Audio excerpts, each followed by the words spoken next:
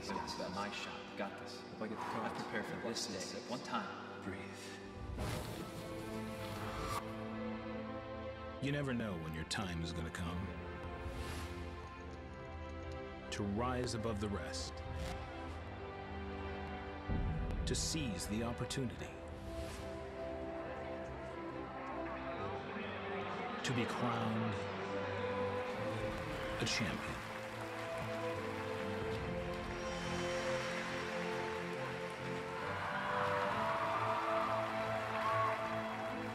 Is it time for your story to be told?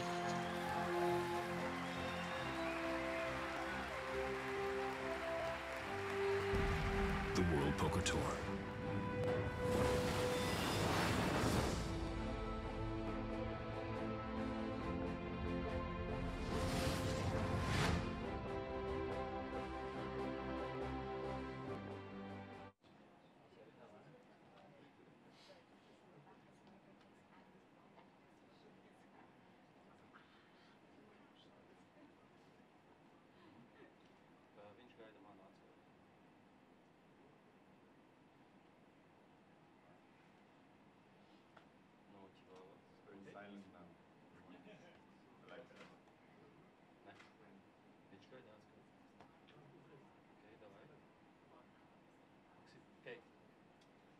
Good afternoon, everyone. My name is Maxime Louison. I'm the marketing and event manager for the World Poker Tour. Um, here today, welcome to the final table of the WPT Russia main event.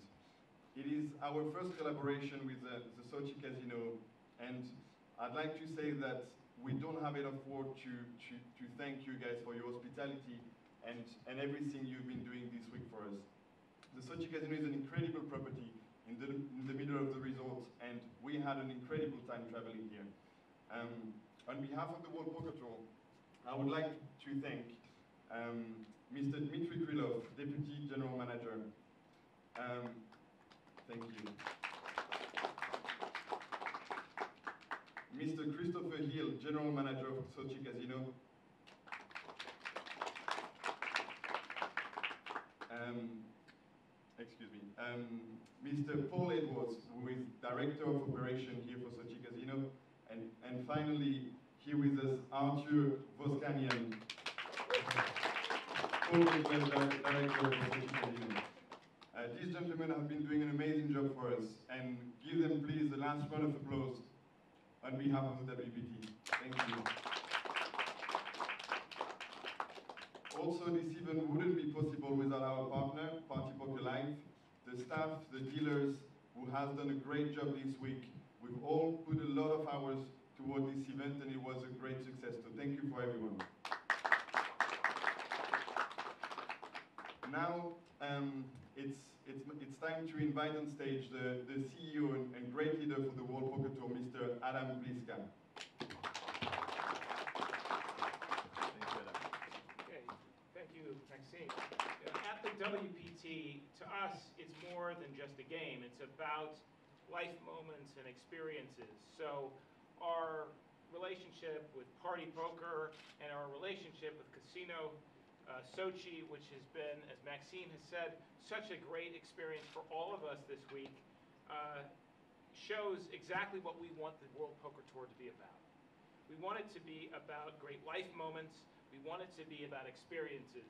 And we had a great, we had a lot of great experiences. We, we, we tried uh, Banya last night, which was, uh, that was really good. That was, that was terrific. We went bobsledding, we swam in the snow, and, uh, but more importantly, we met a, a lot of incredible people here. And we just want to say thank you to uh, all of the people.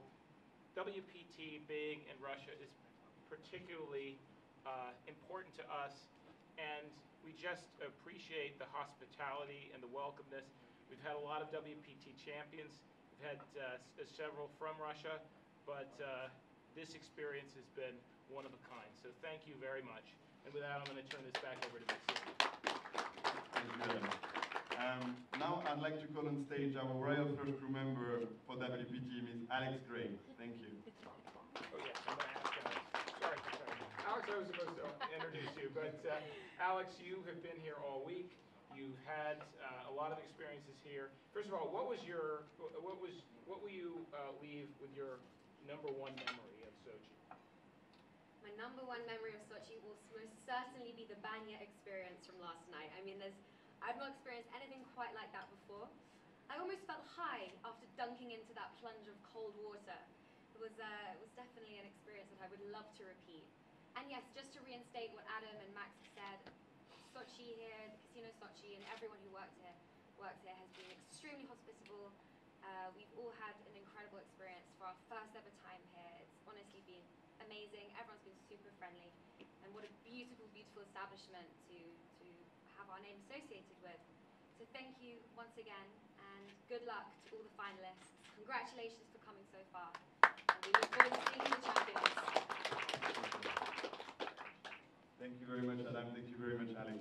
Um, so now I'd like to call on stage Mr. Archie Wozniak, um, Portugal Director for for Sochi Casino. Archie, thank you every- for everything, and I'll let you introduce the players now. А, Я приглашаю на сцену э, игрока из России, а, бокс номер один Николай Файн, 885 тысяч фишек. Россия.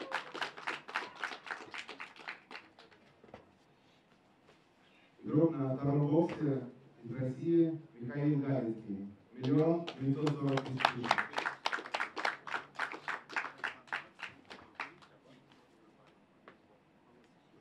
Бокс номер три. Игрок из Украины Денис Шариков. 5 миллионов 335 тысяч. Это 4. Бокс номер 4. Игрок из России Алексей Бортников. 3 миллиона 360 тысяч.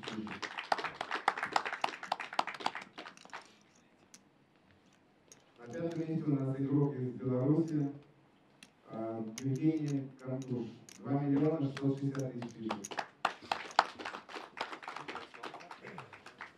И на последнем боксе, на шестом боксе, у нас мой друг, а, игрок из России Олег Павличук. Игрок миллион.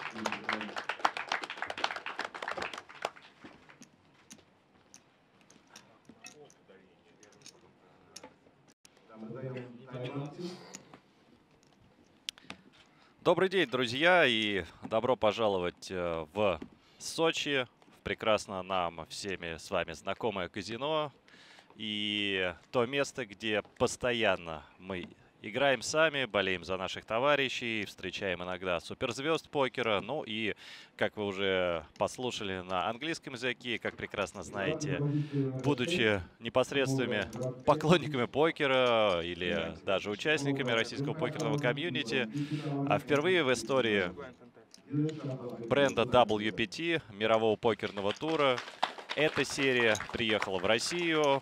И, собственно, в течение недели здесь, в Сочи, ну даже чуть больше, в течение 10 дней, а если с учетом а, стартовых дней к турниру открытия и главному турниру на пати покер почти в течение двух недель шла вот эта серия, венцом которой, как обычно, становится финальный стол главного турнира. И вот, собственно, на наших с вами экранах цифры, за которые борются те шесть человек, которые сумели обойти 497 своих конкурентов. Всего 503 входа было сделано. А, Разрешено было использовать а, возможность одного повторного входа в каждый отборочный день. Поэтому при гарантии на 500 человек чуть-чуть план перевыполнили. Это, кстати, отличные цифры. Кстати, меня слышно? Надеюсь. А, Хочу сейчас увидеть подтверждение ну, в чате, на Твиче. Да, тот спрашивает, Миша, микрофон тебе хоть дали? Рейс 110. Не знаю. Может, меня не слышно?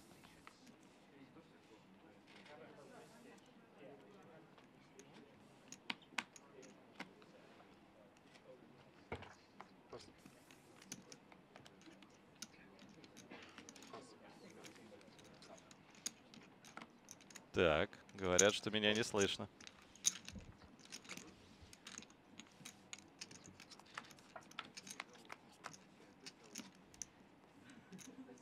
Так.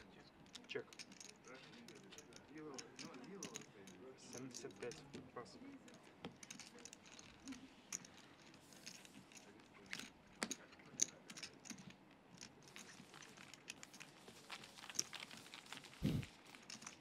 А меня не слышно что-то в эфире. Я говорю, говорю. А, вот говорят, что слышно, заработало. Спасибо.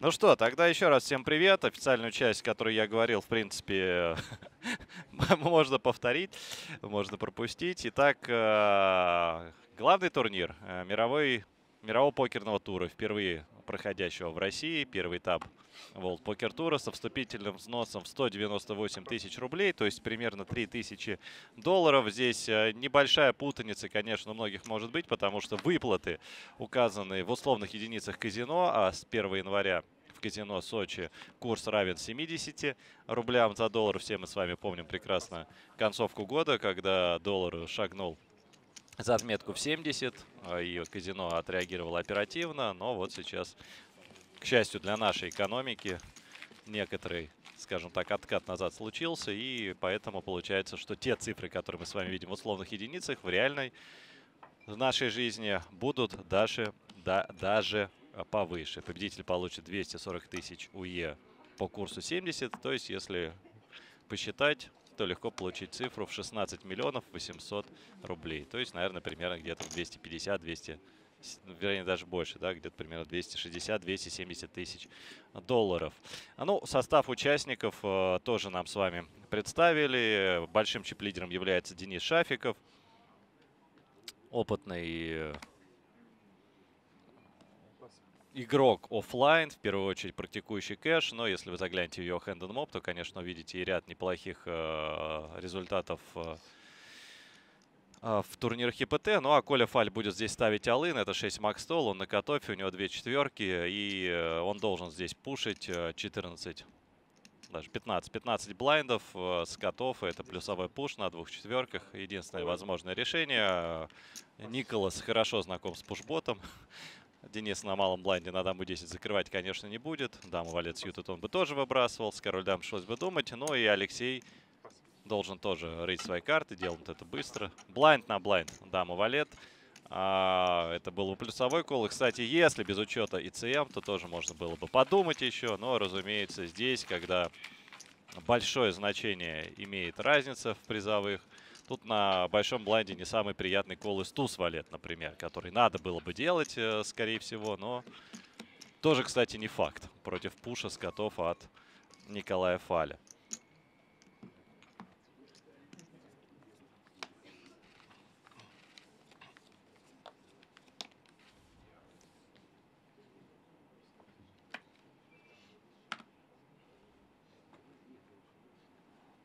Да, ну вот э, Вижу я, что, к сожалению, некоторые... Ну, это грустный смех, чтобы вы понимали, некоторые проблемы с картинкой на Твиче. Вот есть ссылка на Party Poker Live, где все в порядке идет. Я надеюсь, что сейчас э, наши коллеги оперативно смогут скорректировать.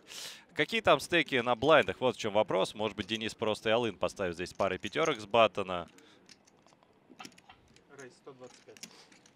Нет, стейки достаточно глубокие. Да, у Алексея, ну, мы видим с вами, что у Алексея Гортикова 3 миллиона, то есть это 60 больших блайндов, конечно, о пуше здесь речи не идет, ну а у Евгения 2,6, то есть тоже 50 блайндов.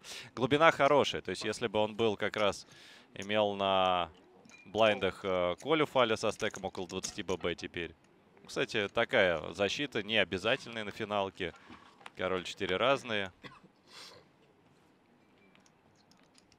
И интересная доска потому что оба в нее попали. А эта доска больше подходит э, диапазону большого блайнда. Такую доску чаще мы играем через чекбэк. Ну и, соответственно, э, заходил здесь, э, раз защищает такие руки Евгений Контуш, как, как король 4 разные, то, очевидно, он это делает с планом не только купить короля, но и блефовать какие-то доски. И вот такая структура. Ну, правда, выход восьмерки, восьмерки бубновый на самом деле э, как бы добавляет эквити не только той руки Денис, с мы выйдем, здесь как раз двусторонка младше не самая сильная, но и э, как бы та доска, в которую чаще всего придется Денису ставить две. Поставил он очень мало, мне не нравится такой сайз, то есть, конечно, в такой терн а по такому, по такой структуре надо ставить больше, но а в туза, конечно, тяжело блефовать. Евгению немало туз X, немало двух пар здесь есть а, в диапазоне Дениса Шафикова. То есть он на этом флопе играет через чекбэк и калирует, конечно же, на терне такие руки, как туз 3, туз 6, э, туз 8 у него есть, туз 7 есть, туз 5. То есть руки с гадшотами, которым абсолютно здесь нет необходимости продолжать на флопе. И, в общем, тузов гораздо больше. Они есть, разумеется, и в диапазоне защиты большого блайнда, но сдался здесь просто. Евгений, еще раз скажу, что на мой вкус, э, вот при наличии коротких стеков против опытного сильного чип-лидера можно было на, тем более, несколько, по повышенный сайз, по-моему, не 2х, да, 2,2х открывался Денис Шафиков, можно было здесь большой блайнд и не защищать. Ну вот э, в сайте на, на, на Twitch есть ссылки на YouTube, где тоже все в порядке с качеством. Кстати, у меня на Twitch, вот у меня Twitch открыт, у меня все в порядке с качеством картинки. Так что, кто жалуется, попробуйте обновить, может быть. Я не знаю, в чем может быть подвох. Я смотрю через обычный отельный интернет здесь, э, да, который доступен всем игрокам через гест-аккаунт казино Сочи, и у меня вроде бы все нормально работает. Красивая очень графика WPT.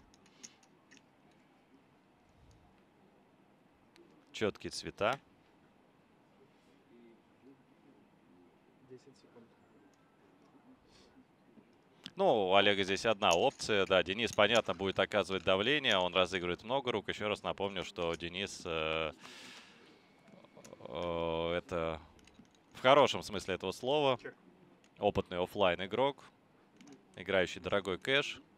Ну и плюс, как мы отмечали, имеющий хорошие результаты в турнирах. Лучшие его достижения в живых турнирах это четвертое место а, на ЕПТ 2015 года, ЕПТ Барселона, если я не ошибаюсь. Понятно, что это легко все проверить, чуть позже, может быть, сделаю. Ну, в такой флоп, конечно, нужно плотнее делать ставку, но Денис хочет вот именно таким сайзингом выбить... Э, может отчасти защитить король хай. Просто таким размером мы не выбиваем здесь никакие гадшоты, никакие хорошие бэкдоры мы здесь не выбьем. Но Денис, наверное, рассчитывал э, сбро... Ну и покупает он шоу-даун, то есть теперь он бьет там какие-нибудь 10-9, червовые, которые могли здесь поколить. Бьет, э, бьет король 10, король даму. А, то есть, собственно, купил шоудаун на ривере. Олегу можно было попробовать ривер. Но Олег очень аккуратный игрок, очень опытный. И, а, все с ним кто периодически играет живые турниры, конечно, немало пересекались. Он неизменно ездит на мировую серию покера, играет не только в Холдом, играет в Амаху. В Амаху Хайло мы играем. И если я не ошибаюсь, мне кажется, что Олег иногда и в какие-то другие дисциплины садится. Но это, знаете, серии, когда находишься на мировой серии постоянно кого-то встречаешь, ты что-то можешь спутать. Подскажите призыв в баксах.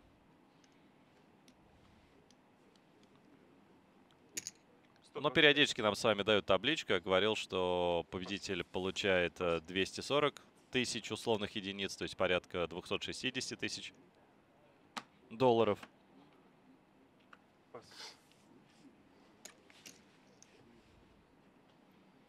А на данный момент сколько все себе гарантировали? Сейчас гляну, или нам покажут еще раз.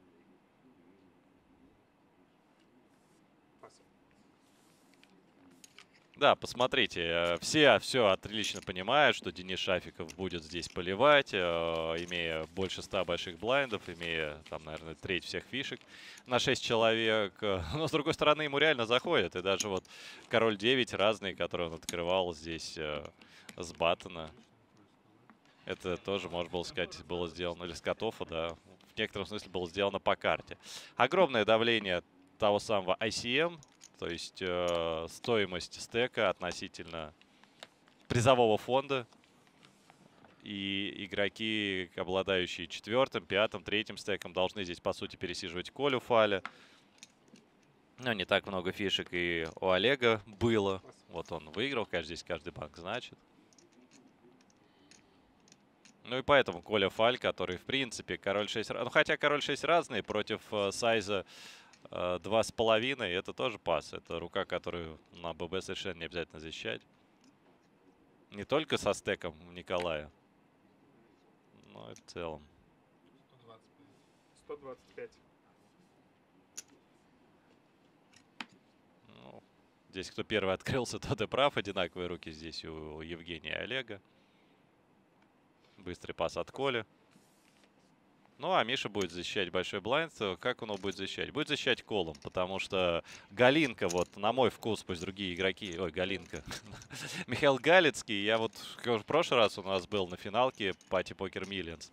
Я его несколько раз назвал Галинкой. Галинка — это один из ников Дима Урбановича. Зинка — ник у Миши Галицкого.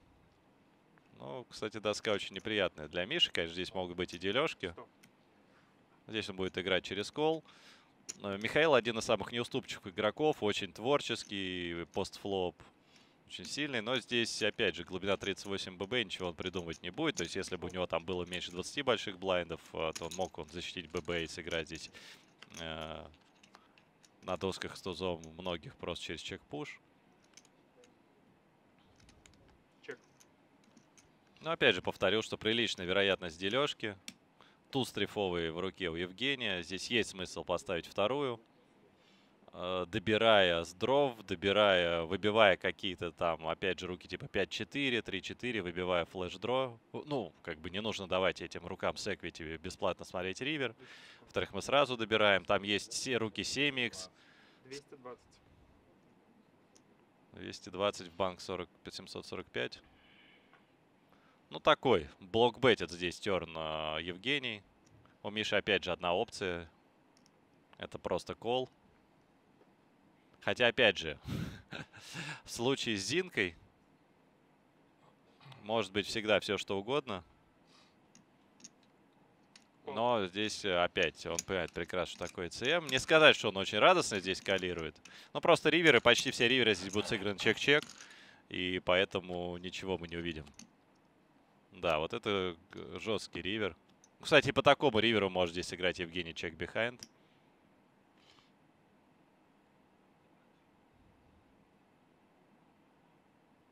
А, потому что, с одной стороны, да, мы усилились до двух пар, а с другой стороны, что нам добирать?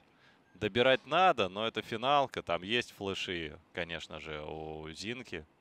И, в принципе, на финалке Нельзя сказать, что чекбэк будет большой ошибкой. В банке сейчас 965 тысяч. Очень не хочется здесь поставить маленькую, получить алын.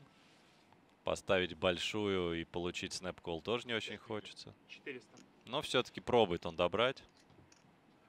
И я думаю, что по этой шестерке должен найти пас э, Михаил Галецкий, потому что если бы вышла шестерка не в масть, было бы гораздо сложнее. А здесь закрываются флеши. Мог здесь две поставить флеш-дро Евгений. Вот у Зинки всегда в голове несколько опций. Он здесь размышляет, думает, да, молодец. Ну, то есть он понимал, что скорее он здесь выбирал между Алыном и, и пасом. Вот. Ну, то есть там, там, там блефов почти не остается. А из доборов мы ничего не бьем. Доехал флеш. Э, и Евгений не похож на того игрока, который здесь что может пробаррелить. Ну, не знаю, там девятку превратить в блеф. 9-8. Наставить на ривере на всякие еще. Да. Обидный ривер, ривер для Зинки. То есть по, по массе риверов была дележка просто.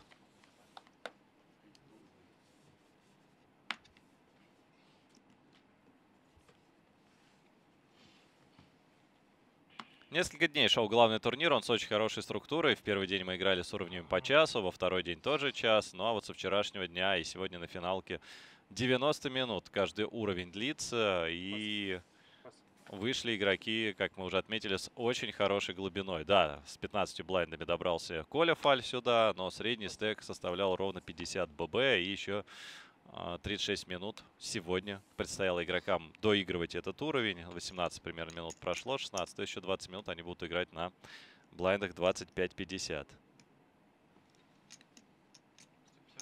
150. Блокбетит, спрашивает меня Рудо. Но это покерный термин. Понятно, что блокбетом более привычно называть ставку, например, на ривере, когда игрок делает небольшой блокбет, там, по, по опасной закрывшейся карте, без позиции. Но ставка на терне, когда ты хочешь сыграть э, чек бихайнд на ривере, вот, тоже, в принципе, называется блокбетом. А, ну мне пишут, что я ошибся, что банк был 515, а стал 745 после ставки. Но в любом случае тогда ставка была 40%. Это тоже можно назвать доборным блокбетом по терну.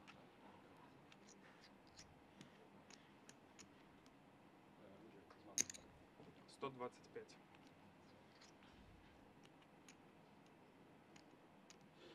Треть банка Миша должен платить, у него оверкарты, э, бэкдорный флеш. Конечно, лучше бы здесь на доске была не пятерка, а хотя бы девятка, чтобы еще были, были бэкдорные стриты. И понятно, что в эту доску очень хорошо попадает Денис, но, опять же, мы залимпили очень сильную руку. Оп, а вот. Чек. У Валета есть в диапазоне Миши, который он сыграл через э, чек-кол флопа. Но у Дениса у руки по-прежнему достаточно эквити, и у Миши здесь в диапазоне часто будут туз X какие-то, может быть туз 6, может быть те же туз 10. Валеты есть, э, король валет, э, валет 10, э, пиковый валет 10 червовый, валет бубновый вышел, значит мы блочим, как бы король валет бубей, ну то есть оверкарты с бэкдором. И, соответственно... 35. Дениса пока нет оснований думать, что у него рука хуже. То есть всегда здесь на флопе туз X платят, многие король X платят, далеко не все там с валетом, поэтому он здесь ставит... Ну, можно сказать, что это мерженная ставка, то есть мы... А, ну как, мы, правда, не выбиваем здесь руки сильнее, но добираем с рук слабее. Ну, здесь, здесь, здесь не знаю, кстати. Есть ли смысл Мише защищать свою руку? В банке уже эм, ровно столько, сколько у него в стейке. И, в принципе, вот здесь чек-пуш, может быть, и не ошибкой было бы сыграть на финалке. Но он считает, что там не так много, то есть, да, сильных рук. И по такому риверу чек-чек будет уже. Тусхай все равно не платит. А пятерку валета мы здесь не выбиваем. Чек. Ну и чек бихайнд сыграть Денис Шафиков. То есть что, что здесь алын, чтобы выбить что только, да? Там какие-нибудь 7-5.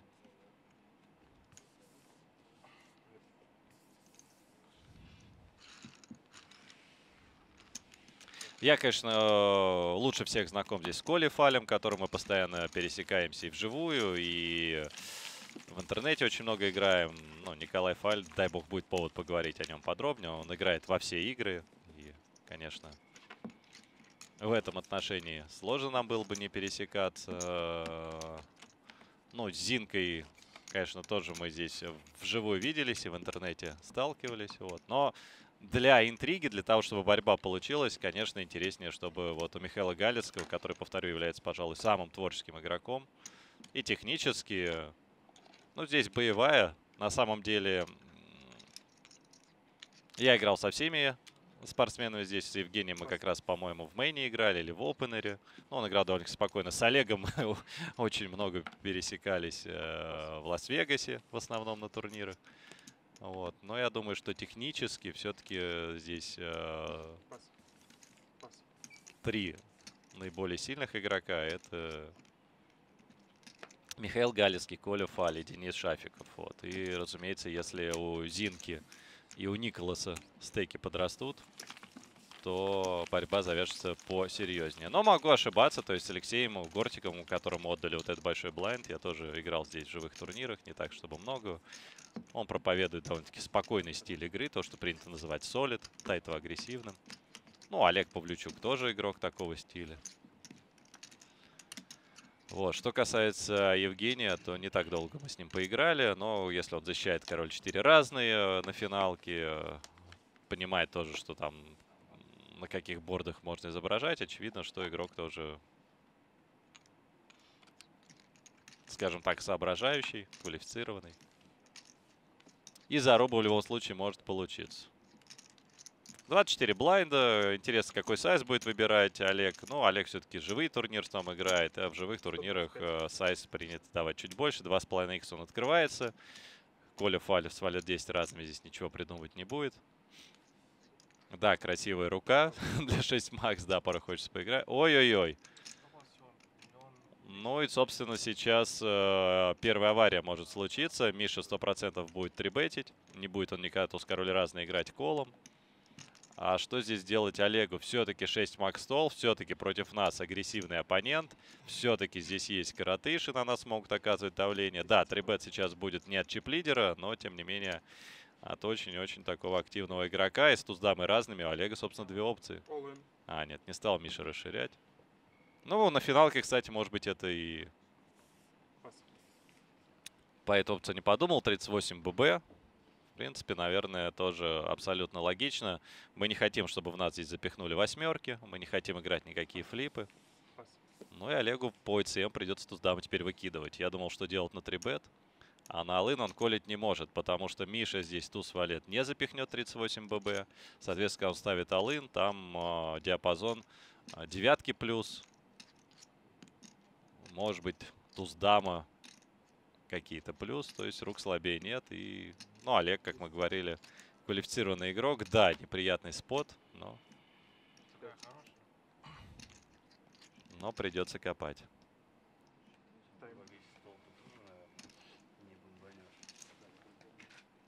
Привет всех. Михаил, могли бы время от времени информировать, как там проходит турнир по 10 тысяч? Как там Толя Филатов? По-моему, в час дня он продолжится, но я буду открывать, смотреть. Можете сами на Gypsy Team читать текстовую трансляцию или на Party Poker Live. Я думаю, что Олег прекрасно знал, что ему надо выбрасывать. Он тоже, в принципе, с калькулятором работает. Э, то есть, когда мы говорим, что человек там весь сезон проводит в живых турнирах, это не значит, что как бы оффла... там хороший офлайн игрок не занимается математикой. Но, опять же, э, любопытный игрок понимает, что даже вроде очевидное решение, да, здесь должен выбрасывать на это алын. Не ошибка еще раз немножечко подумать, все взвесить за и против. Я пока что один, но я э, думаю, что будут сегодня гости. Вадим Шлес обещал заглянуть, э, Глеб Тремзин, который является тоже хорошим другом Миши Галицкого тоже говорил, что, возможно, заглянет, если горло подотпустит. Сегодня продолжается турнир Дипстек, где осталось 16 человек по полтора, ну, примерно по 1600 долларов. И сегодня, да, доигрывают 6 человек, 4 только будут в призах в турнире э, хайроллеров наших по 10 тысяч. Но, опять же, я думаю, что ребята разные будут заглядывать. Всем будем рады. Здесь ничего больше не произойдет. Алексей играет достаточно тайтово. Опять же, это финалка, и не будет Денис здесь ничего 108 разными исполнять. Он понимает, что Алексей его здесь требетит строго по. Диапазон смещен на 99,9, может быть, на 0,1 какие-то процента в сторону сильных рук, которые переставляют здесь не для того, чтобы попытаться заблефовать чип-лидера.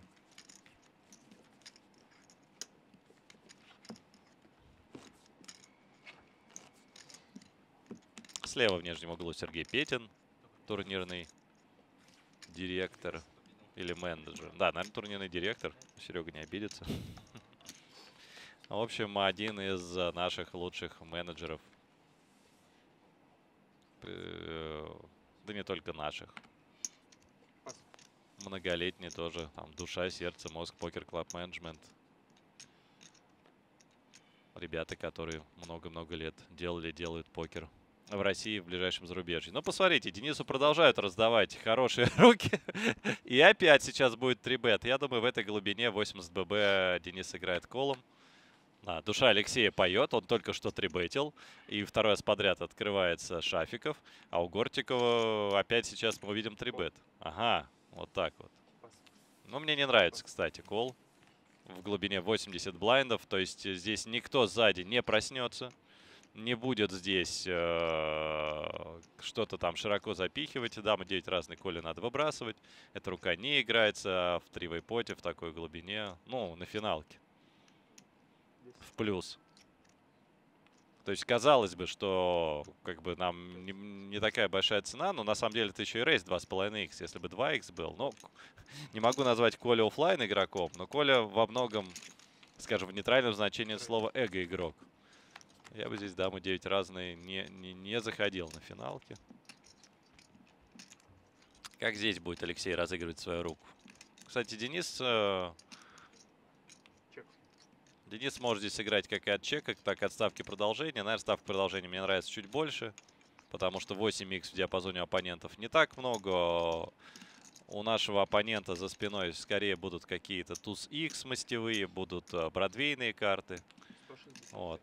Ну вот Алексею здесь страшно уже станет или просто кол сыграет? Не, быстрый кол. Ну, а 3 мне нравится больше, потому что, во-первых, глубина у них и стеков 75 ББ.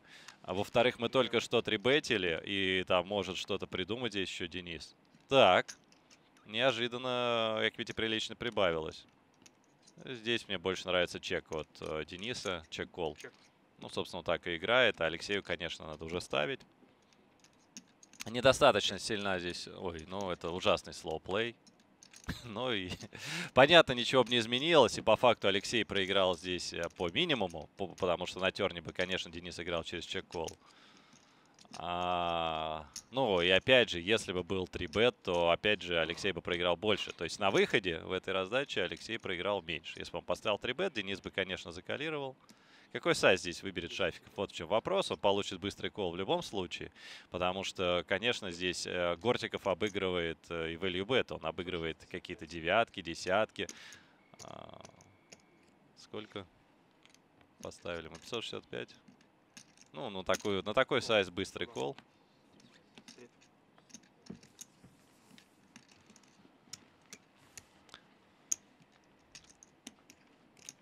Но не знаю.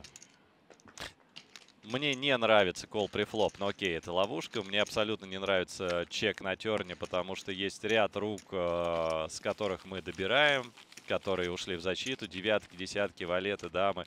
А здесь, ну, что-то может поставить второй баррель, что-то будет играть от чекола. Какие-то 8х будут играть от чекола. Со всего этого мы добираем на терне. А окей, если там пустые руки, ну, какие там пустые? Туз X, который поставили в двоих. Там их не так много рук, там руки с гадшотами. То есть со всего этого нам нужно добирать ставки на терне. И как раз вот по такому риверу мы спокойно играем чекбэк. Еще раз э, банальная мысль. Резалт ориентед, если быть, то Алексей проиграл, ну, как бы ровно столько же, сколько проиграл бы, поставив терн. Но... Флоп можно было иногда порезить. Ну, там, правда, 5-8-3, совсем сухой борт. Я уже забыл, какой размер ставка была. Рей 125.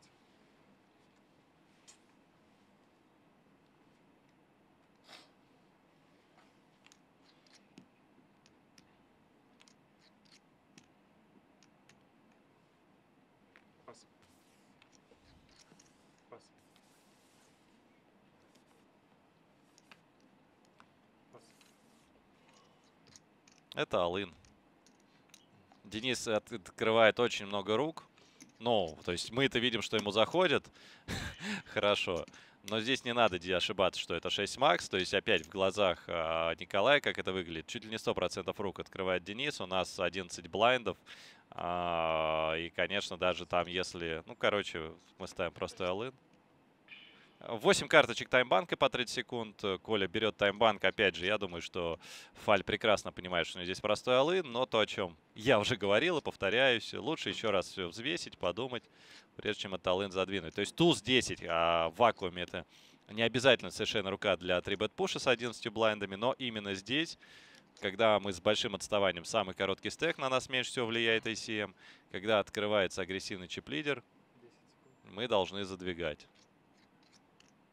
ББ будет... Ой, ну, мне не нравится. Ну, видите, по факту, может быть, Коля что-то почувствовал, может быть, что-то увидел, но против Рейза Дениса надо было сдвигать. Ну, а, кстати, Миша абсолютно правильно играет. Миша не может здесь переставлять. из-за наличия Коли Фали. Ну, а хотя, а хотя, может быть, и удваивался, да, если быть, если опять же смотреть на возможный ранаут.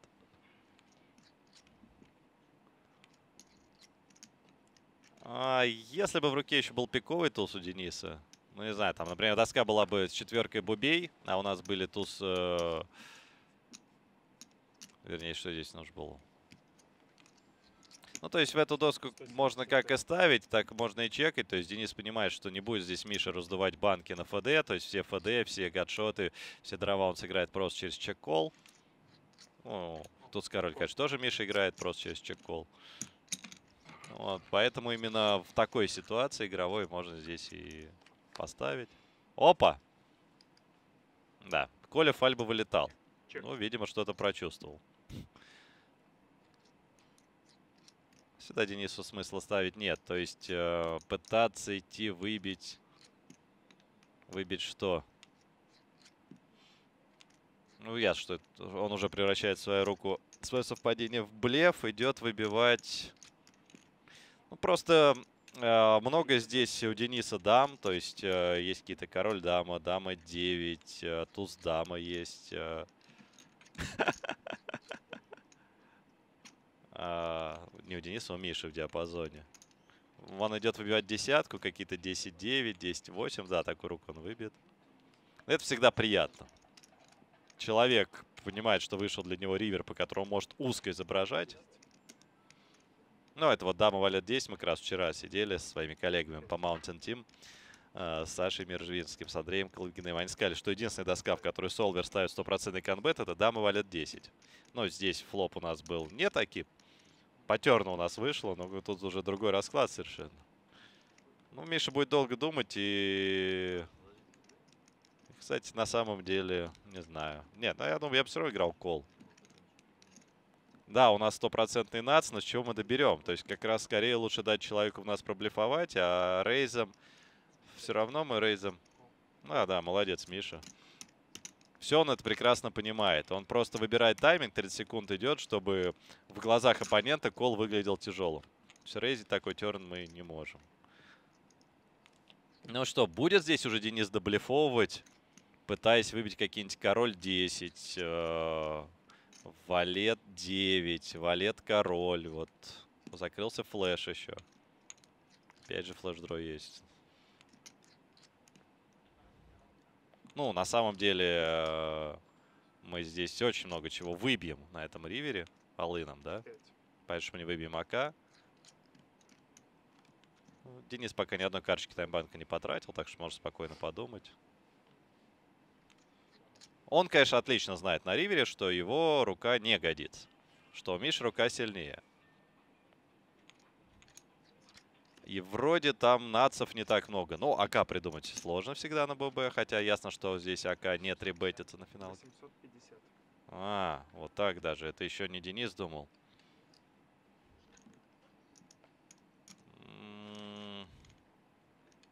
Не, не очень я понимаю, если честно, зачем здесь Зинка лидит.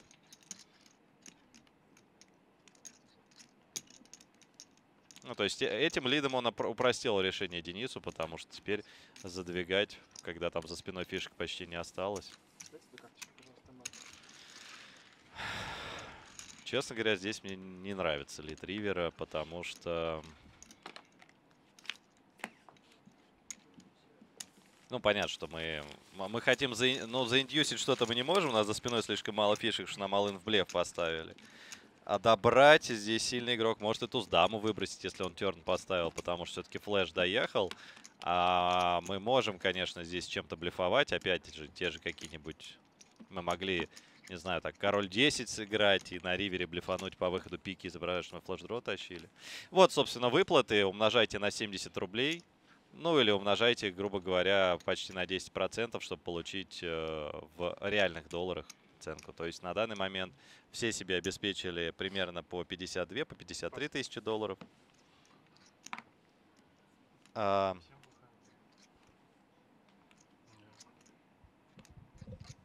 победитель получит около 270.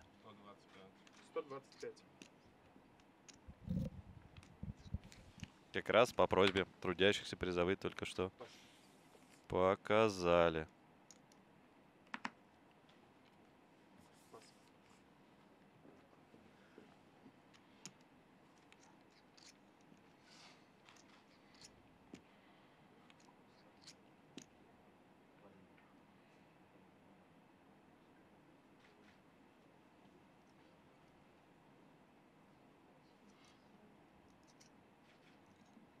Так, ну Миша решил катать сегодня э, финалку на одной руке.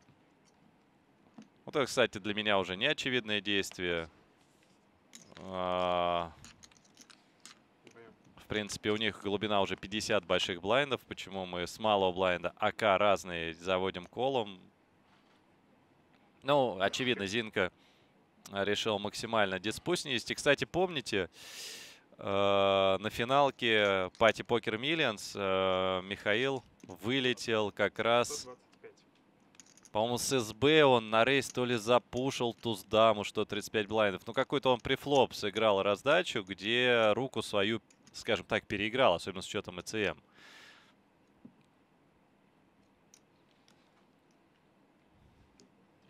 Здесь рейзить надо этот флоп. э, Очень небольшая ставка, масса дров. И опять не видно силу нашей руки. И когда мы играем raise, мы получим call здесь от разных gutshot ов. От рук типа туз-2, туз-3. Конечно, никогда здесь король э, слабее. Король валет, король дама не выбросит на наш рейс. Вот. И главное, мы здесь играем еще чек-рейс по той простой причине, что размер канбета был совсем небольшим. Треть банка.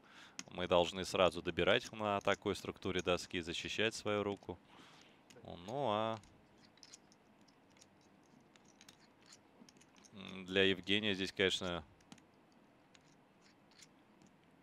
непростое решение. Отчасти он сам себе создал этот спот э, сложный, поставив 30 копеек в эту доску. 10 секунд. Пас. Ну, честно говоря, Дин, что ему карты одинаковые раздают? Ну, моя и туда, и туда буду... с-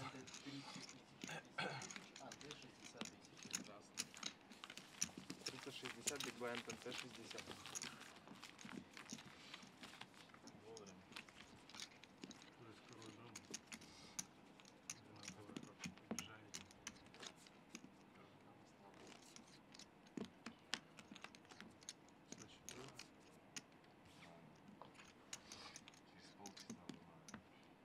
Туз король по-разному.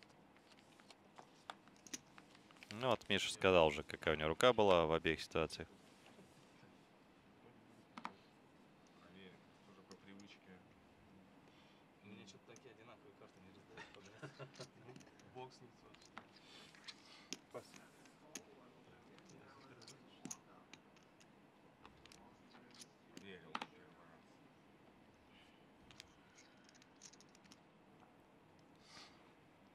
Так, кто там на блайндах? Я вчера не верил. 16 ББ у Олега. Сейчас тоже 10 секунд. 125. Открывается он через Колю.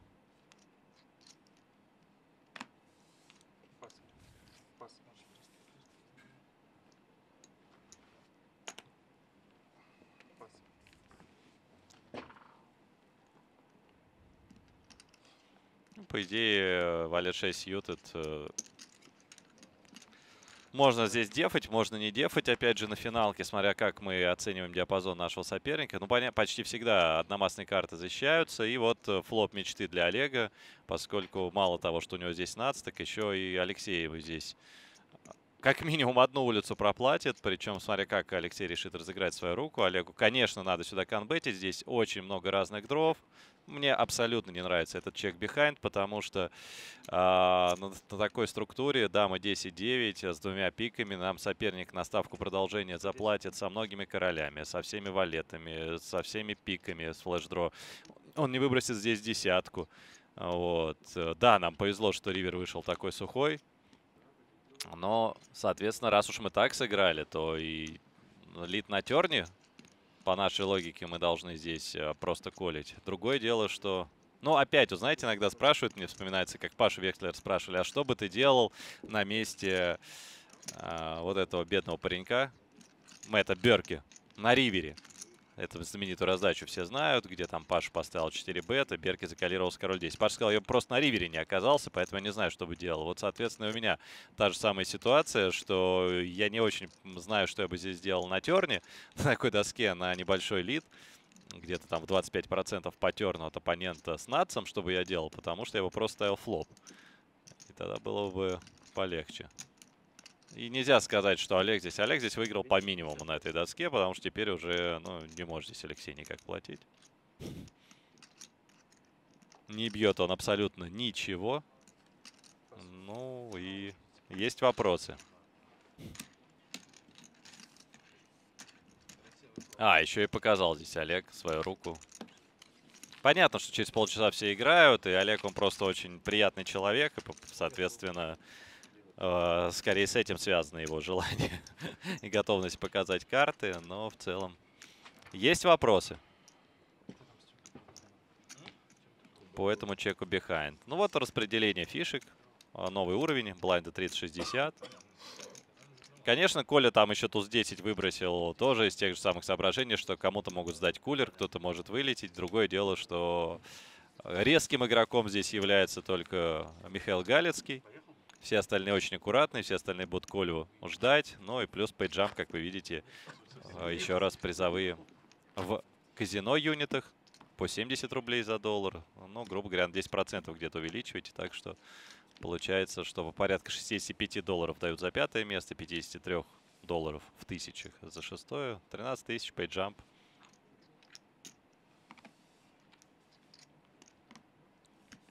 Имеющий значение.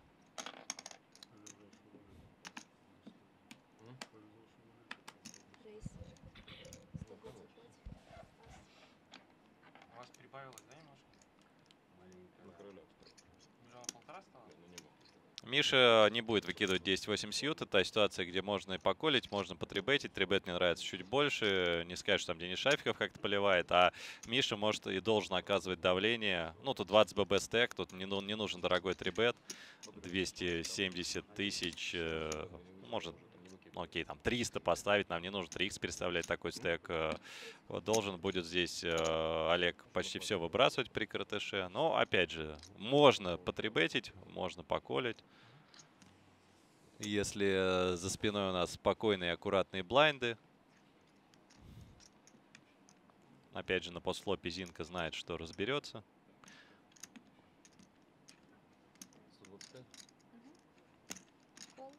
У Алексея хороший отцы, чтобы зайти на паре двоек. Ну и, конечно, Евгений здесь одна опция. Это кол на финалке. Ни о каком пуше здесь речи не идет. Ну а рука у нас идеальная, чтобы с большого блайнда немножко доставить и зайти на сет value. Вот в чем проблема. Да, там такие руки оказались, но просто трибетнул бы 10-8 Михаил и не хватило бы здесь. То есть здесь Олег бы, э, вот опять, даже с туз-дамой помучился. Очевидно, что такие король-дама, туз-валет и какие-то пары разные. Олег вынужден был бы выбрасывать в пас.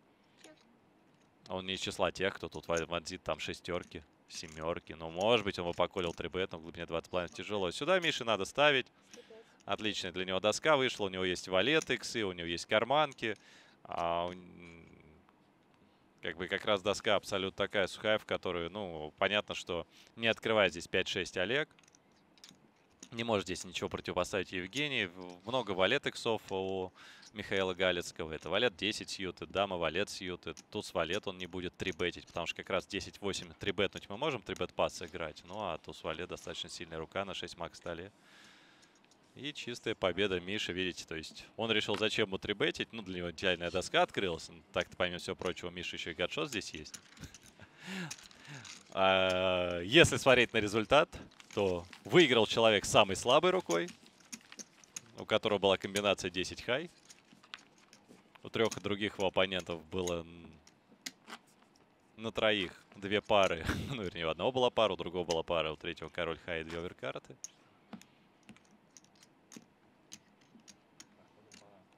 Почему анты такого же размера, как и ББ? Поскольку...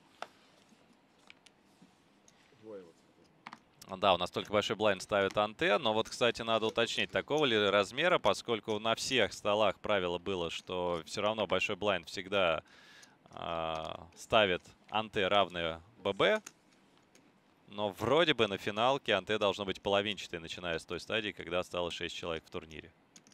Не столь это, конечно, принципиально.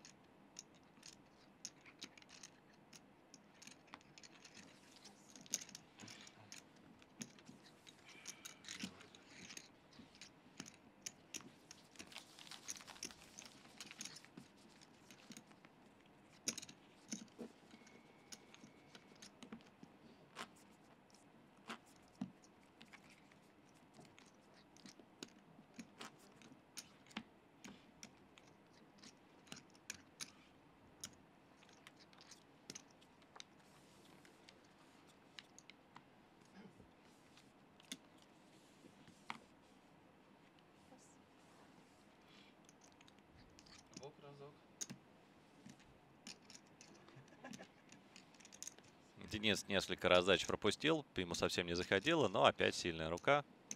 Простой рейс.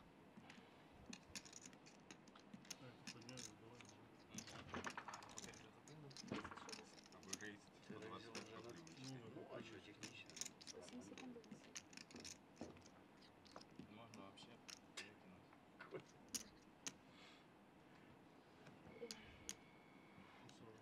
140, да.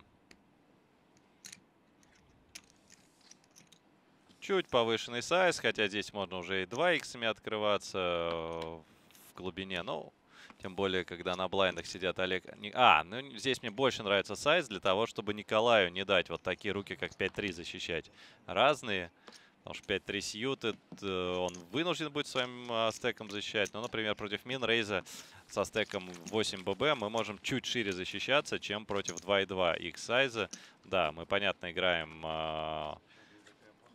колл на ББ, чтобы сыграть fit fold по флопу, поехать на разных флопах, где-то сразу же донг пушем, где-то, если неплохо, сильнее зацепились, играть чек пушем, ну, вообще уже там СПР единицы по-любому. Ну вот опять, э, на самом деле, если бы он открылся 120, а не 140 тысяч, может быть 5-3 разные. 5-3 разные, наверное, все равно нет, но какие-нибудь 7-5 разные уже. 6-4 разные точно можно было бы дефать. А против 2.2 икса такие руки Коля должен выбрасывать. И поскольку туз 10 у Денис, то есть, например, были бы у него там два туза, два короля, те руки, с которыми совсем не против дать Коле зацепиться за какой-нибудь гадшот, за неплохие бэкдоры или за совпадение. Вот, пожалуйста. А, конечно, там с туз хай давать возможность двум андеркартам хитануть не очень хочется. Потому и лучше сайз. Рейзы чуть повыше. Ну, здесь я не знаю, чего там, о чем Евгений задумался. 130 рейс. 130. Класс. 2.15 X. Эту бы руку Коля блайнд в блайнд пихал, но после рейза ничего сделать не может. В общем, сейчас все ждут фаля, и в Коле сейчас будет на батоне. Но ему не так легко фестином пихать, потому что проблема еще и для Николая в том, что сразу за ним сидят два больших стека. Зинк э, поднажил неплохо, собрав туз-король, туз-король. То есть зашли ему нации. Ну, а Денис просто хорошо работает своим большим стеком и тоже ему неплохо заходит. И понятно, что как раз Коля будут закрывать здесь ровно по фишкам. То есть, когда про это говорят, да, э, ну, то есть не, не будут его там уже закрывать. Грубо говоря, там никто не выбросит против Аллы на его 6 блайндов. Например, его 6 блайндов вот Алексею закрывать там на было бы на 20, на 25% стека. И с какие-нибудь там дамы 9 пришлось бы уже думать против пуша с баттона. Ну, там, дамой 8 надо было бы немножко думать потом. 130.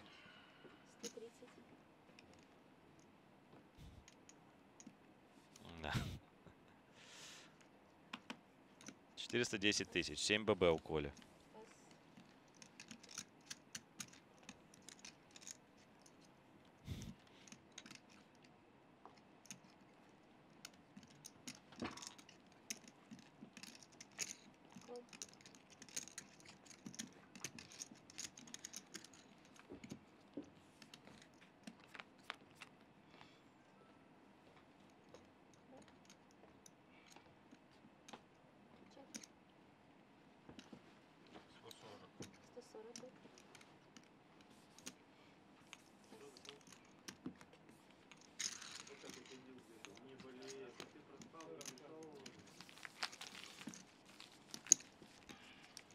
Рич gets рича.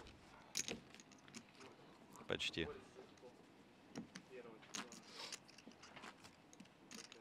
Ну, хорошая игра. Опять же, конечно, и дилеры молодцы, раздают играбельные руки, но посмотрите, нет у нас такого, чтобы кто-то там что-то сделал, а остальные что-то не сделали. Я вот как просто тут там в студию заглянул профессиональная журналистка, я тоже начал стараться профессионально мысли формулировать. Евгений.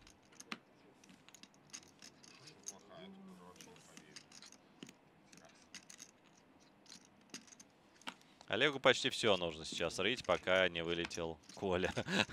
А Коля... Да, это всегда самое неприятное ощущение, когда не можешь ничего сделать. Но Коля уже играет фриролл. Ну, вернее, как бы я бы на месте Коля уже вылетел вот тогда с туз-10 разными. Но видишь, у меня где-то было бы шашек побольше. Дама 9 офф я бы не стал бы тривей защищать на финалке. Да еще и против 2,5х сайза открытия. То есть на полтора блайнда там бы уже сэкономил. Это тоже все имеет значение на самом деле. Где-то один, а другой дополнительный блайнд выигран или проигран. Потом при удвоении это уже превращается там в два с половиной, три, а полтора в три превращаются. А если утроение, то, в общем, как снежный ком.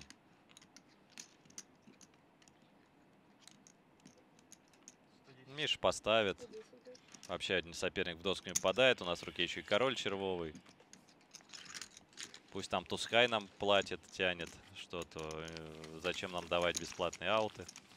Наши руки хорошие эквити.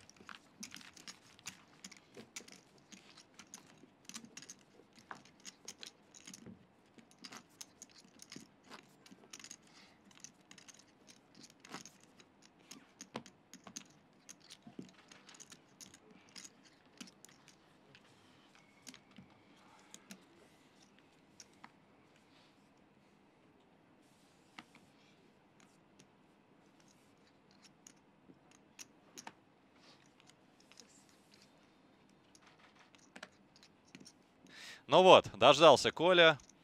Звучат фанфары. Коля выбирает тайминг, генерирует флоп, если будет кол, и объявляет после этого алын. Михаил выбрасывает легко. На ББ было о чем подумать. Скорее всего, пришлось бы закрывать. Но Алексею закрывать надо. И вот сейчас будет сравнение, очень важное для Николая Фаля. Потому что Алын 7 блайндов. Очевидно, что мы доминируем. Ну, Коля должен здесь всех тузов пушить. А, мы доминируем этих тузов. Коля пушит, конечно же, валет 10. Э, ну, понятно, что он пушит король даму, дама валет. Ой-ой-ой, ой-ой, какой плохой пас. Ну, для Коли все закончилось удачно. Здесь-то еще кол все-таки э, э, для Алексея. Ну, я говорил, что, например, там с дамой 8 надо было бы думать. Но здесь 2,2 миллиона у него, Алын 400 тысяч. То есть мы калируем там Я думаю, Коля бы выиграл. Там тузы были в пасе, да, валетов никто не выбрасывал. Но всегда, всегда ты, всегда ты, если у тебя перспектива перед тобой стоит выставиться 40 на 60, всегда с удовольствием, даже 50 на 50, даже 60 на 40, Коля доволен э, забрать блайнды и анте без борьбы. Вот. Тем более следующей рукой он на ББ, и ему ставить ББ НТ. Ну вот это, собственно, разница между теми, кто играет только вживую, там турниры и кэш. То есть, конечно, туз 10 это был здесь простой колл на малом блайнде.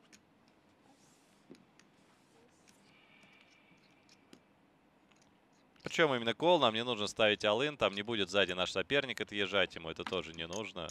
С тузами, с королями, с дамами мы тоже там на СБ можем сыграть просто колл, могут быть ловушки. Там никто не будет у нас запихивать какие-нибудь две шестерки или какие-нибудь туз 7 сьюты. Вот, после чего нам придется рыть туз 10.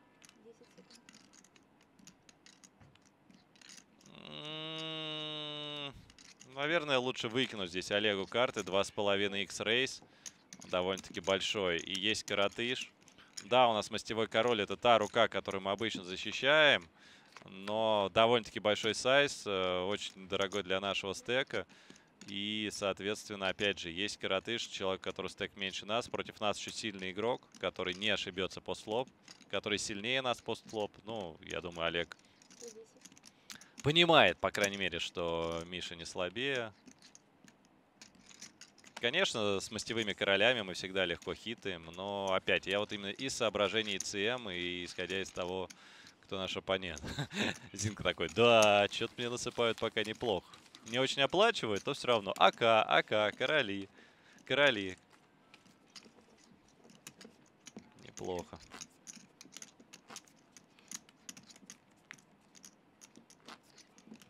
Ну, опять же, смотрите, то есть я за ближе к пасу здесь король 8 одномастными по той причине, что 2,5 X-рейс довольно-таки крупный, что есть тег, э, ну, мы калируем у нас на начало раздать 16 блайндов, то есть мы лишние полтора блайнда платим. И есть стек 10 блайндов, то есть нам важно сохранять стек выше. И против нас сильный, там, агрессивный игрок. Да, ясно, мы играем с планом флопнуть э, короля, топ-пару или хотя бы среднюю пару или флеш-дро и сыграть, там, выставиться.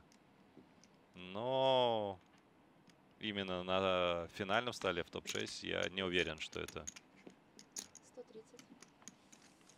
хорошее действие. Ну, вот, собственно, и ГГ, увы, похоже, для Олега. Алексей не так мало рук открывает. Это 6 макс. Он открылся с cut-off. У нас э, хорошая средняя пара на малом блайнде. Мы должны ставить олл-ин.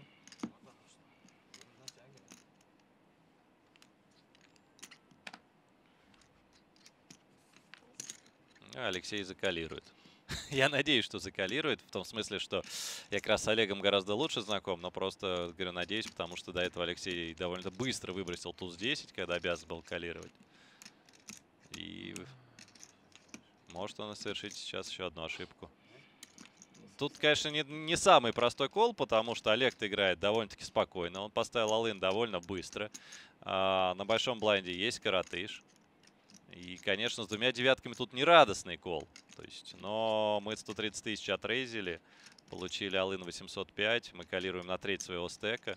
Да, чаще всего мы будем играть монетку против туза дамы, туза короля, туз валет сьютед. Но карманки там тоже есть. Там есть восьмерки, есть семерки. И когда мы выбиваем человека, мы здесь еще проходим и пейджамп. А главное, если там есть восьмерки и семерки, то мы вообще выставляемся 80 на 20. И плюс, опять же, если бы Алексей все копал, но Алексей играет э, как бы адекватное количество рук. Его рейс не выглядит э, супер тайтовым. То есть, конечно, здесь нужно было вот, ну, окей, там, 25 секунд подумать, пожать плечами и сказать, что, да, жалко, не очень приятно, но выкинуть я здесь не могу. Любого другого заколил бы не думаю. Что любого другого бы заколил уже. Ну, спот, повторяем, неприятный. Именно из-за того, что есть стек короче.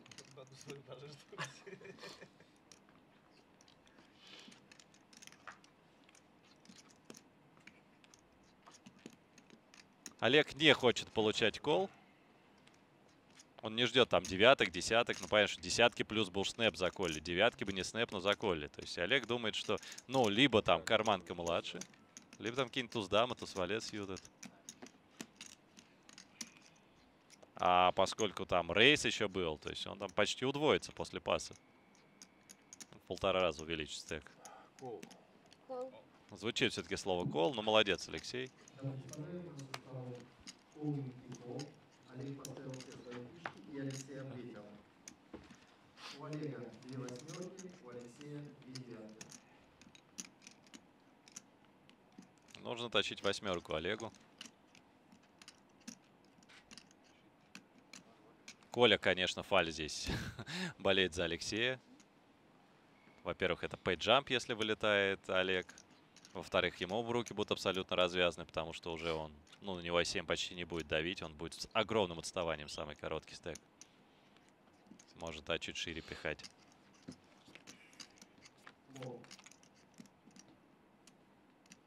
Лол. Дама и две пятерки.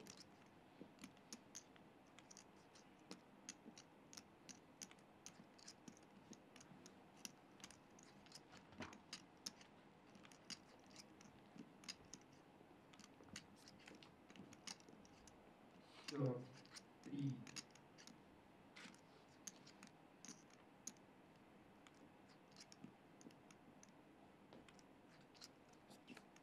Ливер. Десять. Да. Чудо не произошло. Ну, good game Олегу мы говорим. Очень много у него э, неплохих результатов, э, хороших э, проходов дальних. Я надеюсь, что Олег в этом году приедет в Вегас. Ну и до Вегаса повидаемся. У нас здесь в Сочи будет очень много серий идти. Ну. Он сделал он все правильно. Абсолютно правильный здесь 3 бет пуш с восьмерками, но не повезло, попал в руку старшие. 48 тысяч в э, фишках казино. Ну, то есть примерно, конечно, 10% я загнул, 66 рублей сейчас мне курс доллара, соответственно. Разница там во сколько процентов? 8. Спасибо. Ну, а вот Коля, Коля примерно там 13 тысяч долларов заработал, да, то есть когда ты на финалке сидишь и ждешь каких-то вылетов. Именно поэтому, опять же, там, э, ну, об этом тоже Коля думал, когда не запушил туз 10 на рейс очень активно у Дениса Шафикова, что могут сдать какую-то аварию соперникам, и ты благодаря тому, что дисциплинированно выкидываешь карты в пас, получишь еще несколько тысяч. Хорошая глубина, да, у Коли всего 7 блайндов, но в остальном посмотрите, стейки от 41 до 81 блайндов в нашей четверке лидеров, а уровни по полтора часа. И э, короткий стол, 5 макс. Разумеется, здесь будет много здесь. Ну что, да, это Алын. Блайнд в блайнд здесь Коля спокойно теперь уже пушит валет 7. Ну, единственное, он понимает, что Зинк его будет закрывать ровно по фишкам, но это не обсуждается. Как бы семью блайндами валет 7 СБ в ББ мы ставим.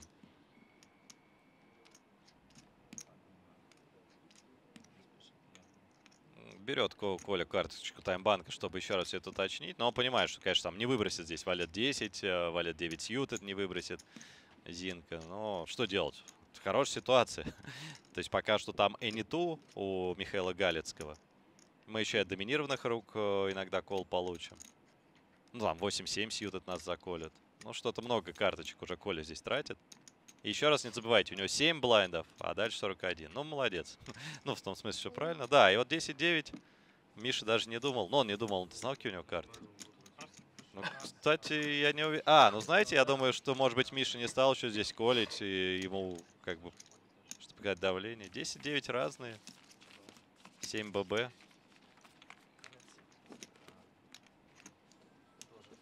6 ББ доставлять. Ну, 10-9 сьют это точно кол. 10-9 разные. Мне кажется, близко.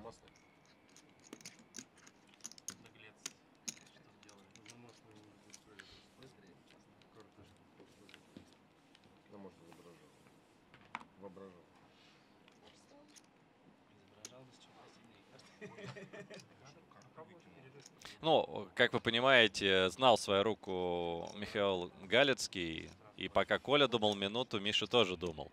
То есть он не то, что он моментальной карты выбросил в пас, он выбросил ментально, но минуту он подумал, закрывает или нет. Вот.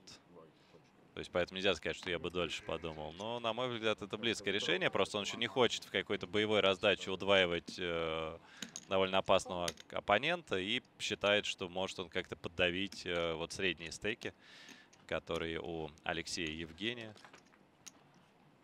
Денис будет рейзить. Я думаю, Миша просто выбросит свои валет 2 сьютед. Блайнд на блайнд. По 60 блайндов стейки.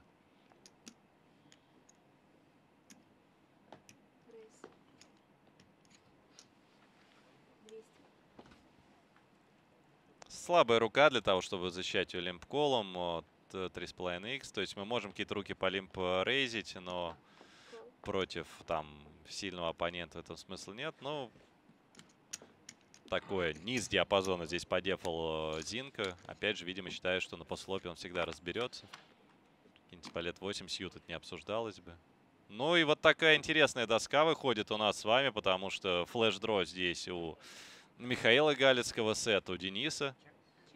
Денису в эту доску надо продолжать, потому что многие руки здесь зацепятся у Миши. У Миши есть король-дама, король-валет, король-10, есть гадшоты, дама-валет, валет-10, есть 9х, 10-9, 9-8 сьютед, есть э, дрова, то есть очень много рук. Э, доска подходит диапазону Михаила Галицкого здесь. Миша, конечно, здесь будет играть просто кол, он не будет раздувать банк против своего оппонента, тем более при наличии КРТШ на финалке. Мы можем играть лимп-кол и лидить какие-то терны, то есть здесь вовсе нет необходимости что-то другое придумывать, раздувать банк, ну, как бы э, в топ-5 при коротком стеке с, э, просто с ФД. То есть мы можем здесь залидить какую-нибудь там десятку, можем залидить что-то еще. Ну, я имею в виду, что это не то, что мы играем там. У нас хорошая рука с хорошим эквити. Так, в банке 760 тысяч. Какой сайз выбрать здесь Денису? Здесь чек бихайнд, конечно, не обсуждается. Мы здесь ставим сотку, как говорят профессионалы. Но каким размером? Мы, конечно, хотим получать оплату с королей. Там же не знает Денис, что там ФД То есть там девятки X, короли X, э, какие-то гадшоты. Ну, он ставит 80%. Ну, опять просто кол нажимаем, потому что у нас добавилось эквити. Ну, как бы мы-то с вами видим, что эта двойка никак не помогла Михаилу. Но, в принципе, он теперь может купить нечитаемый трипс, может купить э, нечитаемые две пары. Ну, правда, валет будет такой картой, которая не самая хорошая, да, потому что, как сказать, по ней сложно будет добирать. Вот. Но, как бы, банк не, в целом неплохой. Совсем кулерных карт на ривере нет, ну только что, как я говорю, валет, трефа, ну то есть вот там мега экшен на ривере мы все равно не должны увидеть. Выходит полный бланк. Опять же мы играем чек. Ну, лид не имеет смысла. Мы что здесь, 10-8 можем только изобразить, да? 8-7 какие-то по блок бетить и получить рейс от них.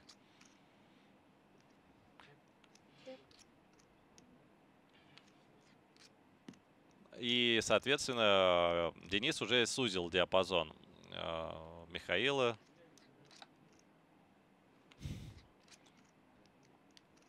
Ну, Мих, Миша не знает, что такая сильная рука. Он тоже ждет чекбека здесь, да, по такой структуре зачастую здесь ривер уже не продолжают. То есть у Михаила здесь король X, король дама, король... Ну, то есть король дама, король валет, король 10, какие-то девятки X. Ну, это простой пас для Зитки, потому что он блочит как раз массу дров, которые могут быть э, у Дениса. Вот этим своим валетом трифовым. Ничего он здесь проделать не может. То есть, если бы здесь его оппонент там баррелил какие-нибудь э, флеш-дро, то это были бы флеш-дро. А валет 10, э, который еще не факт, что рейзили бы при флоп. Дама, валет, трифов, наверное, рейзили бы. Здесь рука для кола очень плохая. А какой-то там без эквити блеф тоже сложно придумать тремя баррелями.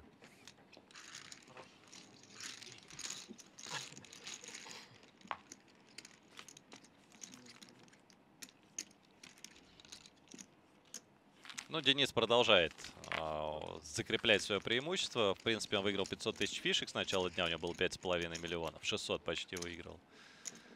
Вот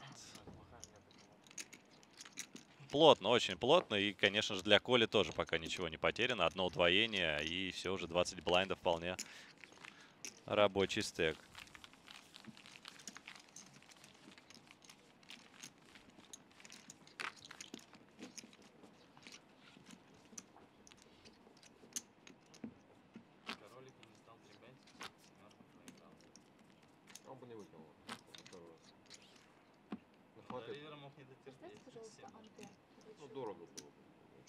Итак, минимальная выплата сейчас 59 тысяч по курсу 70. Ну, то есть, грубо говоря, где-то 63 тысячи долларов. Или в рублях около 4 миллионов рублей. Все уже себе гарантировали. Победитель получает около 17 миллионов рублей.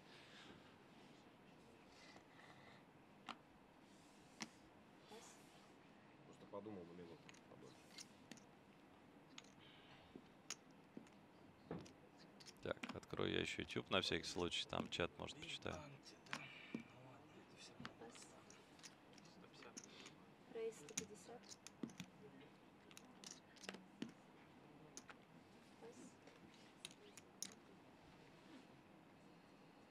Простой кол. Ну вот, Зинка уже начинает немножко наглеть. Именно поэтому отчасти он Колю не хотел выбивать. Понимает, что как раз на блайнде он оказывает максимальное там давление. Ну, особенно, когда на блайндах будут Алексей и Евгений. Знали, что заполить. А? Я говорю, знали, что заполить. А, да. Чек. Чек. 110. 110, да?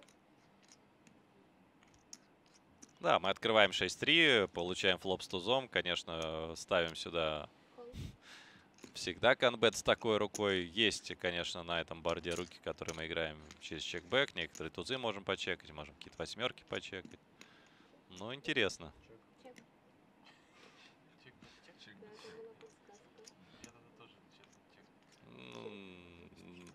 Ну, интересно, в смысле, что у Миши эквити появилась. Сдался спокойно. Не стал пытаться выбить какую-нибудь там восьмерку, семерку. Ну, туза оппонент бы не выкинул. То есть такой... Попробовали незадорого украсть. Не получилось.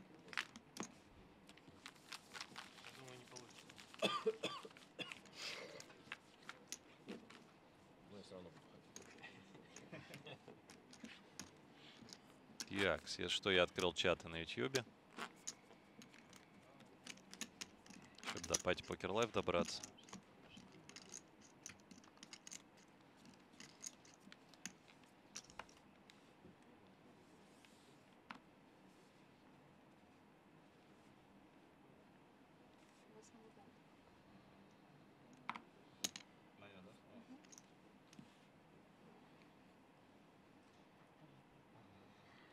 Это Алын. Ну, у нас написано, что 5 макс. А, в смысле, написано ТГ, да. Но, опять же, понимаете, что по, по факту мы ставим Алын с хайджека.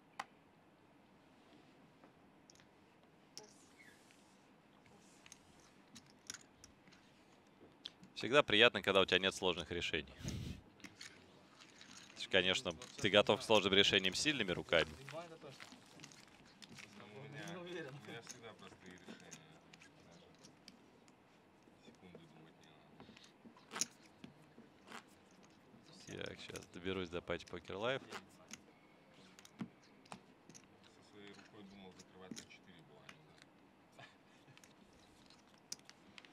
Мгм, Войти. Неужели буду 150 пикселей? 150 рейс. Такая сильная. Поэтому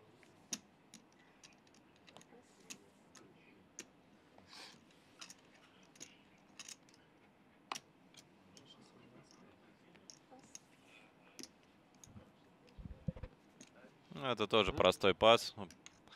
А, э, Да, рука играбельная. Да, Михаил много рук открывает, но там еще коротыш на ББ. Не знаю, не обязательный кол.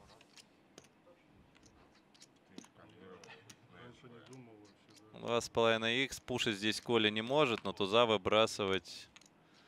Ну, такое. Вот не знаю, один на один сто процентов мы должны были защищать. Вот это мне, кстати, нужно было уточнить.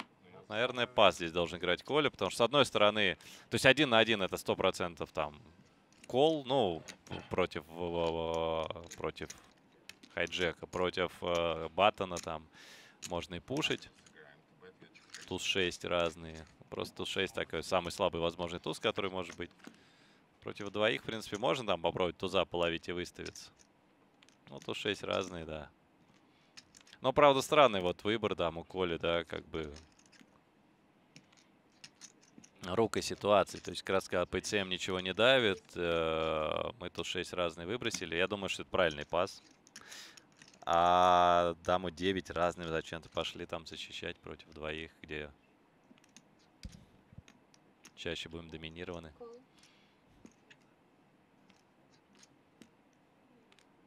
Так, ну что-то в чате я вроде ничего не вижу. На partypoker Live. Другие чаты у меня открыты.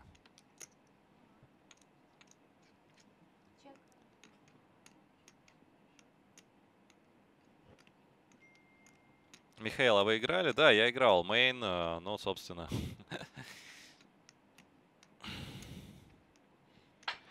Э, Вылетел я во второй день. Сначала вылетел в, прям перед окончанием поздней регистрации. Недоволен собой, потому что против игрока-любителя можно было две дамы с 20 блайдами при флоп выбросить. 95. Вот, как бы там коллеги не смеялись, но у меня была ситуация, где я открыл 2200, получил там 3 бет 5000 от игрока-любителя и по всем телсам по его поведению. Э, Вадим Шлес меня троллил, что нельзя класть человека на тузов. Но здесь я как бы понимал, что там тузы. У меня просто третий человек долгими размышлениями, который влез в нашу раздачу с 8-7, смутил. И понятно, что это кощунство, когда там кто-то вот, ну, в этой раздаче оказывается человек, который на 8-7 там влез под такой страшный диапазон. Но я думал, что там АК будут у третьего игрока. Но в итоге, в общем, я две дамы не вылетел, не выкинул и попал в двух тузов. Сделал потом реентри, ну и по 12 блайндов против Олега Титова мне раздали туз даму в двух тузов. То есть у меня турнир получился так, что Э, мне нельзя там пожаловаться на какие-то бэтбиты. Вот. Просто два дня совершенно ничего не заходило. А когда что-то заходило, то я попадал в более сильные руки. Я неплохо выступил в первом турнире. Был турнир Opener вот здесь. Недорогой. Там я добрался до 40 места. Но, увы, тоже попал с Туздамой Сьют от ВК на стадии топ-40. А играла, было, было сколько там, 1200 входов, что ли. Хороший очень был турнир. Дальше, к сожалению, играть здесь не мог. Сегодня вот еще проходит турнир Дипстек хороший с бай-ином около 1600 долларов. Ну, 99 тысяч рублей. Проходит турнир хайроллеров по 10 тысяч долларов. Посмотрим краем глаз за ними тоже, конечно. Но в остальном... В остальном здесь... Так. Интересный флоп. Ну, правда, опять, знаете, вот именно из ИЦМ соображений Денис сюда поставит. Э, смотря, он обычно небольшие ставит. Миша, конечно, небольшой должен платить, потому что у него есть гадшот, бэкдорный флеш. А, поэтому в такую доску, конечно, канбет лучше в целом ставить крупнее, но, наверное, с рукой Дениса он вполне не плохо здесь, не против получить какой-то экшен, поэтому it's окей okay, треть пота в этот флоп поставить. Ну все, без аутов Миша, но и Денис здесь больше ничего не выиграет. Даже если поставить сюда какие-нибудь 100 тысяч в банк 590. У Дениса Шафикова, как мы с вами видим, не сильно сплитуется сайзинг, то есть у него почти всегда по всем структурам один сайз, там в районе 30-40% флоп, 50% с последующим улицам, ну, максимум там с 80. В принципе, пока все неплохо заходит, все хорошо складывается, и главное, а, у него самая комфортная ситуация. Это очень хорошо работает. Ничего, ничего больше не придумывает. Вот он сзади кубок. Да, не в фокусе, но, конечно, красивейший исторический трофей, на котором появится очередная плашка с именем русскоговорящего игрока. Их там не так мало. Победителями главных турниров WPT становились многие ребята и некоторые девчата, которые здесь играют. То есть напомню, что Наташа Никитина является первой в истории девушкой, выигравшей главный турнир WPT. Наташа здесь играла. А, прошла в деньги, вылетела короли в дамы. Довольно-таки стандартно для себя. ну, то есть с королями она часто вылетает. Туз 7 а, в двоих с Баттона это Алын. 9 блайндов. Я бы на месте Коли карточки таймбанка не сжег, если они у него еще есть.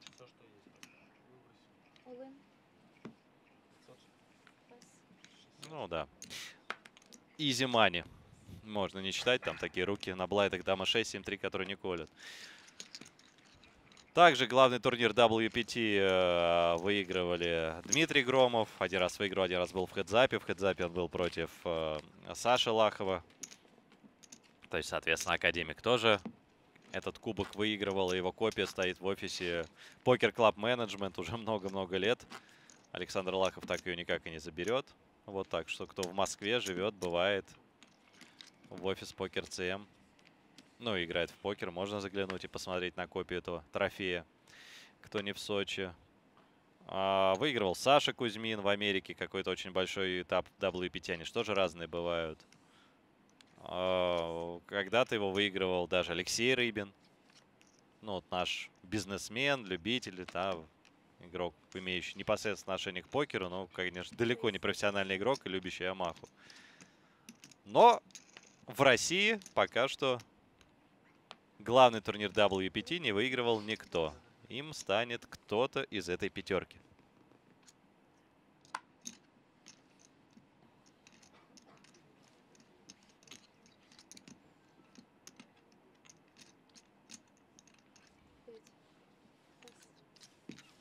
Ну, вы видите, да, почему Миша выгнал наличие коротыша. почему он там отчасти не стал закрывать 10-9. Почему он открывает почти все. То есть, если на большом блайнде соперник выбрасывает туза, Да, туз-2 это в целом мусорная рука, но она в большей степени мусорная для открытия. Конечно же, один на один мы туз-X защищаем. И туз-2 для розыгрыша пост-флоп, ну, туз-2 разные. Понятно, что не самые красивые, но я буду с туз-2 офф охотнее играть пост-флоп, чем с туз-6.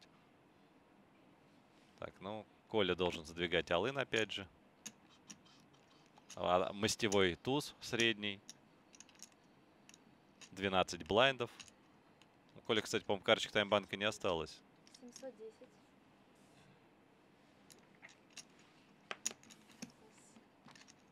Да, Миша быстро выбрасывает король дама в этих позах. Если бы вот в предыдущей ситуации, когда с баттона Коля ставил алын бы, то э, там с король дамой бы закрывал Миша. Ну вот, два алына, почти удвоился. Единственное, что сейчас опять же ставить анте. Сейчас, кстати, посмотрим, сколько анте все-таки Коля ставит. 60 или 30? Да, все-таки полный анте, действительно.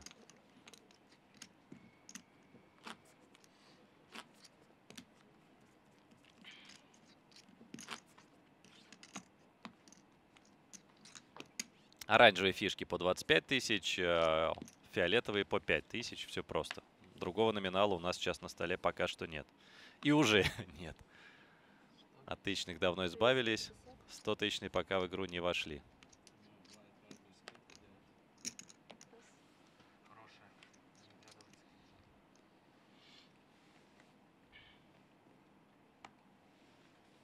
Третий раз сегодня у Алексея Короли. Здесь можно и поколить. Здесь можно и поколить было бы при таких стеках. Плюс на ББ коротыш. Ну да, все смеются, что это очень хорошее, все понятно. Ну, немножко непоследовательно. Конечно, Алексей Гортиков э, разыгрывает вот свои премиумы. Ну и Миша легко тут здесь раз.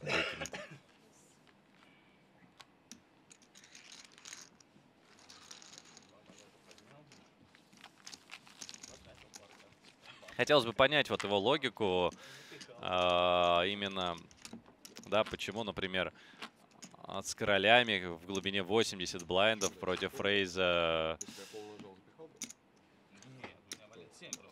Дениса Шафикова мы играем просто кол, при том, что есть два коротыша, которые друг друга пересиживают. Когда есть коротыш, по которым нечего пересиживать, и эффективные стейки гораздо меньше, то есть э, нам чуть проще собрать value, когда соотношение размеров стеков и банка меньше, нам чуть проще, да, там уйти в алын, чуть проще, в общем, забрать стек, и поэтому можем играть кол с королями там в глубине 30 блайндов.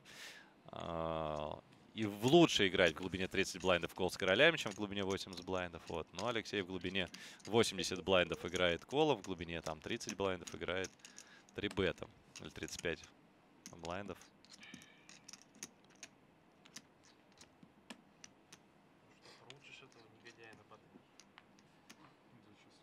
А, не сказать, что много рук открывает Евгений, но туз 5 это рука со стеком Николая, конечно, для 3 Алыны. Я думаю, что он его поставит. Туз 5 лучше, чем туз 6 для рестила. А, нет, вон, есть у Коли еще карточек. Сдался? Нет. Ну, он, наверное, посчитал, что все-таки у Евгения здесь должен быть э, диапазон посильнее среднестатистического открытия Баттона, да, или там стила, плюс открытие все-таки идет в большой блайнд э, Зинки, который очень много рук на ББ защищает. То есть решил не пушить. Но здесь, здесь был совершенно стандартный 3-бет пуш от Коли, который он не сделал.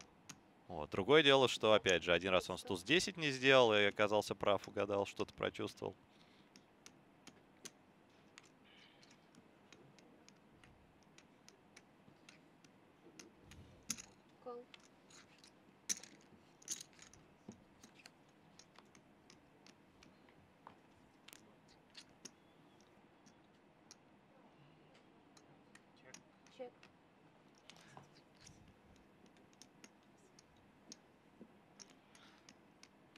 Миш продолжает у нас на подслопе собирать неплохие руки. Ну, только с Денисом Шафиком у него, наверное, где-то боевая здесь. Так. Ну, Ривер ничего не поменял. И здесь Зинки еще раз чекать смысла нет. У нас пополнение. Алексей Истомин пришел. Всем здравствуйте. Да, Ола Барселона. Ола Барселона, Ола. А Кстати, Миша, да. ты же по-испански, да? Откуда Ну, ты? Да, puedo hablar. Poquito, Eh, un poquito eh. hablas. Y Yo fui estudiante del primer curso de la Facultad de Periodismo de Universidad de aquí en Moscú. Rusia. Sí, Ah, guay. está bien. А ты говоришь, да, по-испански? Sí, yo estoy echando de menos de español mucho. Ага. Eh, вот es una idioma única. Ну, сейчас люди включили и думают, что это за испанская ну трансляция, да еще с какими-то... Да, да. А как акцент? Тебе Русский? виднее, да, как бы это. Я ж Меня-то тебя не хуже. слышу. Я ж тебя не слышу. Нет, у тебя, кстати, В смысле, ты для- меня не слышишь? Нет, Наушники я не слышишь? Нет, нет, а, тебя, себя? себя не слышу, как звучит. А. Уже, ну, отвык. А. Тут в России редко кого встретишь, кто по-испански разговаривает. Ну да, в общем, Михаилу густо мучает этот флоп. Густо и Мучи густо, да. Слушай, ну, кстати, обычно, вот ты знаешь, вот эти флопы, когда у тебя такая вроде бы вроде бы классная рука, пара плюс дро, или монстр дро, или гадшот плюс э, флэш дро, ты обычно на них вот прям ждешь, а чаще всего Попоется Криверу- песня «Не да, закрывается». Криверу такое легкое разочарование. Не закрывается, не закрывается такое никогда.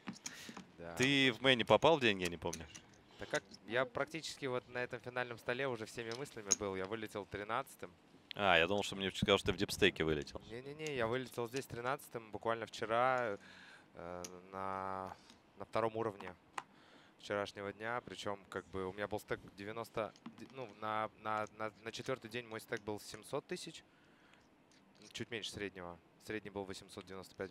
И у нас было три стола, 17 человек. И я очень ждал э, редро на два стола.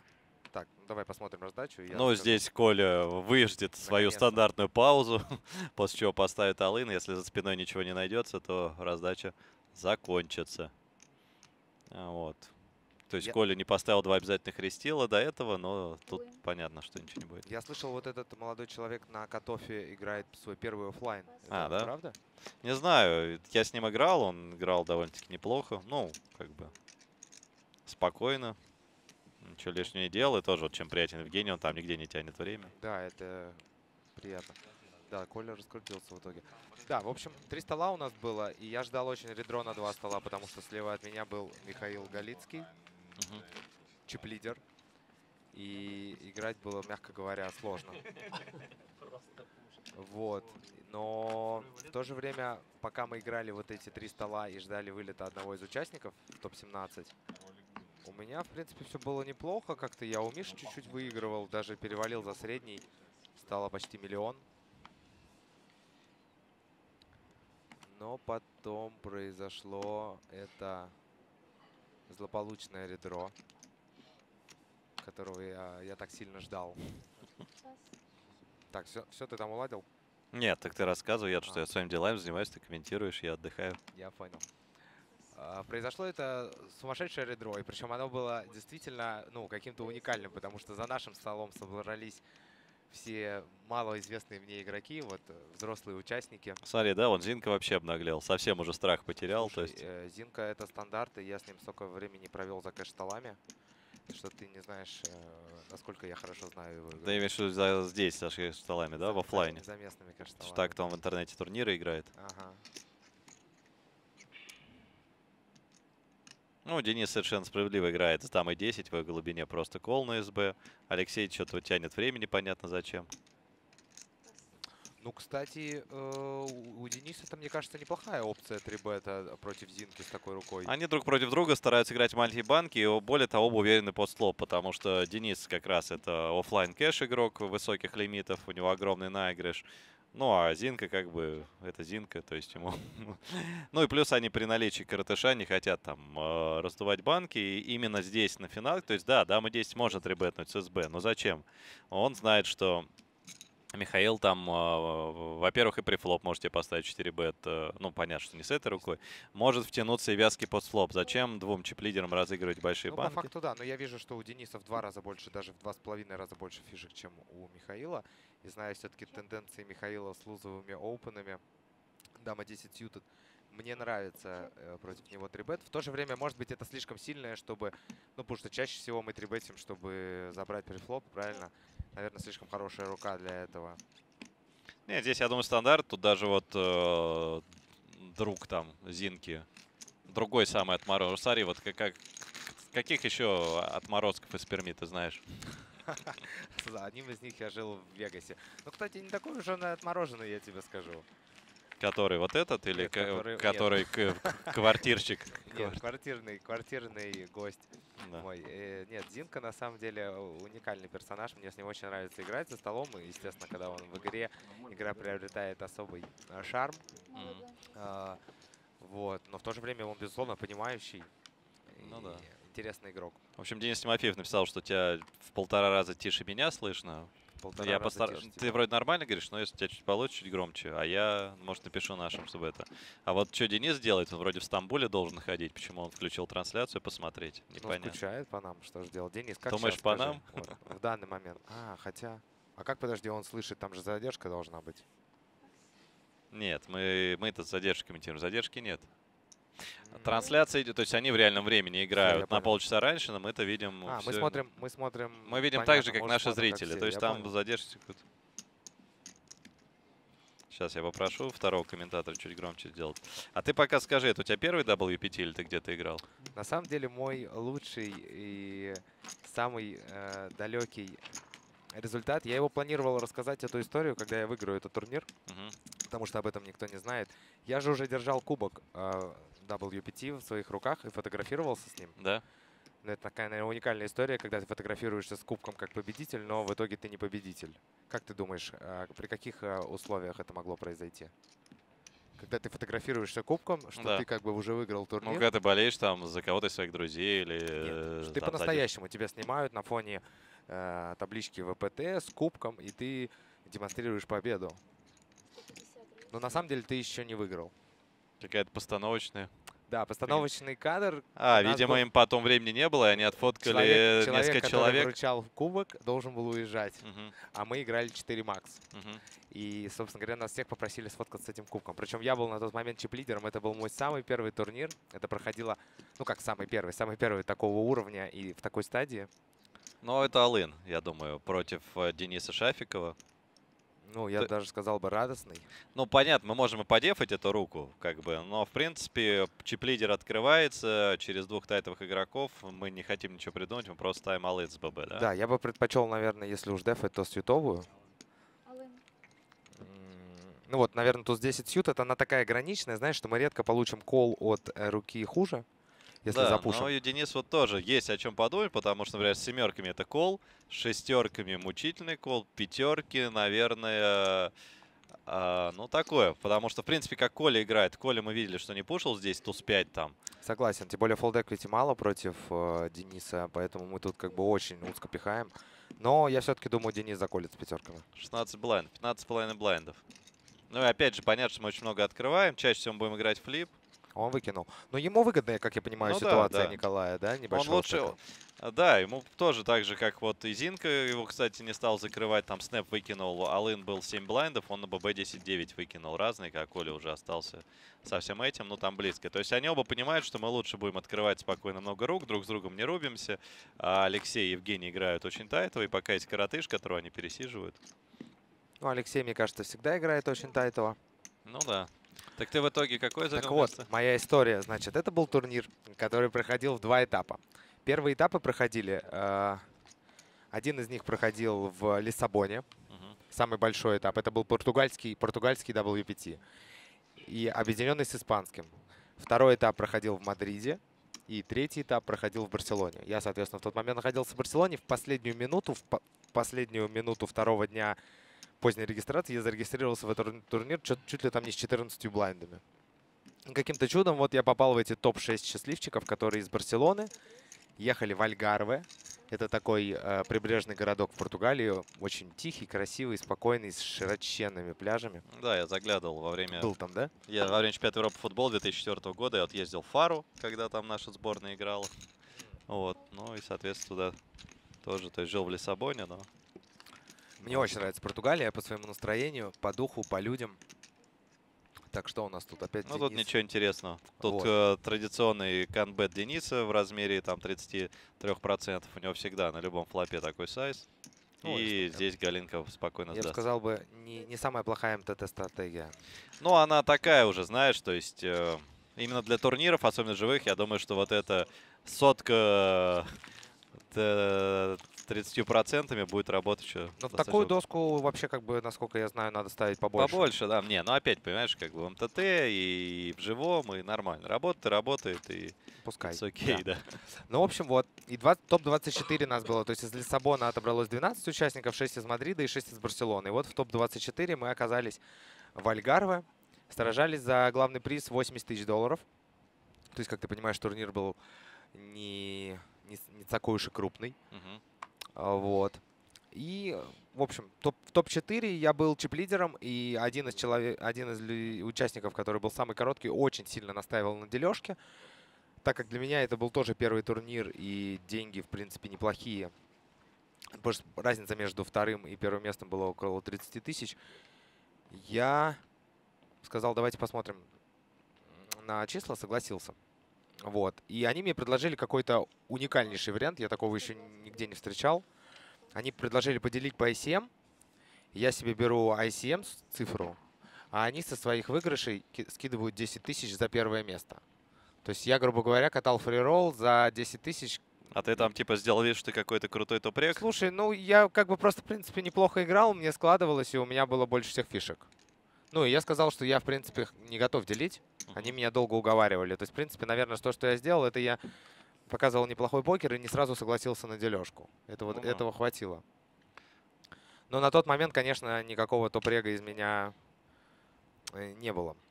Когда ты успел топ-регом стать, я всегда думал, что ты какой-то такой там, ну, ходишь, такой любитель, да? там это, ну, ну, по игре это понятно, средненький, ты когда там играл со мной за одним столом, против кого ты там? Против э, Академика или- Александра Ф- Васильева. Что-то я блефанул э, там на... на- Кто-то там на- тебя овнил, овнил, а я думал, что ты какой-то просто это там метросексуал или как у вас называется, там А, да? такой. Слушай, да. ну, это тоже как бы, в принципе, Часть часть, имиджа. часть имиджа, конечно. Не, не быть же, не быть же с, э, с табличкой на голове. Да. сильного Знаешь, а вот как это, как это, а продолжение этой истории, Ну, продолжение воспоминаний 15, Алексея, да? да, минут через 15, потому что, видимо, отправляемся на перерыв. Ну что, э, краткое содержание предыдущих двух часов, доигрывали 36 минут вчерашнего уровня, полтора часа сегодняшнего. Олег выставился две восьмерки в две девятки, Коля Фаль, видишь, уже как бы без Алынов, но там без сравнения, виду, Алын это ставил, но свой стек тоже смог поднарастить. И вот на следующем уровне, в принципе, борьба обострится, потому что все по-прежнему слишком хорошо, ну, не, все очень хорошо просто у Дениса Шафикова.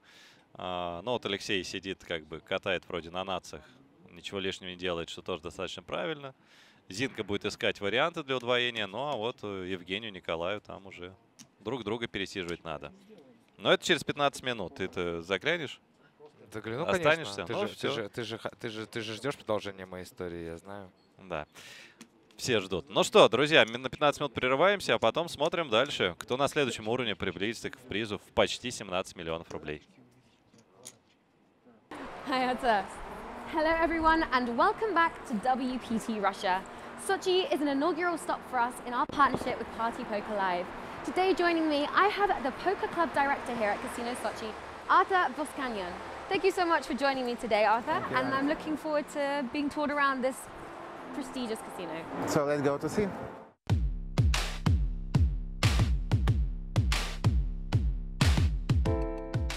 Could you tell me a little bit about the history of this place? I know this casino's only been open for two years. Would you be able to explain why? Yeah, uh, till 2009 in our country we had a lot of casinos. In 2009 our government decided to close all casinos and made five separate gambling zones. Because Sochi is a unique place, it's the best uh, summer and winter resort in Russia. In two years our casino became the best and biggest casino in Russia.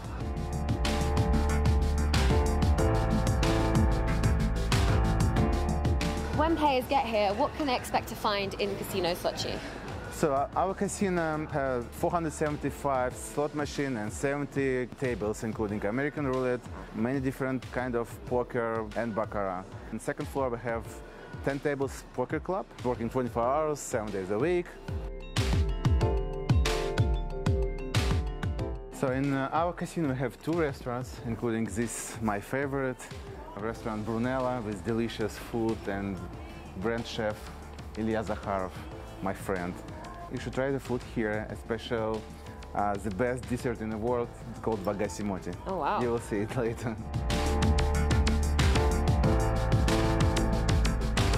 We have seven VIP private rooms, and my three favorite is Malachit, Malevich, and Mark in Chagall room. This is the one of my favorite room.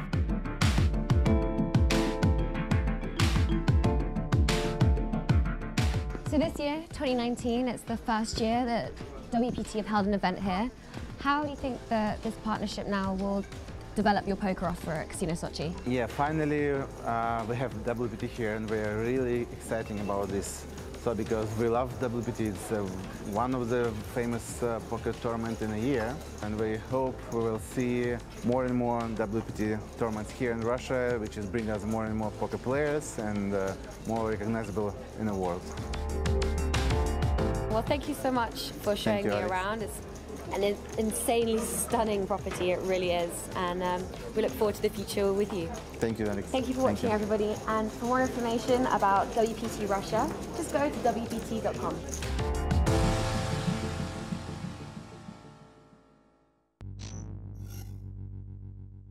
Play for a share of $100,000 in cash and prizes every month at clubwpt.com.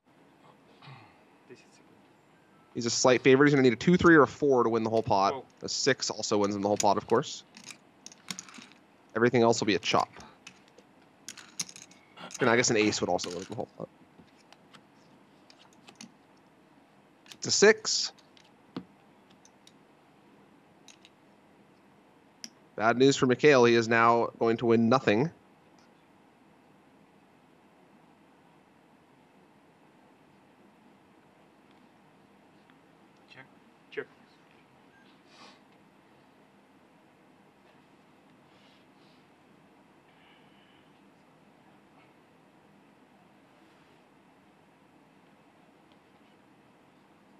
and the spades fill, So Yelton does have to be a little bit worried about that, deciding how much to bet on the river here.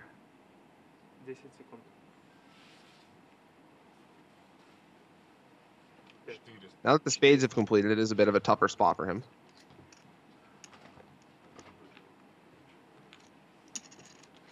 We'll see what bet size he lands on.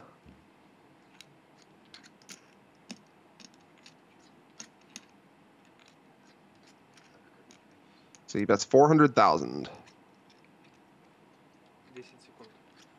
Now, Mikhail not beating much. He is beating a few uh, pure bluffs. Other than that, not a whole lot. He makes a good fold.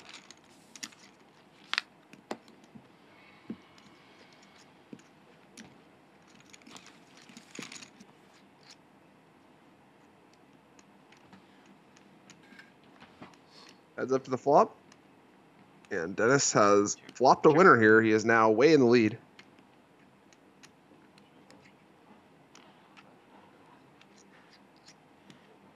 Bad news for Mikhail, who's already in a disadvantaged spot, being out of position as a small blind, and now he is uh, also behind.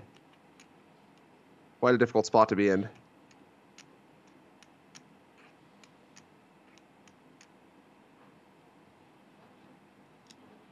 That's one of the problems with uh, raising as a small blind here. It's that you, you have to have such a strong range to even do it.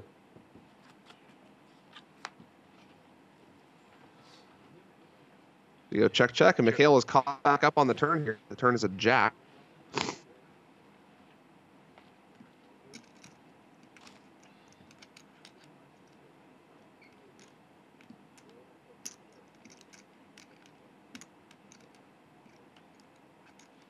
He checks again. And we'll see if Dennis decides to start betting on this card after checking the flop. Looks like he will. Mikhail taking a nice uh, passive line here, which I think is a, a good approach to take against the big stack.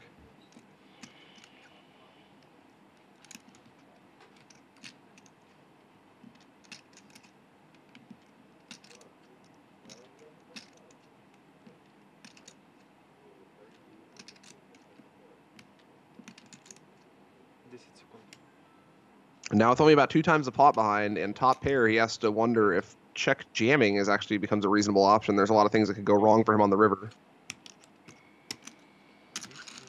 He does just call. If Dennis nine outs going into the river. He'll need a six, a five, or a three to win the hand. It's a 10. So Mikhail is still going to win this one, assuming he doesn't fold.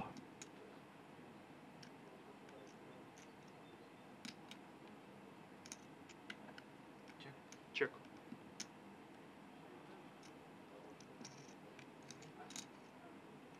Check. Showdown. Check, check. We'll go to showdown, and Mikhail's going to win this pot with King Jack.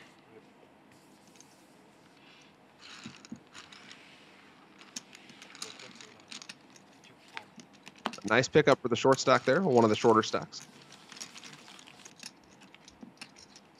An excellent flop to be trapping as uh, Alexi is far in front now, but Dennis is going to think his hand is quite good. Sevens on an eight high board. We'll see how this plays out.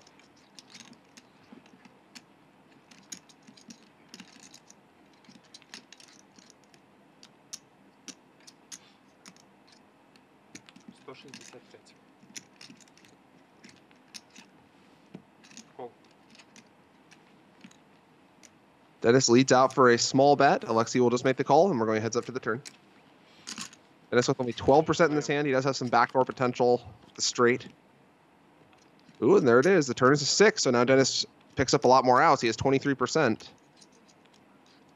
The most he's had in the hand by far. He now makes a check. And it's on Alexi now.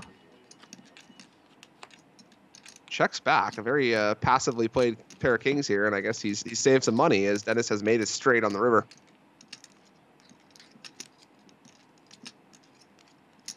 Alexi trying to maneuver this hand in such a fashion as to not risk creating a huge pot against the big stack. But unfortunately for him, he is wound up in a very difficult river spot now.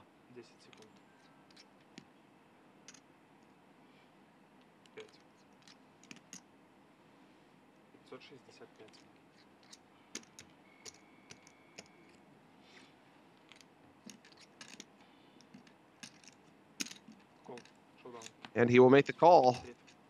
See the bad news. Sometimes slow playing gets you.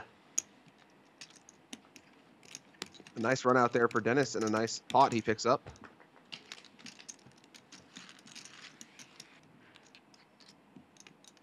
And Dennis will take the lead on the flop. We're seeing a lot of trapping here um, against the big stack.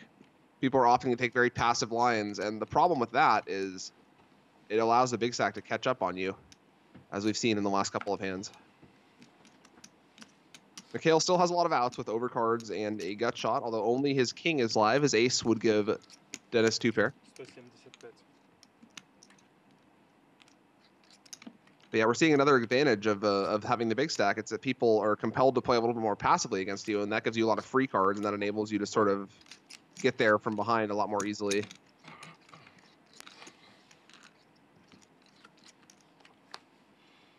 Queen on the turn will give Mikhail the hand, though. Check. Barring a king for the chop.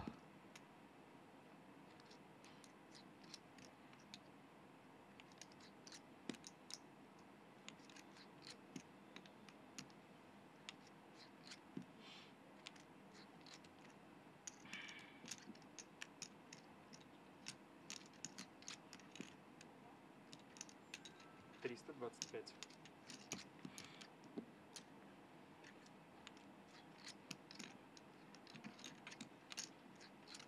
Mikhail is going to check, continuing to string Dennis along here. Dennis will bet the turn. And now Mikhail's in a beautiful spot because it looks like he can't possibly have a strong hand on this board since he just flat flatted pre. It's very difficult for him to have sets, difficult for him to have a straight. Should be nearly impossible for him to have a straight, at least the ace king straight. But he is actually sitting there with the nut, so this is a, a fantastic spot for him to be in.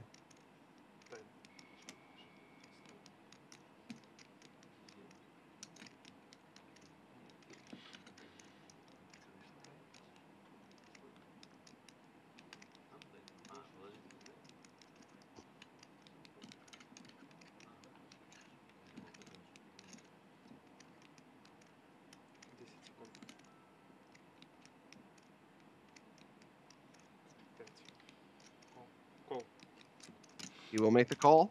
To the river we go. We'll see if Dennis tries to keep the pressure on. Generally speaking, the pre-flop raiser here gets to apply a lot of pressure because they should be able to have a lot more nutted combos than the uh, person defending, but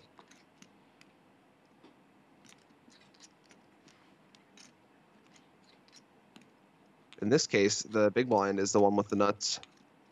River pairs the jack and fills the flush. Or I'm sorry, the river's a three. My thing's a little blurry here. the river does fill the flush. It does not pair the jack. So Mikhail with the king of spades blocker should still feel pretty comfortable about his hand. And we'll see if Dennis tries to empty the clip here.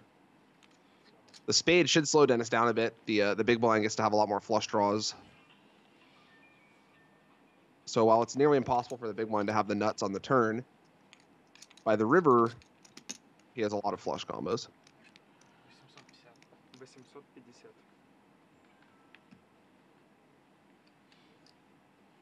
Mikhail's going to lead out on the river here.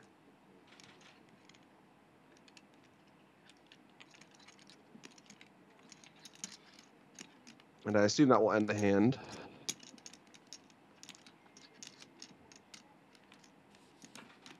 Dennis will quickly fold. His hand was basically a bluff. Had the best of it on the flop, but on the turn and river, he was bluffing. And Mikhail will win a nice big pot there.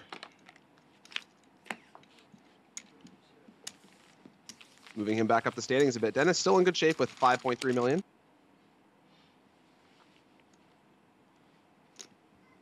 Got Alexi here on the cutoff.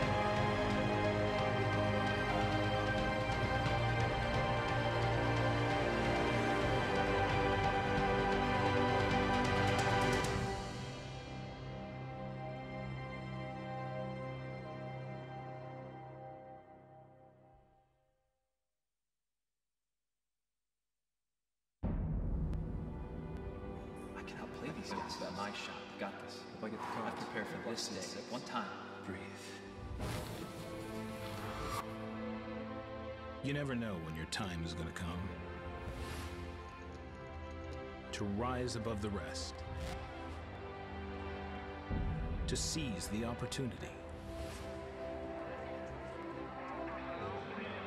To be crowned a champion.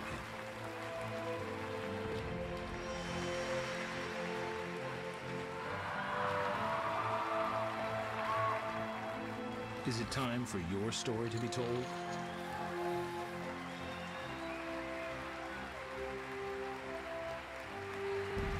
The World Poker Tour.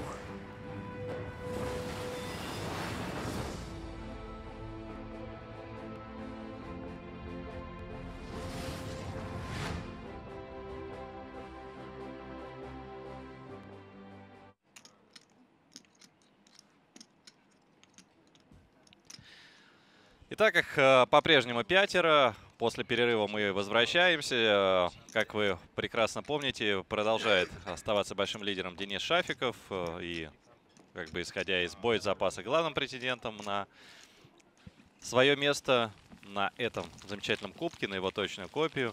И приз в размере 17 миллионов рублей. Но, в принципе, да, у него в два раза почти больше, чем у ближайшего преследователя Алексея Гортикова. Но любое удвоение кого-то из конкурентов, даже Коля Фаль с 14 блайндами, в общем, побороться вполне еще способны. Все себе гарантировали уже по 59 тысяч УЕ по курсу 70, проще говоря, около 4 миллионов рублей. Кстати, вопрос тебе такой, Миша. Как ты думаешь, кто из участников оставшихся меня выбил? Среди них есть именно тот, кто против, от чьей руки я пал. Ну, наиболее логично предположить, что это был Денис Шафиков. Зинку ты бы вспомнил. А, ну я правильно уже, да, назвал? Нет. Нет? С Денисом Шафиковым мы, кстати, только что тоже недавно Ну, значит, виделись. Алексей Гортиков тебя выбил. А? Ну, Алексей, Алексей, как там, код катания же. Ну, получается так. Причем такая очень история, знаешь, немного неприятная. У меня произошел некий психологический удар. Э, Было, были уровни в, этот день, четвертый день, были уровни по, по 90 Ща, подожди минут. секунду. А вот как тебе талант? 14 блайндов, тут 8 разные. В, в чип-лидеров. Четверых. Ну, наверное, в больших стеков Ну, вернее, как, это PCM, ну, Я на- не мне уверен. кажется, близко. Ч- Я- Нет, 14, 14 TUS мы должны, наверное, пушить. Я, я не сказал даже 2X. Ну, я мне- не я бы, может, даже Минрейс тут бы сыграл. Я не уверен. Нет, э, то, что мы туз X не пушим, это сто процентов. Ну, то есть я уверен, что тузы, ми- ми- что мелкие тузы, туз 2, туз 5 это точно не пуш. А туз 8 off. Ну, как раз туз 5 мне больше нравится для пуш, чем туз 8 off. Если так подумать. Не уверен. Потому что, как, почему, почему тебе больше нравится? Нас всегда коллируют пары, пятерки, шестерки, семерки, и А, против ну, туз если в 8 этом off контексте, мы в да. них, против них играем монетку. Плюс Туз 5 мы стрит можем собрать. Ну, ты же понимаешь, что э, иметь оверкарту к паре э, намного важнее, нежели иметь возможность собрать стрит. Э, но я не уверен, что в больших стеках, которые будут нас, наверное, чуть-чуть шире колить, чем должны, это будет плюсовый пуш. Можно запомнить эту ситуацию и посмотреть Можно, э, не, Photo единственное, здесь как раз Коля понимает, что колить возьмут будут как раз уже, э, чем должны по нэшу, и да, получается, мы Ты должны думаешь, они, пушить. должны, они будут колить уже? Они 100% будут колить уже. Ну, Ну, они, хорошо, они будут колить уже, чем по Нэшу, это понятно, но они будут колить шире, нежели равные стеки на финальном столе. Ну, здесь Алын простой Евгения. Не, как раз Алына здесь все будут закрывать уже. Мы видим, что и чипаки не закрывают, потому что пусть будет каратейш, и они видят диапазоны уже. Вот. И... Не, ну на финальном столе, понятное дело, все алыны закрываются уже. Я просто сравниваю, вот представь, два человека, которые колят алын. Да. Один человек у на финальном столе, только у одного человека в два раза больше фишек, чем у, у шовера, а у другого чела такой же стек, как Ну у, да. у шовера. Естественно, тот, у кого в два раза больше фишек, закрывает алын Шире. шире. вот. понятно. Это, ну, это то, о чем я говорю. То есть у него слева те стеки, Но которые здесь будут... еще видишь, Коля ставит Алын в блайнды, которые очень тайтовые, очень аккуратные. Плюс у них как раз такие стейки, то, о чем ты сказал, что у них стейки у обоих небольшие. То есть он Алын ставит э, ну, в блайнды двух Я понял, игроков со двух стейками тайтл. по 20. Нет, там 44, но там на СБ. К тому же Коля, наверное, имеет эту информацию, что, например, он в прошлый раз, когда запушил 9 блайндов, 8, 8,5 блайндов на СБ. Алексей тут 10 видел, выкинул, да. да. То есть, ну, где он обязан был колить. Ну вот, да, и самое было обидное как раз попасть под э, Алик... Под, Алексея. под Алексея, да, в его сильную руку. Причем, ну, была отвратительнее. Самая, наверное, знаешь, ситуация, которая могла произойти, неприятная. Я ушел на перерыв за 10 секунд до начала, потому что уровни были по 90 минут. Я очень хотел в туалет. И я не узнал, что перерывы будут в этот день по 10 минут. Этого никак не сказали во время турнира, это сказали только на перерыве. Ну, вот здесь простой дефенд у, Ника, у Коли. Король, э, мастевой король, э, тем более глубина уже.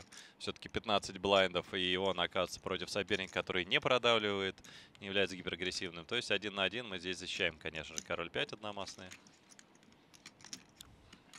Я думаю, Коля, даже не озвучивая всю ту информацию, которую, ты, которую ты сейчас сказал, э, с радостью бы защитил эту руку.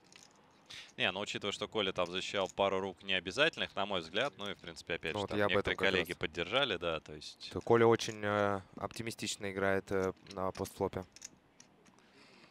Причем опять сейчас он все-таки самый короткий, хотя опять у Евгения не намного больше, и там пара рестилов. Ну, по этой карте не может здесь Николай ничего делать, воровать здесь смысла не имеет. Тут Тусхай мы не выбиваем, не выбиваем там какие-то... Ну, что мы выбиваем? Король 10 мы не выбиваем, король 10 бы здесь сами поставили флоп, карманки мы не выбиваем, я какие-то думаю, семерки, которые То отчекались. у нас довольно-таки си- просто сильная рука, чтобы с ней блефовать, поэтому, да. Ну, дело не только в этом, а в том, что как бы, да, мы Ну, типа у нас руки шоудаун. сильнее не выбьем, Да, а, ну, да. у нас, считай, нет. Я не думаю, что если там открыл какие-нибудь 8-9, Алексеем бы их поставил на флопе, правильно? Поэтому просто сдались. Нигде ничего. По А, смотри-ка, Алексейка еще решил блефануть. Чтобы на всякий случай выбить что? Десятку? Ну, десятка вроде бы там не так часто. Ну, а, понятное дело, Алексей э, не профессиональный игрок, да, насколько я Ну, я понимаю? не знаю, мне кажется, что он как раз оффлайн я часто здесь вижу играющим, но это то, что есть у многих игроков офлайн, то есть очевидно, что у него хорошее чутье, какой-то наигрыш. Вот у меня так довольно часто было, я, правда, в интернете много играю, что-то смотрю, но э, вот сейчас, когда я стал там больше тренироваться, какие-то споты разбирать, смотреть какие-то тренировки наших сильных игроков, ну, после прихода в команду Mountain Team, я стал понимать, что, в принципе, я почти все это и делал, играл, ну, много спотов хорошо как надо, но я их играл на за счет наигрыша. А почему? я Не не знал, понимал. То есть сейчас как бы начинаю лучше понимать, когда вот знаешь там математически что-то А расскажи, кстати, про Mountain Team. Какая твоя миссия в этой команде? Развалить команду. Развалить, да? Конечно. И открыть свою конкури- конкурирующую, Ну да, да? Семин Тим, не знаю, какой-нибудь там это. Нет, там горная команда. Ну, здесь, здесь вот неплохая рука, а так... Не, я в этом году, я про это писался, кому интересно, что я решил прийти в команду к Паше Векслеру и Ватке Шлезу, и там много ребят, 60 человек. То есть я просто решил в этом году и над игрой поработать, и э, самодисциплинироваться, вернее, не самодисциплинироваться, с самодисциплиной у меня проблемы. Ну, здесь выкинет Миша, не будет там 7 разных защищать против 2,2 икса. Хоть у него и есть перевес на подслопе, но рука слишком уж трэшовая. Не хватило восьмерочки, я думаю, второй карты, тогда точно кол. Я недостаточно много играл, плюс у меня бывает такое, да, времени очень много, но можно сесть, но мне лень, плюс там кит стадии, вот. То есть я для себя решил, что этот год я посвящу самосовершенствованию с помощью других людей и, соответственно, пошел в команду, где Не, ты должен понятно. А их, их, их какой интерес? Их интерес. Ну, так, поржать чисто или не знаю. Ми- Не, объективно- личность, да? Не, ну может быть ты тренировки какие-то проводишь или делишься опытом Не, оффлайн? нет, я пока на тех же правах, что и все остальные. э, Вот. А, то есть э, ты играешь? Я играю, да, игрок. Ну, ясно, что я где-то пригожусь, то есть все-таки так э, нескромно, но объективно, когда я играю с наклейкой Mountain Team, я все-таки чаще попадаю в фоторепортажи, там и где-то интервью даю, чем кто-то другой. А плюс люди меня будут больше спрашивать, как оно и есть. Но в целом это команда друзей, как ее создавали. Нет, понятно, что Паша с Вадимом и с Юлей создавали это как бизнес тоже, но в остальном там очень хорошая атмосфера. Слушай, да, это, наверное, это, наверное, а, составля- одна из составляющих успеха, на мой взгляд, их команды, что вот этот сплоченный дух и атмосфера, которая там царит, я, в принципе, э, наблюдал э, изнутри немножечко и тоже был на одной из тренировок.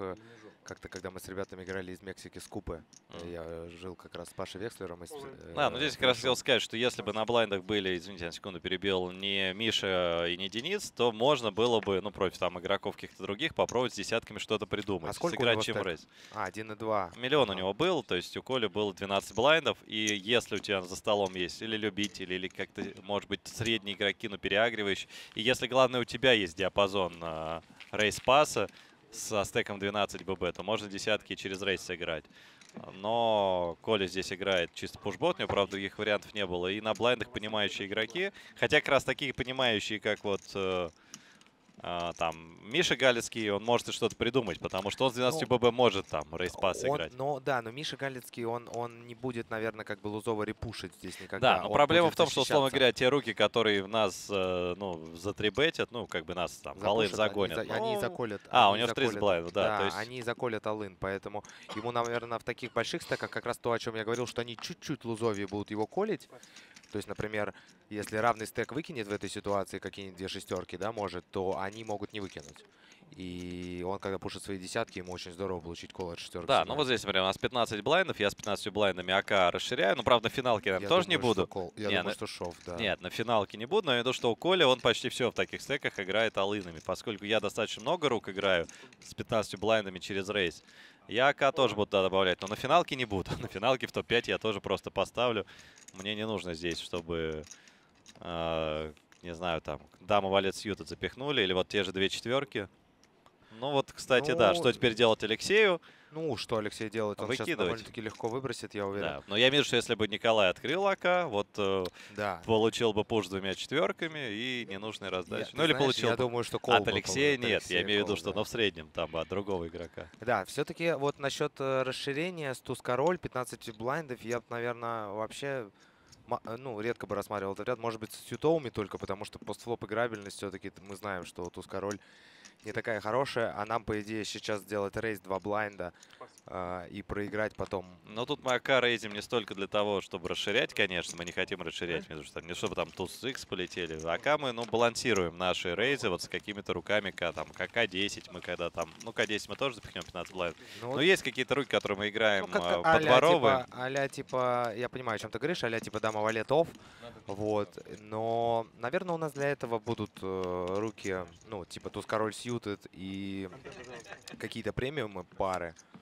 Но в любом случае на финалке в топ-5 у нас не будет этих рук. Мы здесь э, задвинем, то есть мы- нам не нужны эти микропокеры. То Ну вот двумя валетами ты бы пихнул 15 блайндов.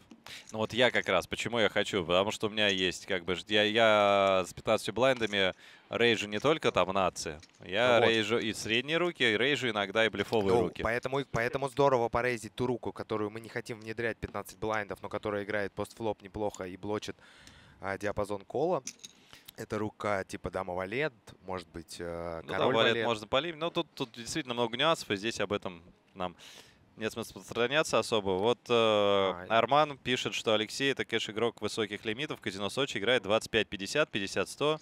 В кэш играет Лузова, Это нередко кто? тильтует. Ну вот э, Алексей Гортиков. Ага. И как раз Арман пишет, что он удивлен, что как он этот турик катает. Ого. Ну, я ни разу не видел, вот я тоже играю иногда в кэш э, здесь, в казино Сочи. Ну, не 50-100, конечно, но 10-25, 25-50 иногда мы собираемся. Гортикова я там ни разу не видел в составе. Может быть, он играет Амаху? Да не, Холдом тоже. Я помню, ним как-то играл там. Ну, в прошлом году, может, мы Ну, играли не- типа неужели он- 10, неужели 10-25. А, да, Денису надоело. Вот первым от него видим 3 то есть что Миша только открывает, но И Миша... что, Миша заколил? Да. Ну, это суицид, по-моему, да, на финалке? Но по ИЦМ не обязательная рука, но тоже он видит, что и Денис достаточно спокойно против него играет. Ну, это хорошая доска для того, Ну, чтобы смотри, поставить банк, банк уже миллион, Да. и, а у Михаила а, 1,6 миллиона. Да. И он с э, рукой, грубо говоря, 7 хай, без позы против чип-лидера заходит э, в 3 под. То есть, по факту, я слышал здесь такой термин, да, э, надбавка на риск присутствует. И это, по-моему, вообще суицид какой-то, то, что сейчас сделал Михаил. И вот сейчас у него гадшот, и что ему делать? Ну, копать будет, ничего не Ну, может конечно. сделать. Если Нет, бы там еще хотя бы на трефа была на доске, то есть на другой стадии Миша мог бы здесь просто чекпушить, отъехать. Ну хотя бы здесь еще трефовая была бы карта. Я тебе точно говорю. Я ж тебе говорю, я ж с Мишей, знаешь, сколько часов провел в кэш-игре? Ну, понимаешь, это все-таки не кэш. Тут Это- проблема в том, о чем ты важно, сам я сказал. говорю про воинственный дух. Э, Воинственный дух понятно, но здесь, здесь соображение ЦМ, Ну, здесь... так он же не просто так с этой... Понятно, но он же понимает это все. Он же не просто так с этой рукой заходил. Ну да, да. У него вот эта горячая кровь. Да, та такая на пати Покер Миллианс э, была финалка тоже, где Миша там что-то отъехал, пошел, какой-то там э, огромный блеф против Форелла осуществил, ну там лучшая карта на ривере доехала. Слушай, смотри, вторую ставит. Вот ну а он потому что слабый очень диапазон здесь у Зинки, если подумать. То есть у него тут есть, да, Зинка здесь может протащить какие-то там туз X, э, ну там туз дама, туз валет, он может протащить, э, я не знаю, какие-то карманы, семерки, восьмерки здесь на канбет. И ну вот в этом опять же ситуация, когда ты играешь против квалифицированного игрока, Так в этом- В чип-лидера. этом-то и, в этом-то и проблема. То есть это вот самоубийство было изначально на что-то надеяться. То есть мы когда заходим с этой рукой, мы хотим сразу собрать или стрит, или флеш, как бы. Не, ну всё- мы хотим флоп... Не, ну видишь, у Миши был план, он его придерживался, то есть он по гадшоту просто не сдался, но он же тоже играл уже с Денисом, и Денис чип-лидер. То есть вот тут эти эго-войны, они не нужны.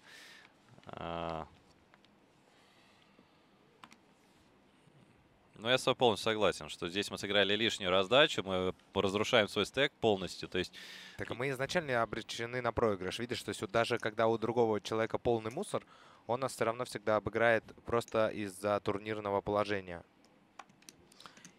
И глупо, конечно, в такой стадии этого не понимать.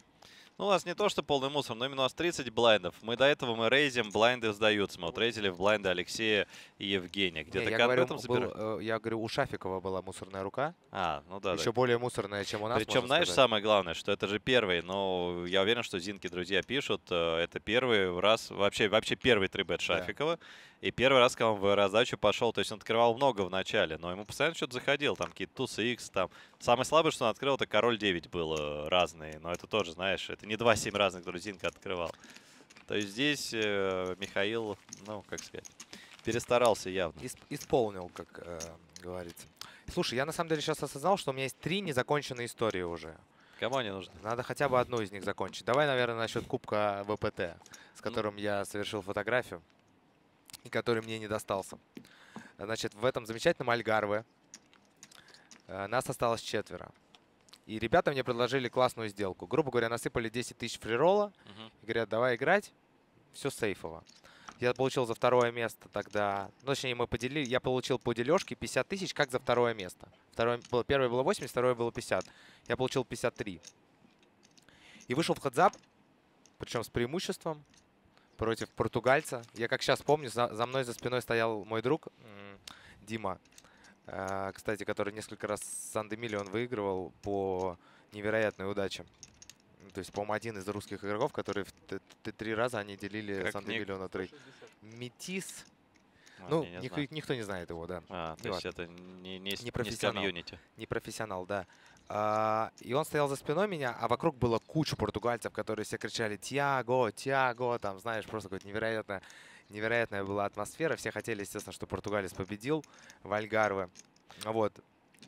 Здесь непростое решение, извините, я перебиваю Николая. То есть вот я не знаю, тут по чуйке чисто. Я не- ну, то есть мы карты видим, но я не уверен, что я бы здесь стал пихать туз 8 разные. А как вообще тенденция вот у товарища на батле? Но Евгений пока второй открывает, то есть не сказать, что он лузовый. Кстати, в прошлый раз он тоже валет 9 открывал, мы это видели, но это было час назад. Ну, я думаю, что это хороший пуш, потому что, ну, нас он колет, он колет намного э, уже. Видишь, если бы он не сделал этот бы э, рейс, сейчас бы выставились на блайндах Николай и Миша. А что второго было? Король дама. А, Ну, не то, что очень радостно, Зинка, но там бы просто был бы пуш блайнд в блайнд, и на король даме э, Зинка, Зинка бы закрывал. да. А Не, Николай молодец здесь. Ну, конечно, диапазон колла э, Баттона в этой ситуации намного уже, нежели обычно. Соответственно, мы здесь ББ. можем... Тут, если вспомнишь, да, такой момент, когда нас коллят чуть-чуть уже, наш диапазон расширя... пуша расширяется чуть ли не на 20%. То есть, например, если с СБ-ББ нас ББ колет на 2% уже, мы с СБ можем пихать на 20% больше. Смотри, у Коли уже третий стек. Ну, конечно, в этом помог э, Миша Галицкий, вот этой раздачей 7-6, в частности. Но, Так, ну что, да, да, ну то, меня- короче, в хедзапе ты... В хедзапе вокруг, вокруг меня была куча португальцев, и я единственный мой товарищ. И мне сдают двух королей. Мы идем all-in, причем у нас равные стеки в этот момент. И я оборачиваюсь назад, и мой единственный болельщик э, э, российский куда-то отошел. И для меня это катастрофа, знаешь, all-in моей жизни. Все кричат, у- а у португальца две десятки. Ну и, как ты понимаешь, э, пришла эта злополучная карта. Шок. э, Все фанфары э, на противоположной стороне стола. Фотография с кубком тоже стирается из памяти автоматически. Ну вот, это был как раз World Poker Tour. Чемпионат Португалии лет так 4, наверное, года 4 назад. А сейчас ты где живешь? В Москве? Нет, по миру. Мгм. Вот, но что забавно, что после того турнира я так и не стал плотно переквалифицироваться в турниры, меня не подтолкнуло ничего, я все так же продолжал поигрывать кэшек, на расслабончике жить. Но я, если честно, так особо, знаешь, э, не Смотри, вот стремился. еще один момент. Мы не знали, там было 30 блайндов, но вот после этой раздачи, ну, понятно, сейчас блайнды проставил, но вот, опять же, Миша пошел там 7-6 переигрывать, и сейчас стал с 13 блайндами самый коротыш. Так он проиграл огромный, а он проиграл чуть ли не полстека в этой раздаче, я об этом и говорю. Это катастрофа вообще, Зачем? Нафига? Мог полимпить эти 7-6. Мог Юта здесь очень хотел их конечно, разыграть. Сыграет и конечно. через лимпкол. В этом, в этом, и, в этом и история. Но вообще и даже лимпить против чип-лидера, потом залезать с тем хай тоже не очень хорошая идея. То есть мы все-таки хотим playability, потому что мы уступаем и в позиции, и наша надбавка на риска возрастает. Мы не можем, мы не можем разыгрывать много Ну, рук. видишь, не умеет Миша выбрасывать карты в пас. То есть со стеком 13 блайндов открывается минрейзом. Вот то, о чем мы говорили, да, почему я хочу какие-то руки минрейзить. Вот у него Зама- там совершенно зама- зама- мусорная рука. Зама- замазка пошла, как бы, ты же понимаешь.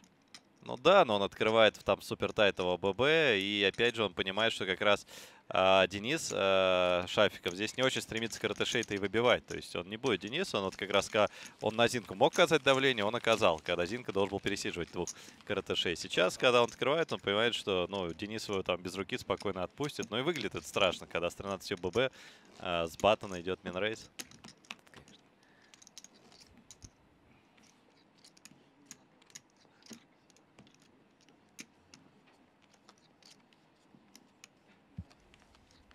Да, видите, с каким интересом здесь зрители смотрят за всем происходящим. Стандартная... Но шутки шутками, это же когда смотришь трансляцию, ты же не видишь, какие карты раздают. И поэтому все равно сидишь рядом за своих, переживаешь, делаешь свои дела. Но как говорят, так, Алын, кол, все вскакивают. Или вдруг слышится большая раздача. Я вчера видел фотографию с э, финалки женского турнира. Смотри, вот э, разница. То есть, а что он сейчас тут 4 не открыл? Может Потому быть, тут 4? Денис на баттоне. А, потому что, да, эти позиции. Да. А, Ты видел вчера фотографию с женского турнира с финалки? Ну, я не изучал, но видел. Не, ну как? Не там- присматривался. Там было столько болельщиков, что, А, наверное, на про одном- это ни на каком из турниров СОП такого. Ну, конечно, здесь мы сейчас с тобой проходили мимо, но там 5 человек здесь болеет на финале, на мейн. А там было человек вчера, наверное, ну так 40 на вскидку. Человек 40 вокруг стола. Кто выиграл, кстати? Ой, не знаю. Ой, ну вот... Меня тоже заудивился. Я думаю, вот все Сьюз здесь идеальная рука просто для кола. Вот, но дилеру послышался Алын. Ни хрена себе послышалось. Ну, Денис-то не расстроился, что его соперник там, не-не-нет, я кол-кол, потому что обидно было бы туз-3 выкидывать, а пришлось бы. Ой-ой-ой. А, не, ну не такой уж ой-ой-ой. Мне вот непривычно. Видишь, у нас здесь как раз, я Да. только заметил, у нас масти этот... Я э, тоже, я думаю, что за фигня? Ну. м- масти нашего привычного интернетовского цвета, а там вдруг какие-то красные карты Да, открывают. да, То есть да. тут так... Кстати, странно, что PartyPoker не сделает? Они же любят все вот эти штучки. Мне кажется, четырехцветная колода, это сам Бог велел. Ну, как-то делали один раз на одном из, не Party, а вот на турнире А, EPT на- где-то было в side event -е. Ну, любителям пока по-прежнему непривычно это считается. Просто вот тут вот мне очень нравится пати покер из-за больших карт, больших цифр, потому что на всопе, на всопе потом нереально, конечно, смотреть на эти малюсенькие, малюсенькие картинки. Ну, вот, к счастью, для Евгения Бубновая приехала, девятка. Да, отскочил. То есть не сказать, что у него сильнее стало. А я видел, да, Денис хитро на терне чекнул. А флоп поставил, да? Ну, флоп поставил маленькую. Ну вот Терн, конечно, не знаю, почему хитро. В чем хитрость? Тут как бы идеальная карта поставить еще раз. Ну. Она часто усилила диапазон противника, как в данном случае, в принципе, произошло. И теперь он ставит очень много. То есть как раз здесь бы я на ривере ставил... э, Ну, он там надеется с бубны добрать. Он понимает, что без бубны его Ну, вроде с любой, ну, типа любая бубна платит, а туза у нас как бы не должно быть, потому что с тузом мы ставим на терне. Э, в принципе, логика понятна, но мне не нравится чек на терне. Вот тут в данной ситуации бы, скорее всего, Евгений бы заплатил терн еще. Ну да, я бы тоже поставил какой-то небольшой терн, чтобы все, что колотило флоп, пусть еще там Конечно, это, а к риверу, глядишь, мы еще и привяжем куда-то. Но к риверу еще и доехать человек, да, во что-то может. Флоп-то же он на чем-то заплатил, и шестер как раз усиливает диапазон его Так кола. я но об этом и говорю. В том смысле, что дама все равно не выкидывает по терну, а какие-нибудь там 6-7 усилились до Ну как, совпадения. вообще по-хорошему даму без буби-то на терне а, надо смотри, рыть. вскрыл, вскрыл. Вскрыл? Да. Охренеть. 400, пожалуйста. Ну, все остальные довольны, тут все остальные не против. Как бы ясно, что у Дениса вроде сейчас ковровая дорожка, да и играет он хорошо. Вау. Ну, Залевелил. конечно, такое, да.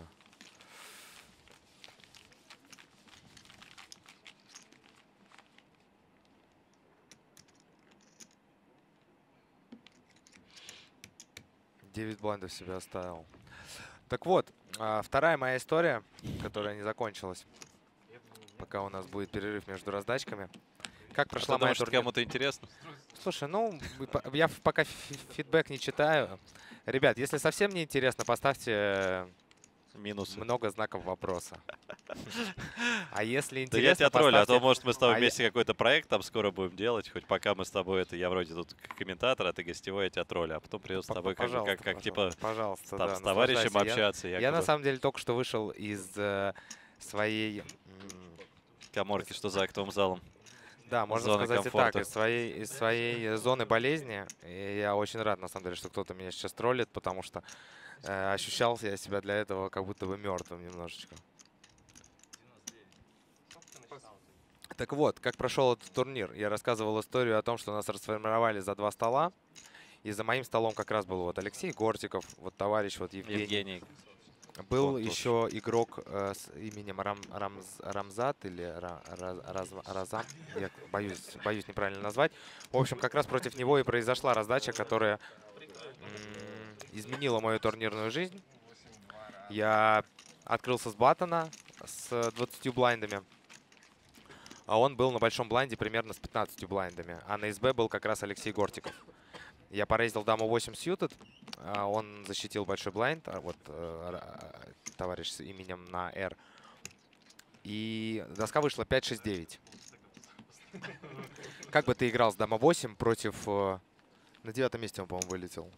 Седрак, Седра- Седрак Се- Багдасарян. Се- Седрак Багдасарян. Да, он мне, кстати, обещал сказать, почему он меня закалировал, потому что это очень интересно. Я так подозреваю, что я выдал какой-то рит из-за своего плохого самочувствия, потому что, ну, иначе сложно поверить, как можно было совершить подобный кол. Ну, в общем, э, доска 5-6-9, э, радуга. У нас дама 8 пикей, э, пикей А, нет. ну ты вы там чек-чек флоп, терн спарился, и ривер ты по королю поставил Чек- в никуда, и тебя чек- по туз, по туз 2 вскрыли. Ну, послушай сначала. Э, Я не ривер Подожди, поставил. у нас выставление. Не самое приятное. Ну, тут изи колу, Но Николай. Коли стек больше, да. Он Не, ну как, не самое приятное. Э, Баттл Нет, я имею в виду, для Коли не очень приятное, да, но я имею в виду, что, ну, в смысле, ты это шестерками, ты понимаешь, чаще всего ты монетку поедешь. Ну как, ну там любая кармашка, туз 5, туз 2, туз... ну, Понятно, туз но это не то, что ты там с криками гипура, вот Ну, тебе и- показывают вот такую, там, дама валет, ты катаешь монетку. понятно, ну, но такая- сейчас-то у Коли уже стек больше. Ну, в половине процентов случаев мы будем 70 на 30, как бы. Ну, не в половине, там, в большой части случаев. Короче, в любом случае, мы до финала хотим ставить алыны. Ну, поехали, монетка. А, ну это вот как раз то, помнишь, когда мы шли, и спойлер был там, флоп. Я что-то уши, валет. я уши закрыл, чтобы не слышать. Мне кажется, сейчас флоп валет 9 будет. Да.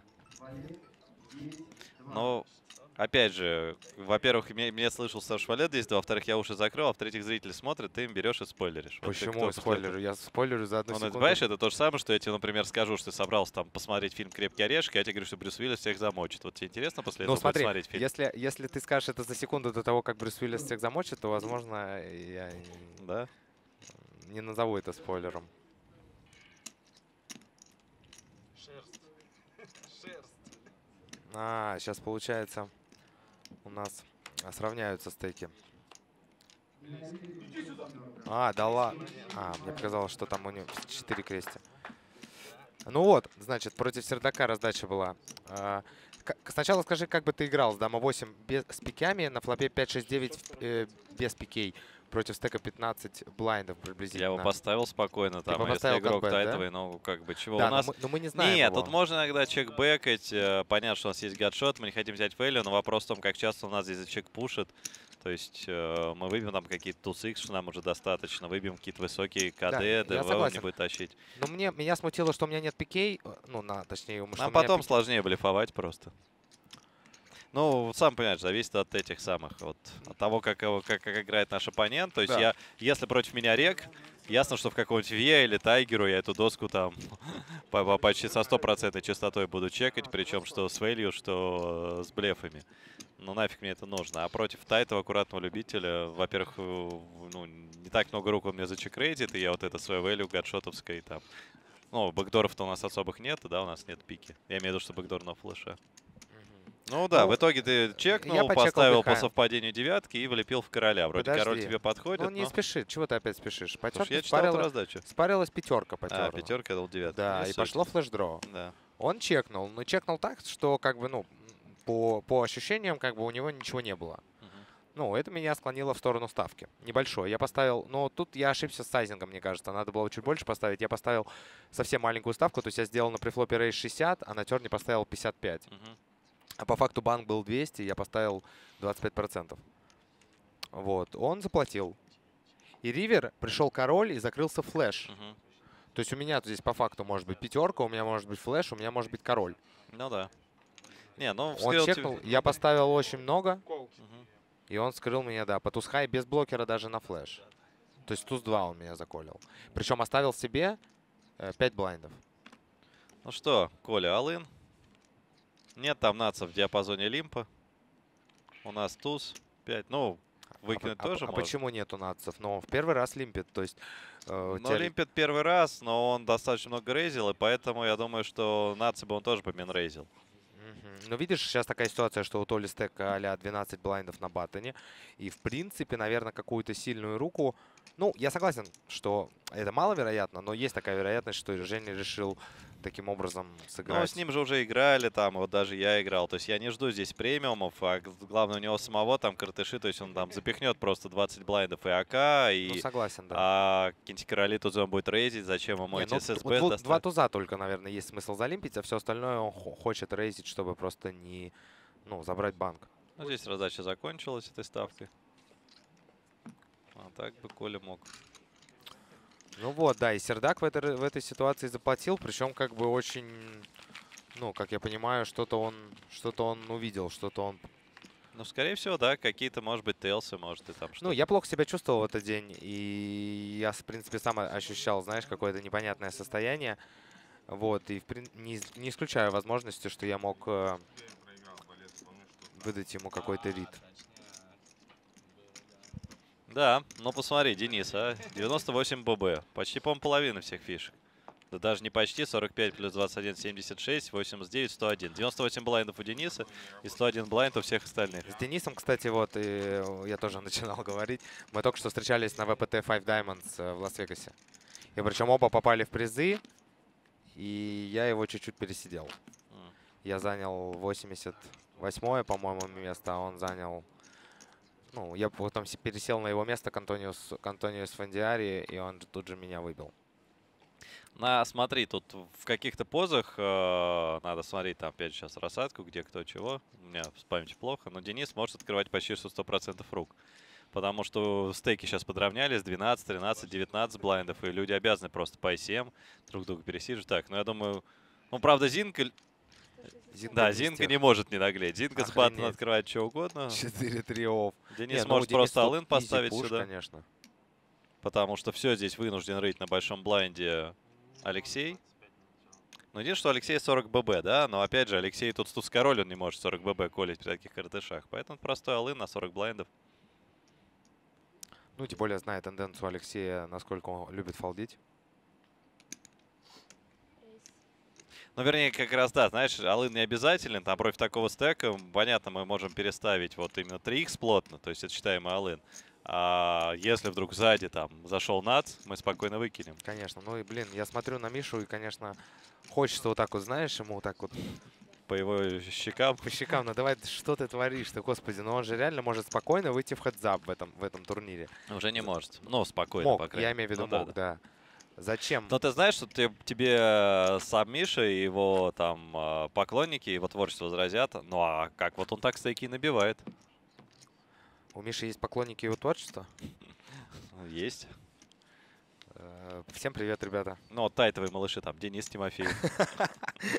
Дэн, кстати, Из Стамбула. Нет, шутки шутками, реально. Вот мы смотрим, смотрим, да, но вот у Коли всегда строго такой тайтовый стиль. Ну, единственное, У большой стек любите, да. Ну, я сколько с Толей играл, с Колей играл, он играет такой, ну так. С Колей у меня была, может быть, ты читал раздачу, э, я- после которой я понял, что тайтового стиля у Коли просто не может быть никак. Нет, но с большим стеком, Когда- если он видит слабых, вот типа тебя за столом, то да. Да, а но- так в целом, как Но бы у вот- него не было, у него не было, начнем с того большого Ну, стека. это алын, это алын у Миши. Сейчас он алын поставит. В троих. Кстати, Миша, что ты к нам не заглядываешь вот э, в кэшах поиграть на, ну, в вип-комнату? Там можно и перекусить что-нибудь, и вот за, зажить, пообщаться в хорошей Ну, компании. Я мелкие лимиты не играю, только высокие Ну, ну лимитные как игры. ты, от скольки? Не, ну так Ну, чисто. 200-400 лимит. Ну, холдом мне интересно. Не, ну а играть. что, ты сейчас как раз обучаешься, вот, в принципе, вот Артур к нам приходит иногда поиграть, Ну, пообучаться. Артур вас поддерживает, экономику. А, над чем здесь думает Денис? Ему этот кол не нужен. Потому что, да. А блайнды 10? Ну, ну и вот устраивают эти картыши, он же найдет и более Ну, плюсовые ситуации. А, а у второго, а вот у, у- сколько у, Ко- у Но Коли? Миш сейчас самый короткий. Не, видишь, все-таки закалировал Денис. Ну, мне что-то сейчас ощущение, что Миша удвоится. Хотя я это, не это, знаю. это да, это мы честно скажем, это уже без спойлеров со стороны Олы Барселоны. Да, да, это без спойлеров. У меня просто что-то такое ощущение. Может быть, мне хочется просто, чтобы Миша удвоился. Да мне тоже хочется, чтобы борьба была более бо- боевая. Хочется еще посмотреть на кре- креатив массовый. Да, потому что иначе тут вряд ли кто-то будет какое-то сопротивление оказывать Денису. А если Миша сейчас удвоится? Ну, кстати, редкий случай, да, когда вот э, не так много рук, которые старше пары стоят, оверкарты. Это только валет 10 сьютед, валет 9 сьютед. Иногда. Всеми наши, всеми наши любимые коннекторы. То есть почти всегда пара э, Чуть-чуть старше опережает. оверкарт. Оп! Уф. Так, ну сейчас нужна Мише хотя бы какая-нибудь картинка или десятка плюс, за чтобы бэк- добавилось аутов. Бэкдор, даже с бэкдорами беда у нас, да. Ну да. Десятка, дама, туз добавит аутов.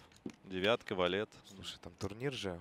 Эх, восьмерка это совсем плохая карта для Миши, потому что аутов... А, нет, А, восьмерка, восьмерка тоже добавила карта, аут. да. Да. Семерка, шестерка тоже добавляли аут. Да. Но я имею в виду, что самая плохая была бы какая-нибудь двойка. Четверка. Все равно 20 копеек. Ну давай. Мишаня, Девятка давай, бубей. тащи. Блин. Нет. GG.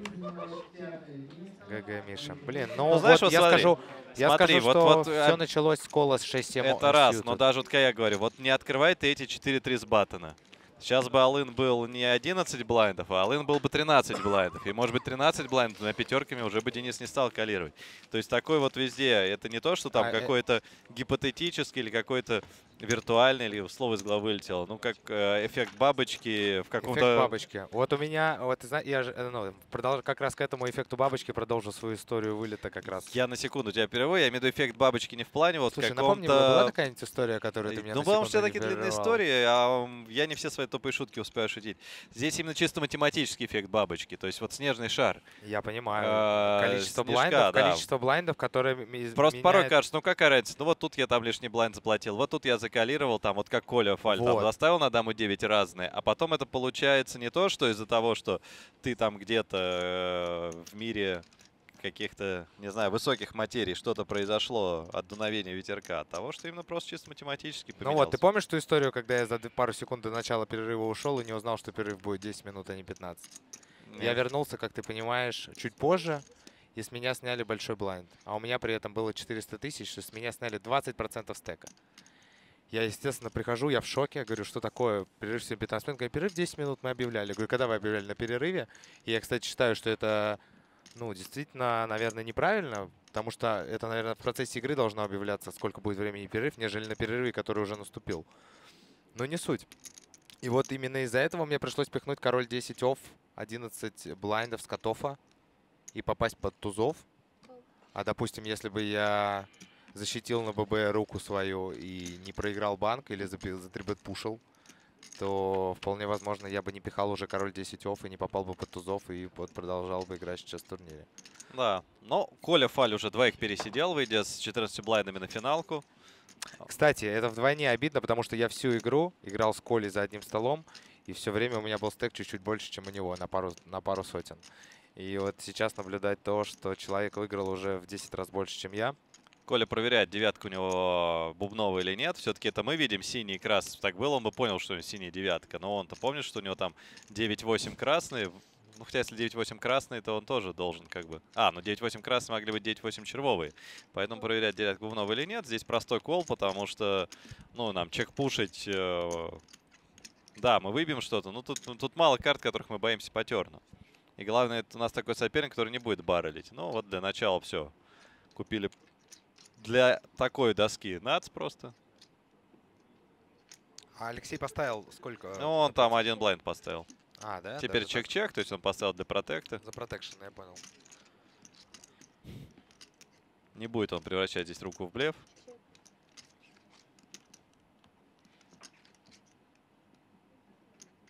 Ну и теперь Коля попробует что-то добрать с какого-нибудь валета, с дамы. Попробует поставить тоже какую-нибудь небольшую. 160 тысяч, два блайнда. Ну тут надо ставить какую-то А, маленькую, нет, чтобы добрать обязательно. Я чего-то. думаю, сколько бы я поставил? Ну, наверное, 220, 210. Просто Алына мы все выбьем, а мы Не, хотим ну, а что-то добрать. Конечно. Не, ну Коля решил. Странно. Э, Мне это не А, нравится. а куда? Зачем Алан ставить? Я поставил даже меньше, чем два блайнда. Ну, а с чего? С какой руки, интересно, Коля добирает? Ну, не знаю, с двух пар, с валет 10. С Ну, ну, хорошо, 10-8, а- да. Ну, а с чем мы блефуем? Ну, я не знаю.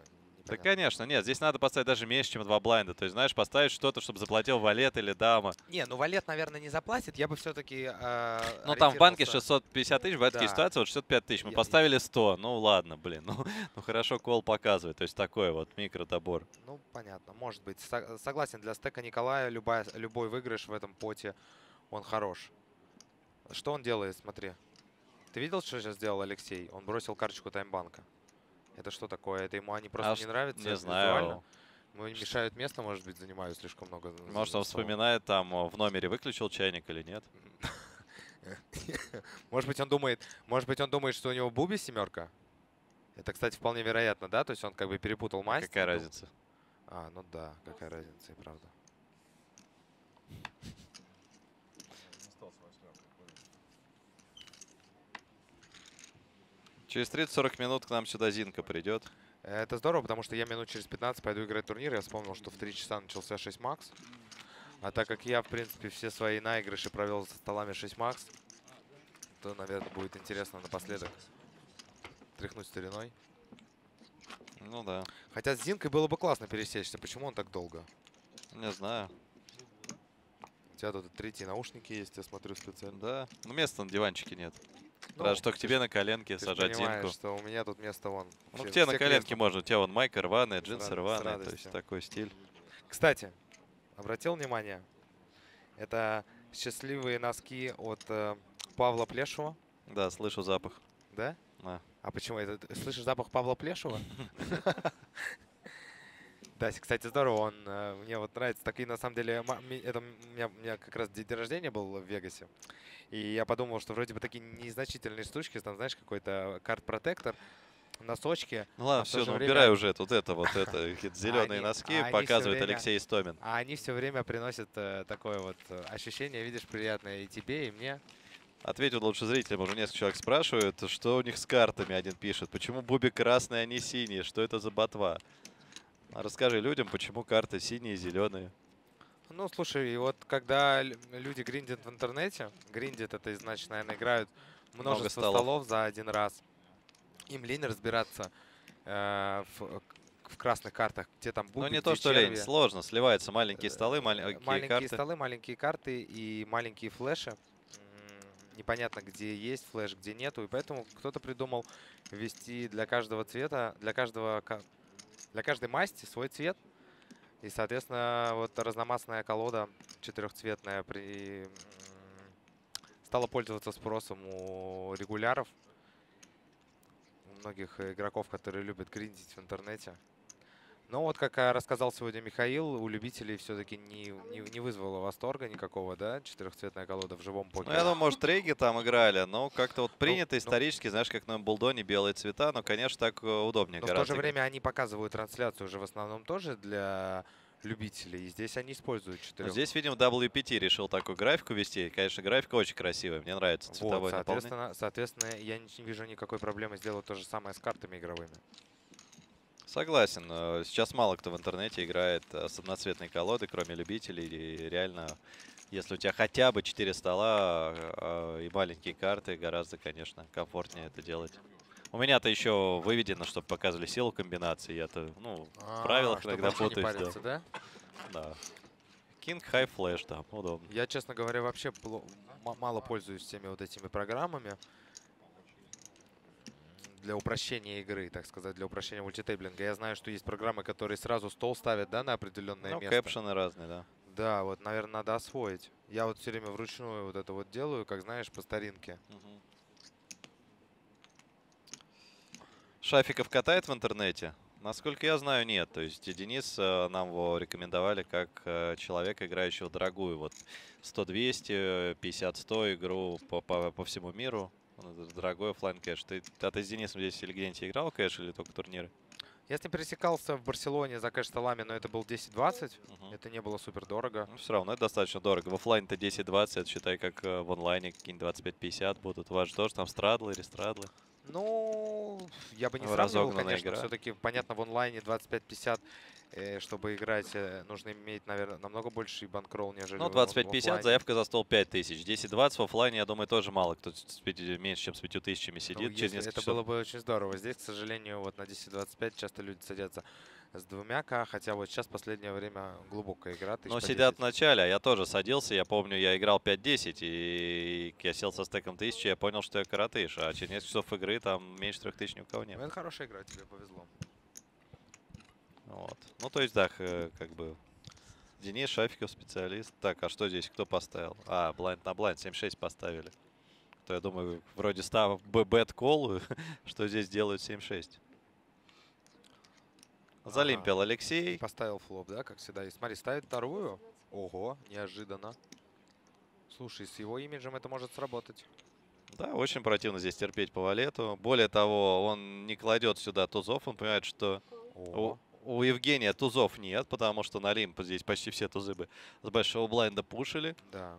С другой стороны, э, Евгений считает, что и у Алексея тузов не так много, потому что, соответственно, СБ в ББ тузы тоже могли запушить. Ну, типа, да, только сильные какие-то слоуплеи. Ну да. Но... Но опять же, нет каких-то... А, ну все, теперь уже... Не, ну там, бы, Алек- там будем, будем откровенными, Алексей бы в жизни бы третий банку не поставил. Да, конечно, да. Уже короля не выбить, э, ну а туз X какие-то мог соперник чекнуть. Ну, я думаю, теперь Евгений, есть у него добор. То есть туза оппонента нет, поэтому, наверное, добор есть. Попытаться Слушай, добраться до короля. Я бы сказал, да, что bet sizing, который использовал Алексей на терне, он поставил треть, э, вполне смахивает на короля. Поэтому, конечно же, с валетами надо сейчас ставить и добирать именно с э, короля хай или, может быть, даже дама хай, которая заплатит на дележку. Да нет, ну там понятно, что кому вторую поставили, там за спиной минимум король. Ну да. То есть там уже что Нет, ну делать? я просто к Чаще- тому, что э, в другой ситуации, возможно, король не ставит две, две ставки, флоп и терн. Но в, этой ситуации как раз-таки Алексей короля и изображал. Что это вообще, смотри, вот люди играют в финал, там какая-то девушка сидит, Да. там это, вон, ногами там ногами размахивает. размахивает, мужик какой-то лысый. Да уж. Первый ВПТ в России, а, А, здесь я он им там... Хотел, я им хотел сообщение сейчас от... А, да. отправить. Ну, какие-то там мальчик с девочкой пришли и просто сели. Да. Это Сочи, детка.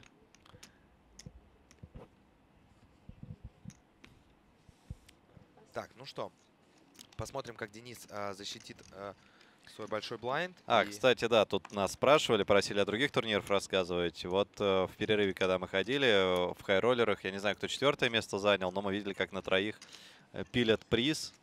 Это три человека. Толя Филатов, э, Андрей Чернокос и Денис Кушниров.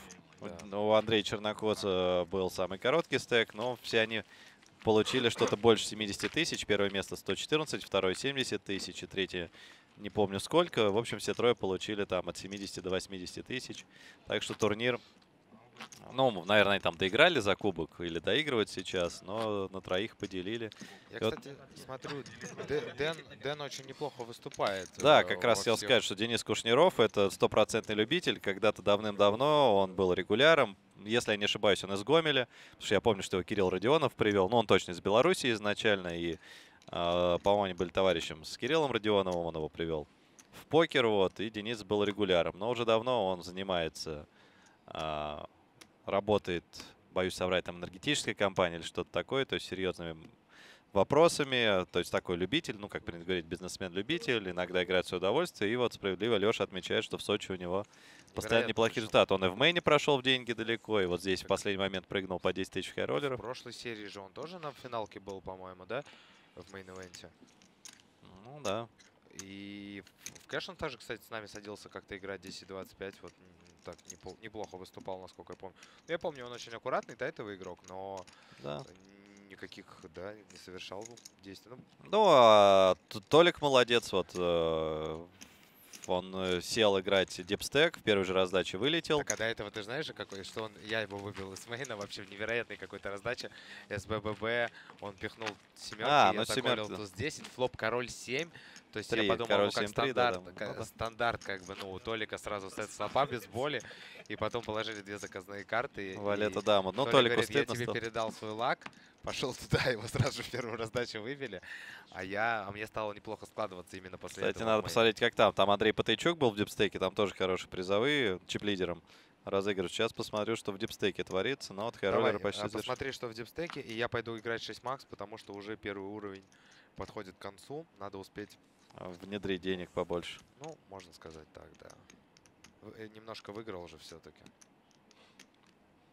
Кстати, э, ты мне не сказал, как бы ты, как ты думаешь, вот э, в ситуации с э, 13 человек, когда с 12 пейджам, то есть за 13 оплатят 16 тысяч, а за э, 12 уже 20, Мгм. король 10 офф э, с катофа 11 блайндов, когда слева сидит Гортиков, на СБ... э, ну вот на ББ Ну, там вопрос еще какие стеки. Ну, можно вот. пихать, можно не пихать. Ну, ты- нет, я понимаю, что можно пихать, можно не пихать. Это как бы, в принципе, Всегда так можно. да, всегда так можно. Как бы ты сыграл? Ну, смотрел бы, пейджамп-то небольшой, один боин, если так думать. Я мог через raise сыграть. Вот такие руки тоже у меня есть в 11 диапазоне raise -а, да. Ну вот 11 ББ мне не нравится. Как раз такие смотри, люди, когда... Смотри, у нас 5 макс. Там же мне- все равно порой всякие пятерки, шестерки, Не, тут это все понятно. Ну представь, мы сделаем raise 2 ББ, там защитя, защитят, мы не попадем в доску, сдадимся. У нас 9 ББ, по нам проходят блайнды, у нас остается 6 блайндов. Нет, так ну то не попадем в доску, там мало кто против нас пойдет. Нет, э, там на Гортиков, ой, там на ББ вот этот э, Евгений, у него был огромный стек, то 2,5 А, ну вот в хайроллерах четвертое место занял Хачик Григорян. И, соответственно, Андрей Чернокос, э, он же Друпа Лакер, э, Толя Филатов, он же NL Profit, и Денис Кушниров, он же Денис Кушниров, поделили на троих. А в дипстейке... Так, ну вот Андрей Патычук какой-то большой банк проиграл, 14 человек там было. А, значит, Анатолий Филатов получил 5 миллионов 400. Денис Кушниров 4,5 миллиона, Андрей Чернокос 4,2. Да, вот Кирилл Агапов пишет, что Денис Кушниров работает в госзакупках тендеров. Ну, я в этом всем не разбираюсь. В дипстейке 14 человек. Чип-лидер Артем Балаев, который у Андрея Патычука большой банк выиграл. А, Даник Студент, Даниэр Аубакиров, миллион четыреста пятьдесят. Ну и вроде все. Так. Да, Анатолий Филатов, победитель турнира хайроллеров WPT Russia. Вот только что Выиграл, Толик да? выиграл, да. Толик, поздравления тебе наши. Ну да, чисто в туалет сбегать. Есть кто против? А тут тоже будет потом маленький. А, это через час тут. Ну, вот перерыв будет через Нет, час. давайте, да, потому что это... Серег. Ну, в общем, ты бы сделал рейз, да, с король 10? Ну, я не знаю, от игроков зависит. Может быть, запушил бы. Я же говорю, на большом блайнде Евгений, у которого был огромный стек, 2,5 миллиона. Мгм. А у нас, получается, было 450 тысяч. Ну, понятно. Блайнды были 20-40. как из-за нас того- закрывать будут? Просто из-за того, что у нас 5 макс, и на нас надвигается большой А, это же еще короткий стол. Да. Короткий стол, я не подумал. Не, ну нормально, пушит, окей. Ну и у нас же мы же не мусор пушим. Не, ну, понятно, что пуш И напрашивается. все-таки ты говоришь пайджамп, но это 13 человек, то есть там неизвестно, когда еще человек вылетит. Ну да, но были равные... То есть у Коли Фаля были, был примерно похожий стек, и у... Ну, Вот здесь Коля должен защищать. Вот эти дамы 9 разные. Во-первых, он играет один на один, во-вторых, другая глубина. То есть здесь, конечно, ну, 9 это простой кол. против него такой замечательный оппонент, что, конечно, это кол. Просто к тому, что в начале трансляции там люди могут вспомнить, что я Колю критиковал за кол, дамы 9 разные. Ну, У него тогда и стека, наверное, не было, да? О, смотри, как хорошо. Так. А вот, как сказал бы Заячук. 75.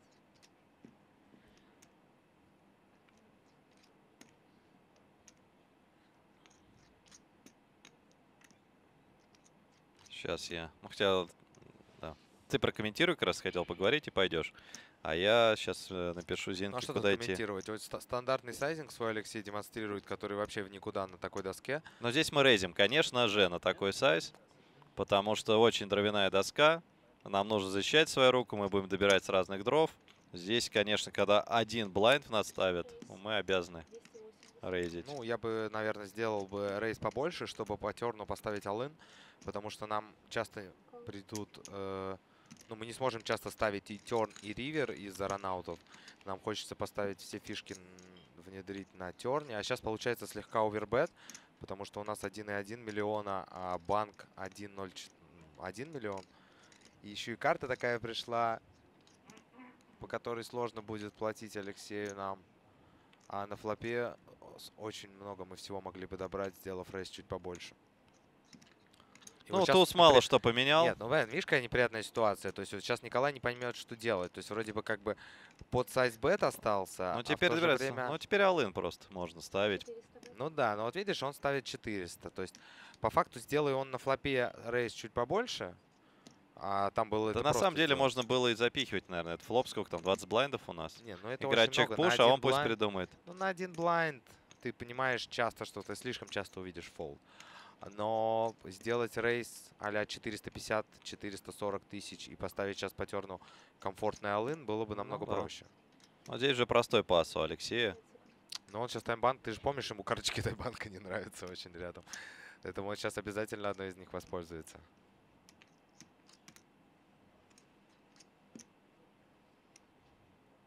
Пошла, вход. Какие здесь можно Коля придумать полублефы? И ривер будет, да? Полный банк. да? Банком, уже полный банк.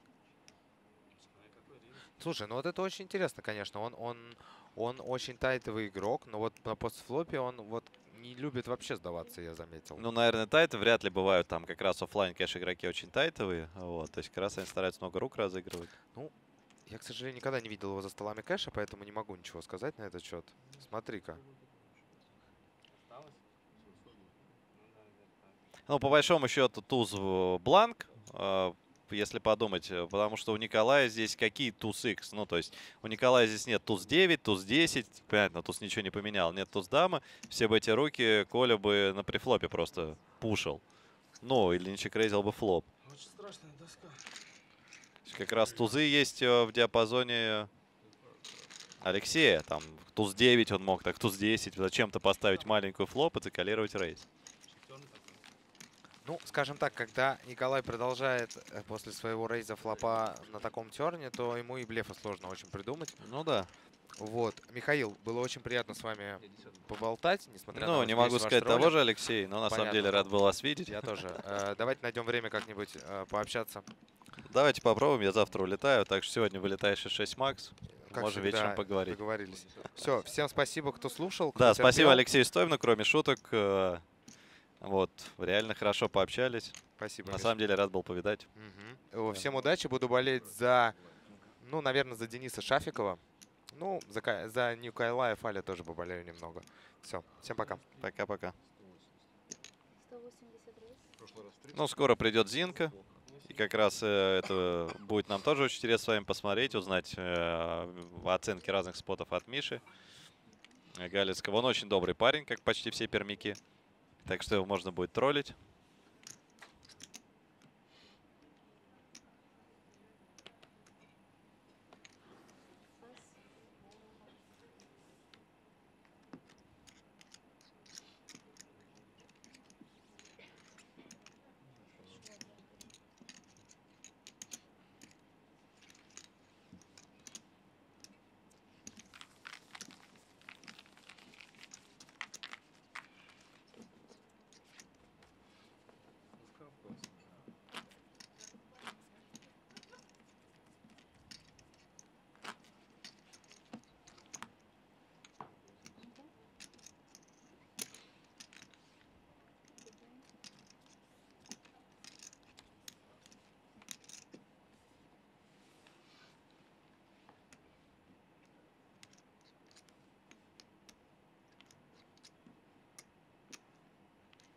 Меня всегда вот эти обозначения позиций немного смущают, потому что, конечно, это ни- никакой не УТГ, а котов. Потому что ясно, что на УТГ опять никакие не открываются. Ну, здесь непонятно, что делать Коле с ТУС-8. За спиной еще два человека. Наверное, выбрасывать. С 20 блайндами а Евгений открывается. Не сказать, чтобы он там поливал.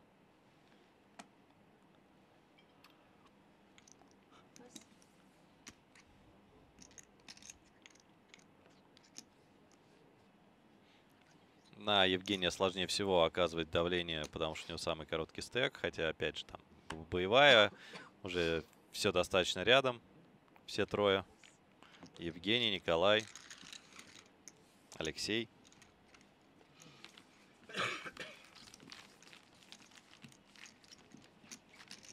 Ну, а Денис э, первым может открывать, э, конечно, не 100% рук, но близко к тому. Тем более здесь соперники слишком какого-то там сопротивления не оказывают. Единственный, кто мог оказывать, не боялся там с любым стеком, это Зинка. Ну и поэтому Михаил и, и пал жертвой отчасти вот своей там гиперагрессивной игры в любых стеках. Так что сейчас первое будет слово у Коли. Очевидно, что если Коля не сделает рейс, то Денис Шафиков с баттона откроет, ну, процентов, наверное, 75, может быть, 80 рук. Он не будет открывать 2-7 разномастные, но какие-нибудь там 8-4 разные, я уверен, что порейзит.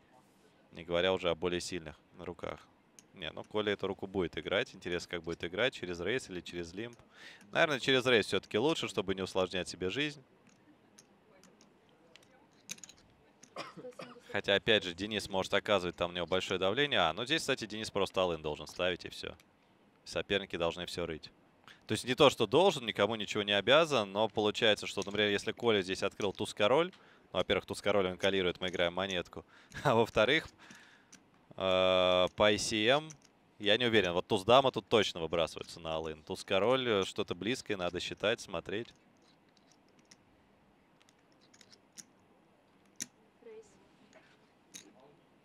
Ну, мне Алын больше нравится, чем 3-бет. Тут самый большой стек 30 ББ, и как раз 30 ББ это Алексею на СБ колить в холодную. И как раз, например, туз даму здесь на 3-бет мы можем задвигать, а на Алын бы мы вынуждены были закапывать. С король 10, э, причем вообще какие-нибудь еще король дама сьюта, тот же Николай может нам запихнуть на 3-бет. Поэтому я бы с двойками здесь просто Алын ставил на рейс Николая. Ну, посмотрим, что Коля будет делать с король 10. Он тоже все прекрасно понимает, что Денис здесь будет оказывать на него максимальное давление. При игре трех коротких стеков.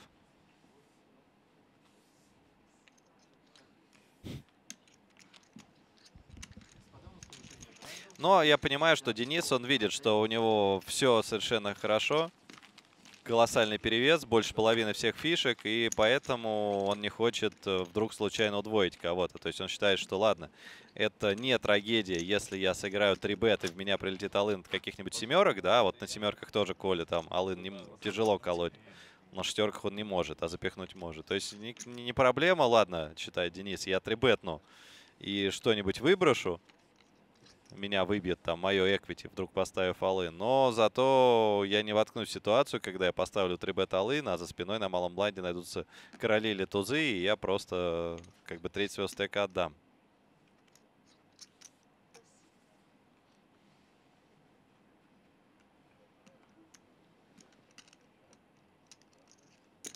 Ну вот мне Андрей Кактус пишет, э, что Э, привет, Евгений, недооцениваешь трансляции. Из оставшихся по онлайн-игре он наиболее подкован. По офлайну разве что может каких-то моментов не хватать.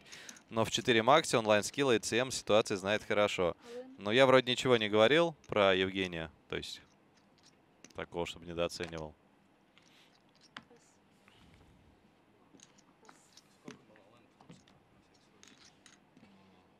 Там Леша немножко его как раз, как мне кажется, по трансляции недооценивал, но как раз недооценил вследствие того, что он там, типа, играл с ним за столом, и ему показалось, что что-то там может быть не так.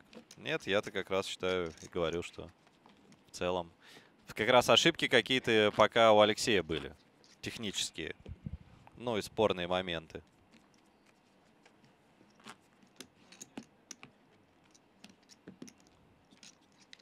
Например, вот здесь дама валет. Э, жалко такую руку. Играть через рейс-пас. Вот эту руку можно вполне на бата не залимпить. Ну, как бы рейс-пас тоже можно сыграть. Но рестильные стейки у наших соперников. И даем очень хорошую цену. Для того, чтобы как раз вот не париться, не придумывать ничего. Запихивать туз иксы на наш рейс.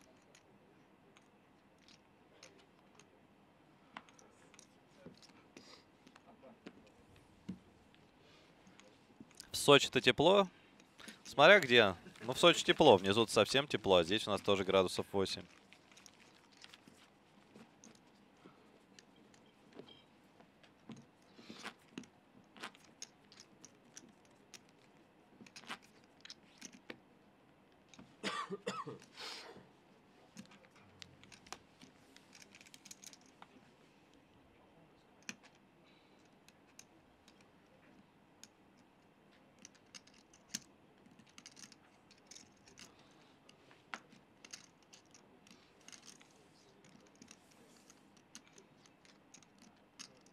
Так, 17 блайндов у Николая. Можем просто алын поставить с дамой валет сьютед. Можно залимпить. Но вот через рейс пас играть эту руку совсем преступление будет в 4 макс. Какой вариант выберет Коля? Проблема рейза в том, что с СБ нам могут поставить алын чип-лидер, и мы не можем тогда калировать. Но Коля все-таки играет через рейс.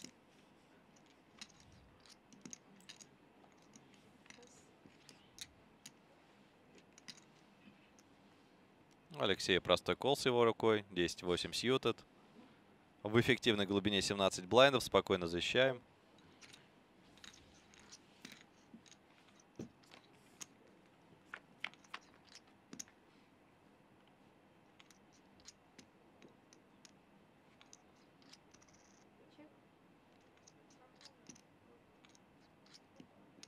В эту доску я бы поставил канбет 3-6-4 разномастный. Там а, у нашего оппонента э, диапазон защиты не так сильно в эту доску тоже цепляется. Тем более глубина здесь совсем небольшая. И у нас не тот соперник, который пойдет здесь... Э, э, ну, как бы в большой глубине здесь мы можем получить чек-рейс от каких-то там рук с бэкдорами. Мы можем там получить какие-то флоуты без позы с чем-то. То есть там у соперника из э, семерок, пятерок в диапазоне. Ну, может быть, какие-нибудь туз-5, которые могли на префлопе алын поставить. 7-5, а, понятно, сьюты должны быть. Там, ну, какие-то 8-7 сьюты даже здесь тяжело сопротивляться просто по гадшоту. 9-8, например, пиковые не будут здесь. Ну, когда такой соперник против нас чекрейзить. Вот, так что флоп неплохой вышел. Для нас. Ну вот Андрей пишет, как тут, что он не уверен, что Евгений хочет, чтобы его ник был озвучен, поэтому не говорит, какой ник, но пишет, что играет хорошо. Ну, опять же, каких-то, повторяю, вопросов к нему здесь по финалке не было. Да и я говорил, что я с ним немножко играл там один из дней тоже. Карт мы не видели, но... Там пару часов, по-моему, за столом поиграли. С Ваткой Шлезом, с э, Кузей, с Александром Кузьминым, с Игорем Шараськиным за столом. Там вроде спокойно играл Евгений.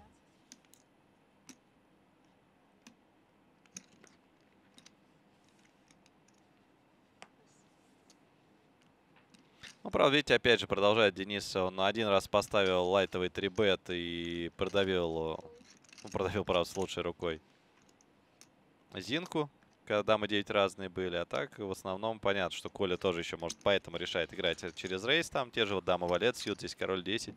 Не сильно боится того, что уж слишком много будет здесь э, трибетить и давить на него соперник. Супер флоп для Евгения. Колю сюда может поставить небольшую совсем. Ну, в принципе, у меня есть король хай, но чтобы выбить какие-то случайные там 8-7. А, какие-то руки, какие-то две живые карты. Можно было поставить маленькую. Не полетит у нас здесь никакой там чек-рейс на ровном месте. Ну, здесь уже дальше дочекиваем до конца. Ну, Коля сейчас попробует изобразить, что у него рука типа король-дама, дама-валет, чтобы опять выпить какие-то две случайные карты. Но, не знаю, на мой взгляд,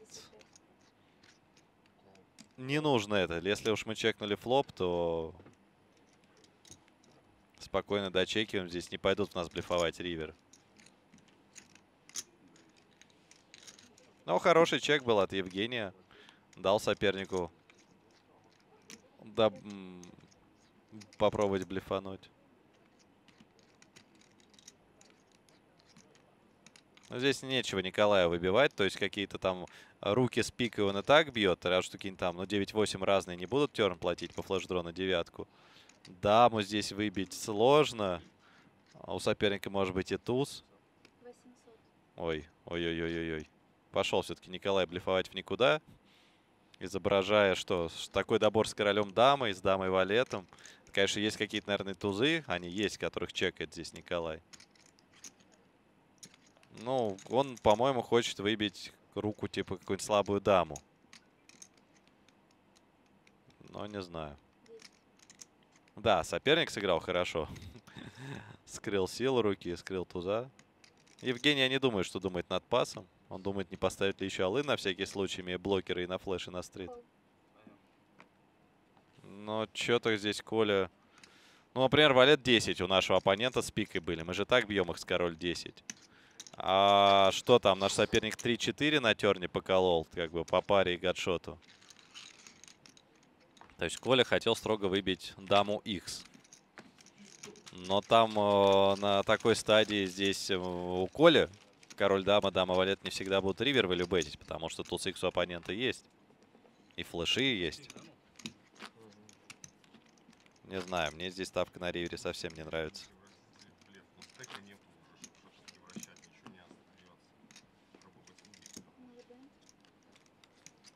Так, вот Саша Исаченко пишет. Конкурс для зрителей на PartyPoker Live.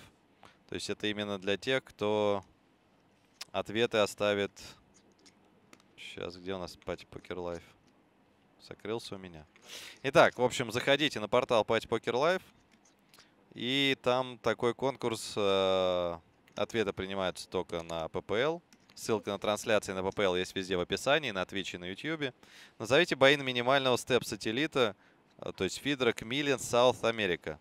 Приз, билет за 22 доллара на степ-сателлит к тому же ивенту. Пати Покер Миллианс в Рио-де-Жанейро. Это первый турнир серии Миллианс. В этом году пройдет 4 живых турнира. В Рио-де-Жанейро, в Квебеке рядом с Монреалем, в Развадове и на Багамах в конце года. Ну и пятый этап, как всегда, в онлайне. В прошлом году был Байн 5000, в этот раз будет 10 тысяч. И заодно, раз, э, да, в общем, заходите туда и оставляйте ваш вариант ответа. Единственное, Саша не написал, по какому принципу. Первая правильно ответившая или там рандомно будет, наверное, разыграно? Сейчас я уточню.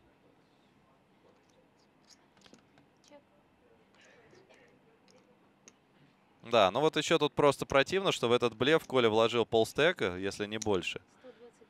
То есть зачем мы на ривере ставим с король 10? Очень сложно.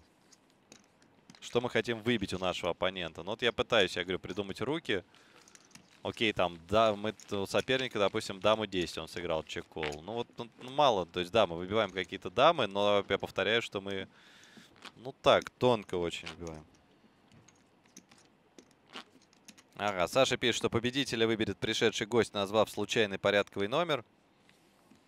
А Саша скажет, сколько участников на тот момент. Ну, то есть, еще раз напоминаю, что на портале PP Live по ссылке вы переходите, оставляете ответ на вопрос, сколько станет, стоит минимальный боин в Satellite к Million South America. И вот среди всех тех, кто правильный даст ответ, вот сейчас Миша Галицкий, который придет к нам в студию, назвав случайный номер, и определит победителя. От одного человека принимается только один вариант ответа. Ну и что, блайнд на блайнд. Отличная возможность у Николая, чтобы все-таки вернуться в игру частично вернуться в игру. Осталось у него 4,5 блайнда. И очевидно, конечно, что Денис здесь должен был закрывать на короле любом.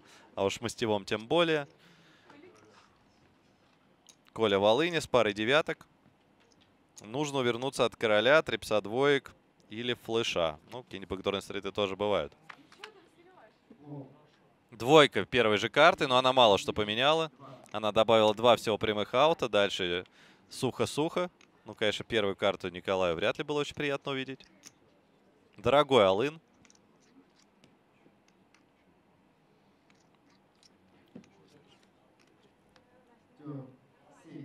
Эта карта абсолютно ничего не поменяла, просто на одну улицу в два раза сократила процентную вероятность купить короля или двойку.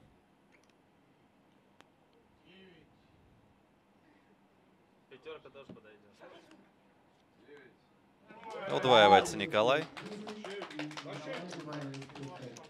Целых 10 блайндов стало.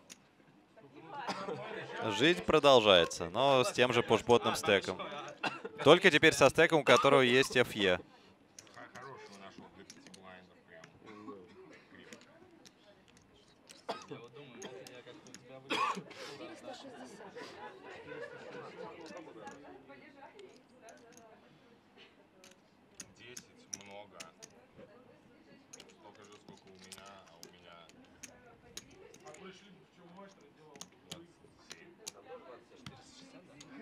Ну вот вы видите, еще раз выплаты, расстановку по стекам. И у нас блайндзап происходит. Вернее, он не происходит, у нас и был 50-100, мы, по-моему, уже вот эту раздачу играли. Да, все гарантировали себе минимум по 75 тысяч долларов э, в условных единицах. То есть по 75 тысяч УЕ, примерно по 80 тысяч долларов. Но дальше борьба идет сейчас примерно за 30 2000 долларов реальных, а в рублях, соответственно, сейчас уже все получают 7,749, 5,7, 35, по 5 миллионов 250 тысяч все себе гарантировали. Пейджамп там примерно в полтора миллиона. Даже побольше. В два. Ну и напомню, что да, вот к пати Покер Millions в Рио-де-Жанейро, туда далеко лететь, но отличные будут составы. Конечно же, бразильская школа покера. Там сетка сателлитов идет, есть фазы и по 109 долларов, и по 1050. И напомню, что те, кто сыграют все пять э, турниров э, главных в рамках Millions серии, то есть Рио-де-Жанейро в марте, Квебек в мае перед ВСОПом, в августе Развадов, в ноябре Багамы и потом в декабре по 10 тысяч в онлайне сыграют Millions онлайн на пати покер.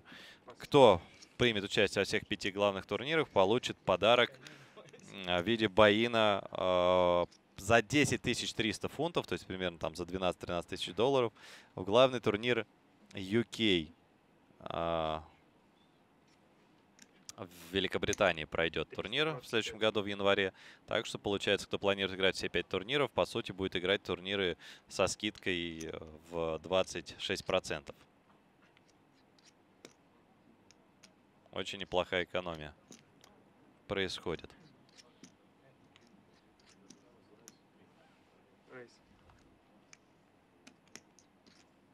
Миллион шестьсот. Блайнд на блайнд. Почему-то Денис не запушил, не залимпил. Решил через рейд сыграть. Но и Алын он калировать уже не может. Сколько там? На 16 блайндов, конечно, уж был просто ставить Алын. А, ну, я думаю, Алексею. Алексею, кстати, непростое решение было бы. То есть по фишкам это кол с король 10. Но вот здесь Денис Шафиков. Не знаю, расскажет ему потом, или будет смотреть трансляцию или нет. Но, опять же, первая его, на мой взгляд, техническая ошибка. Он кэш-игрок, но и в турнирах, конечно, у него ряд неплохих результатов. Но с точки зрения ICM на финалке, король 7, сьютед, blind в blind. Надо было, на мой взгляд, просто ставить all-in. Ну, либо сыграть через лимп там и выкинуть на алын, там не ожидая какого-то широкого алына от соперника. Либо мы ставим алын, и по 7 нас не могут закрывать на король 10. Потому что вот есть Николай с 10 блайндами, есть Евгений там тоже со стеком 14 блайндов. И с 16 блайндами на король 10 закрывать нельзя было бы. Но теперь придется тащить Николаю снизу. Потому что Денис, конечно же, здесь может делать что угодно. В том смысле, что либо кол нажимать, либо ставить реалин. Это ни на что не повлияет. За спиной там стейки по 20 блайндов.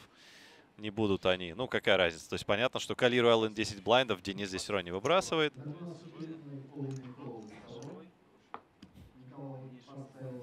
Три аута прямых у Николаса.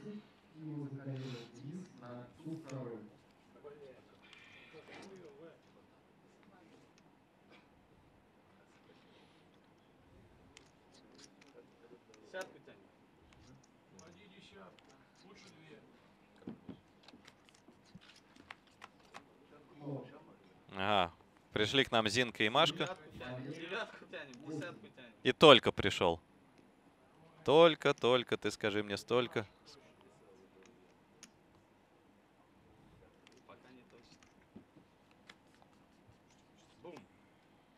Так, я надеюсь, что у нас сейчас все три микрофона будут работать. Ну, в общем, пришли у нас здесь. Так, ну сейчас э, девятка или десятка нужна Коле Фалю. Правда, наверняка и Толя, и Миша знают, придет десятка на ривере или нет. Но сейчас узнаем и мы с вами. Дележка будет. Да? И этот человек еще как-то выигрывает турниры. Он только что выиграл турнир, Маша подсказывает. А, Маша это пресс-атташе Толи Филатова. Ну, смотри. А, с кубком пришел. Турнир хайроллеров, а выиграл как будто женский турнир. А там женский написано? Да нет, нет. Такой же А. добавили, просто другая. Так, ну вот э, Коля Фаль, ну, в любом случае молодец. Конечно, ему немало здесь помог и Михаил Галицкий так высоко подняться. Старался. Пережить столько пейджампов. Но Коля получает 75 тысяч. Ну ладно, Миша добрый парень, ругаться не будет. Но вот сейчас, Миш, ты, как сказать, есть у тебя вопросы к своим нескольким решениям? По... Не особо вроде. Миша уверен в своей игре, Миш. В отличие от другого Миши. Это да. Ну ладно, ты парень добрый. Вот нам показалось, что, не знаю, то ли Филатов там поддержит или нет, что во многом ключевой стала раздача. Понятно, что это твой стиль, но где ты с 30 блайндами сыграл, э, зашел под 3-бет, 7-6 ютед. Это он мне не рассказывал. Ну, была раздача, когда, да, их, по-моему, вас еще пятеро было или шестеро в игре. Миша открыл 7-6 треф, получил 3-бет, причем первый 3-бет от Дениса Шафикова, ну, который немало рук открывал, и заполз ты на 7-6 ютед. Вот на финалке все-таки с учетом ICM, с учетом короткого стека, Все равно такие раздачи надо играть. Ну, тут два нюанса. Первый нюанс, что 3 был 2,5x. Э, Это раз. А второй нюанс, что это была раздача уже после перерыва. И, э, ну, я думаю, что Денис прилично ну, поменял рейндж в плане 3 бета. А, то есть, если он первый уровень ни разу не отходя от стола, он просто... Ну, я думаю, что он не видел ну, конкретно, что я вплоть до any two открываю с баттон. Вот. И я думаю, что он вполне мог перестроить. Ну, по факту так и было, что он э, трибетнул-то сильно ну, лузовее своего обычного рейнджа. Чек. Вот. Ну и плюс еще э, такой нюанс, что Денис против меня очень, как сказать, ну, не любил выкидывать, потому что мы с ним проиграли, ну, получается, последние три дня мы с ним вместе играли. 200. Ну, там, с перерывами. Вот. И я думал, что, ну, в общем, у меня хорошая реализация будет в итоге у, у руки, если я э, попаду, скажем так. Вот. Ну, видишь, по факту были что он тебе еще вторую поставил, причем именно, чтобы выбить, видимо, какие-то семерки, шестерки. То Скай там то ли не видел, то есть там э, по факту Денис э, Шафиков трибетнул даму 9 разные, на флопе 10 3-5 поставил 2. Ну и понятно, что по терну Миша уже ничего не Так, мог сделать. Второй я уже. Там, конечно, можно иногда как-то э, донкать, но это я так не умею. Вот. У Примерно тебя так просто было. уже вторая такая финалка получается. Я, кстати, забыл, на пати Миллионс ты туз даму, что ли, там была какая-то раздача, где ты алын задвинул, и ты пожалел об этом потом. Ну, не то, что пожалел. Там задача была то, что Толя открылся сранее, и у нас было 23 ББ на СБ, и я сыграл просто пуш. Ну да. Ты вот сегодня там в одной раздаче ты сыграл с туз король кол на СБ после рейза. Ну, на ББ это понятно, а ты на СБ один раз сыграл. Я тоже подумал, может, это связано с тем, что ты вот... Нет, там обе раздачи с туз короля сначала на ББ защитил АК э, просто колом. Ну, на а ББ по- вопросов потом нет, и да. на СБ. На СБ почему сыграл колом? Потому что я вот не помню, как зовут Женя, да? Да? Евгений, да. А, Там у вас вроде глубина была нормальная, Да, у что-то нас, около... с- во-первых, была нормальная глубина, но проблема в том, что э, сидел Коля очень короткий, и, э, э, ну, я знаю, что ну, Женя понимает, что я с СБ могу широко трибетить, и он, во-первых, часто будет не сдаваться, а еще чаще я, ну, я думаю, что 4 бет пуша буду получать. А, при этом, играя колом, я оставляю Дениса в игре, и я не против сыграть тривей, и, ну, в общем, я достаточно там руку маскирую и все такое.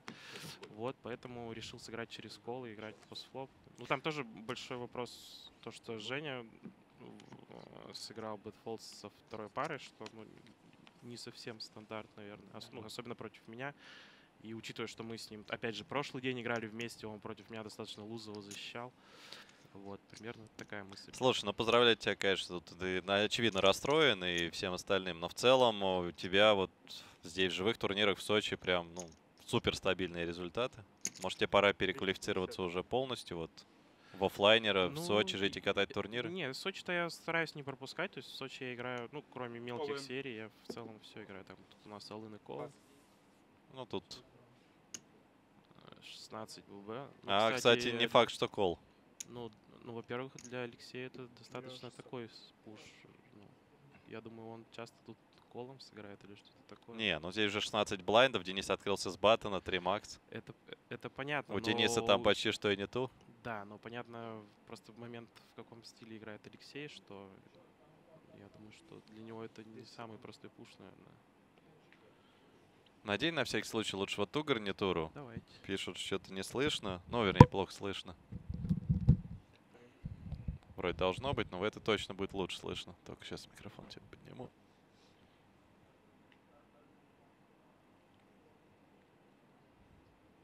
Тут еще просто очень сильно влияет, и ну, я не совсем знаю, как правильно под это подстраиваться, то, что анте полная. А, в 3 макс тоже? на- Ну, ты Да, до 3 макс не доиграл. Ну, мы в 5 макс играли тоже полная НТ. Ну да. Гораздо дороже становится. То есть это почти в один... Вот, кстати, смотри, мне кажется, что Денис делает две подряд технические ошибки. То есть у людей там 16 блайнд эффективные стеки, и король валет играет через рейз пас. Может быть, просто с баттона all-in ставить и все, они по ICM должны рыть.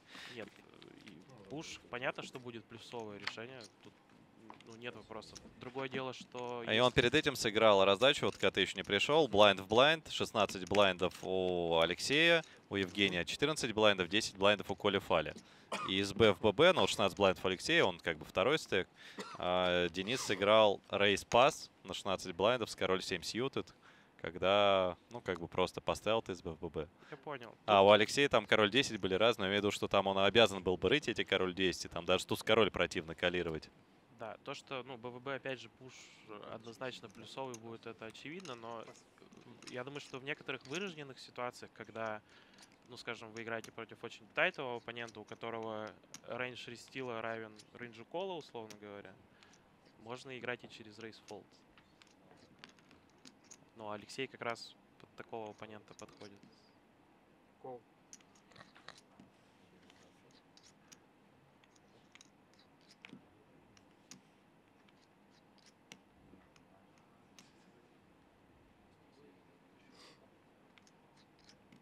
Ну, опять, здесь можно чекать, здесь можно порезить, чтобы оказать давление а, при наличии более короткого Алексея. Алексей, правда, двумя 3 бета лейнами стек подрастил.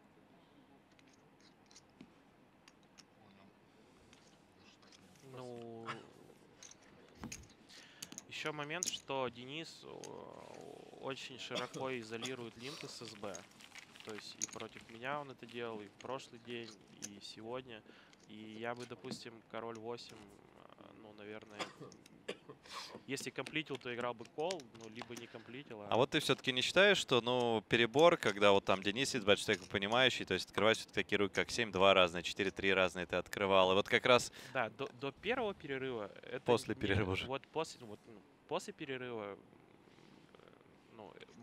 этого можно было уже не делать. Тут еще даже получилось, вот, э, ну, по факту монетка, да, там валет 9 сью тут не обсуждается, но вот, как я сказал, что ты э, с... э, вот ты перед этим открыл 4-3 разные и вынужден был выбросить на переставление Дениса. И, соответственно, раздаче ты уже запушил Алын там... Валет 9. Ну, валет 9 сью ты запушил 13 блайндов, а вот если бы с 4-3 рейс не сделал... 9 я запушил Или 11. блайндов. Ну, 11, да. Ну, как бы, а если ты 4-3 до этого не рейзил, то ты бы запушил 15 блайндов, и, может быть, тебя бы там на пятерках уже не закрыли. Ну, не 15, а Э, 13. 13, и 13, на я говорил. пятерке бы все равно э, Денис бы колил бы, конечно.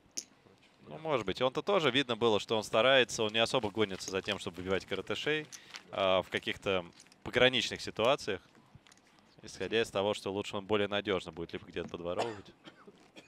То есть, короче, ты не собираешься ничего пересматривать на финалках, у тебя нет мысли играть. Тут очень большая разница ввиду Анте и ввиду, э, как Алексей играет на ББ, скажем так. И при всех вариантах, как бы не хотел Денис, ну, если бы он меня прямо как-то поддавливал или оказывал, ну, там, Мгм. чуть шире что-то делал, то это одно дело. А когда этого не происходило, и всего лишь был один, ну, по сути, блеф 3 бет с дамой 9 за все время, я думаю, что 250. это не так плохо открывать широко. Хотя, может быть, это и не так. Спасибо.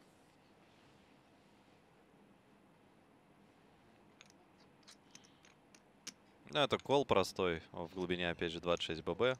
Кол. Хотя 2,5 X рейс, но ты говоришь, это связано с тем, конечно, что раз Анте остался полным, то Да. тут вынуждены открывать шире. Опа. Ну вот, если так флопать, то Евгений появляется шансы. Много здесь, правда, не выиграет. Здесь абсолютно стандартный чек бихайнд Сака. Чек.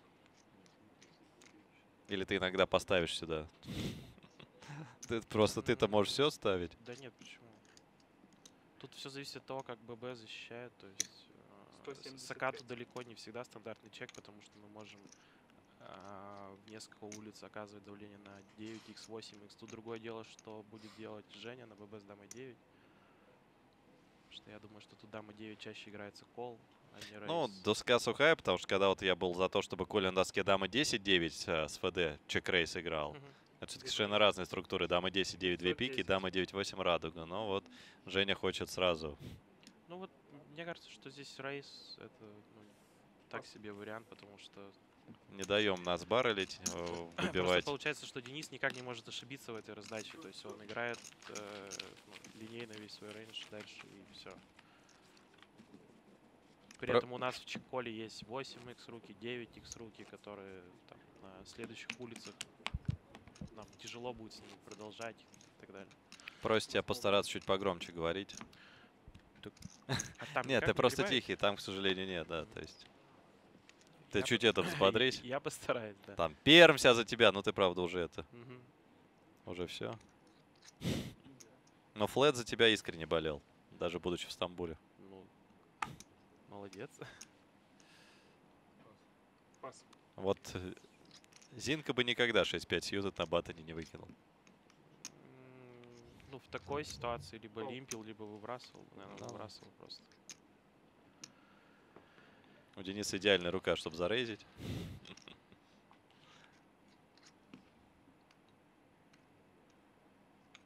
Чек. Но он уже понимает, что несколько раз и залетел, и поэтому оппонент должен быть к этому готов, раз лимпит. Но все равно, знаешь, такую руку, как Ту-6, противно разыгрывать. То есть, э, хотя не ошибка на 31 ББ, если наш оппонент постоянно залетит и лимпуш сыграть. Но когда через лимпкол, то... Ну, нет, тут 6, тут, конечно, тяжело лимпушить. Это лишнее 30 блайндов. Да, но лимпколить тоже, знаешь, там э, оппонент, который бар или там против него терпеть. Многие доски сложно. Минбет, ну, минимальный бет. Большой блайнд. Не, я тут тоже играю через лимкол, но у меня была такая ситуация вот на прошлых хайроллерах. э, ну, хайроллеры по 2000 здесь на ЕПТ, я был там за очень тяжелым столом. И как раз я тоже там тут 6 играл через там в 30 блайндов тоже лимкол. С БФББ против меня был очень сильный. А, кто там? А, Глеб Ковтунов был, вот, с огромным стеком. Вот, мне как раз после этого Андрей Патычук сказал, который тоже этим же столом играл, там были Папаня, Глеб Ковтунов, Андрей Патычук, не помню, кто еще. То есть редкий случай, когда я в живом турнире сижу, я понимаю, что я там играю в большой Так минус. себе. Да, и мне тогда Энджер сказал, что, ну, если ты понимаешь, что там изолейт будет почти 100%, то можно и на 30 блайндов запихнуть такую Нет, ну, это оч- очевидно, что да. Конечно. Там еще есть такие извращенные линии, что мы же можем еще и сыграть э, лимп 3 бет в таких стеках, что тоже будет не так плохо, потому что ну, а, Ну да, совсем страшно смотреться. оппоненту очень тяжело что-то делать с этим.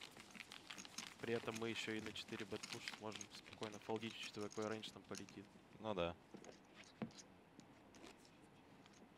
Если особенно брать, что маленькие пары он просто пушит на лимп, то ну, тем более проще становится.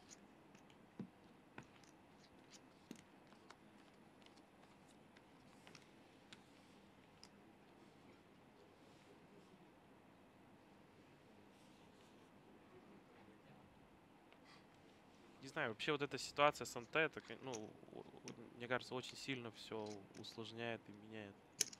250.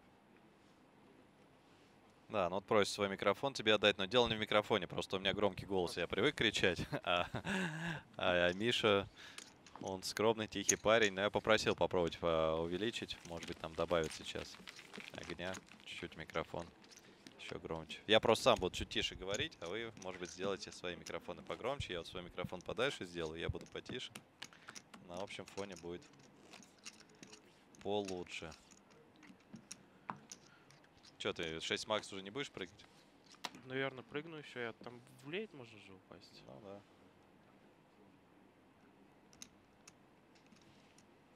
Вообще грустно всегда так сидеть и смотреть, как вот там бы ты мог Не быть. знаю, я как-то очень спокойно, ну, то есть, э, если там на миллионсе было какое-то расстройство, то здесь, я не знаю, я не скажу, что как-то, ну, там сильно расстроился или еще что-то, то есть.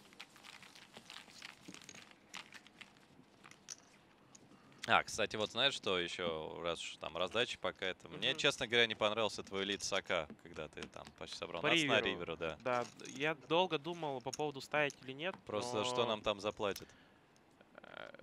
Тут момент в том, что Денис ни разу за весь турнир против меня, не, а мы с ним долго играли, он, он мне все разы платил. То есть, если было с чем заплатить, он платил. То есть, начиная, что вот, ну, в подобном споте, я думаю, что он там иногда туз валет может даже те же заплатить условно. То есть, э, другой момент, что по риверу Там же все закрылось, чем ты тянул, да. и и- э, про- просто такой нюанс еще, что по риверу он э, весь средний шоудаун просто чекнет.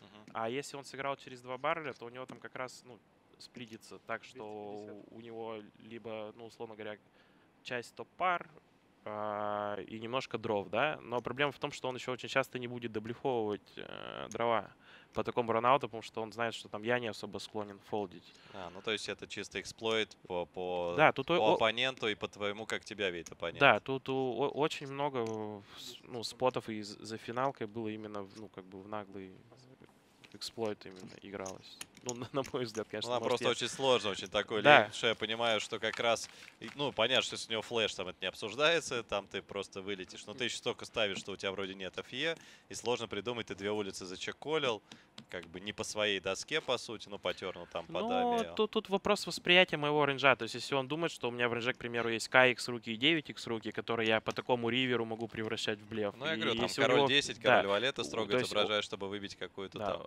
а если у него любой блефкач, то он колет. Понятно, что он там с туз 4 ему ну, там, не, не, не над чем было думать. Там еще была раздача против Жени, тоже э, когда у меня было, по-моему, 6-7 в масть. э, открыли доску король две мелких с ФД. Я сыграл чекол флоп. По терну вышел туз и закрылся флеш у меня. Мы сыграли чек-чек. И по риверу я донкнул. Ну, там другая ситуация. Тоже там-то большую надо. ставку, да. И ну там тоже надо, потому что Нет, там надо, там не обсуждается, Да, да. Но ну- тут ты две улицы играл чек-кол, там же он еще терн чекбэк Да, сыграл. А здесь как раз я подумал, что э, Денис может и не будет, но он может продавливать. Как раз у него-то АК есть, у тебя АК, ну, гораздо меньше. да. Не, понятно, что у него больше нации там Флеши в как бы у вас обоих э, как бы есть, но они у него тоже есть, а у тебя как раз вот эти 10x, он может попробовать там тебе как давление выбить какие-нибудь король 10, э, как король валет, какие-то руки, которые ты протянул до ривера. Все правильно. Я там, ну, как бы я думал долго между чеком и бетом. И то есть именно решил поставить, исходя из истории раздач с ним.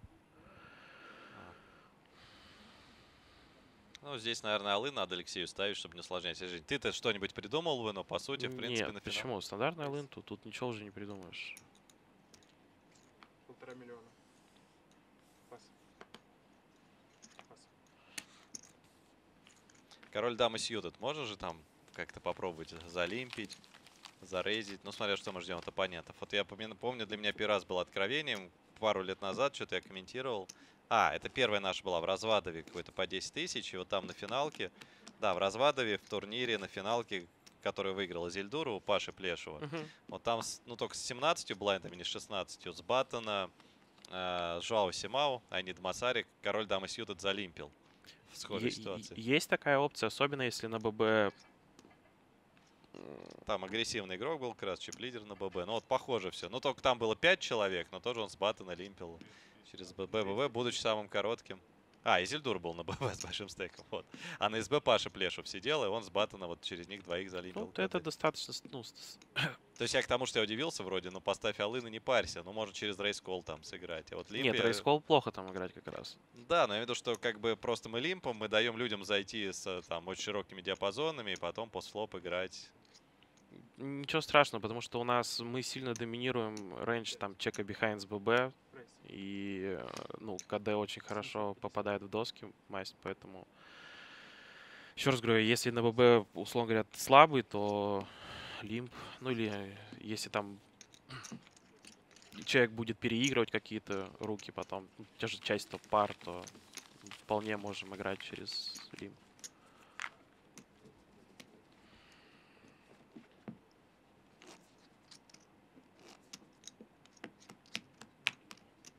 Так, Толику пишу, как попасть сюда.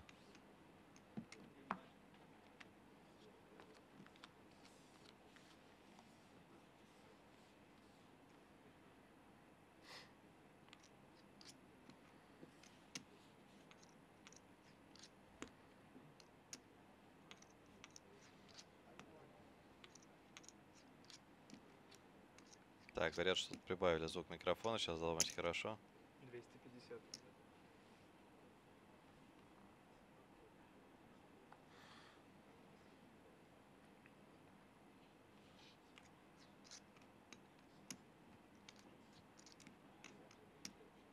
здесь ничего мы не можем 9-6 сделать. Конечно нет. Ну, это очевидно, что... Э,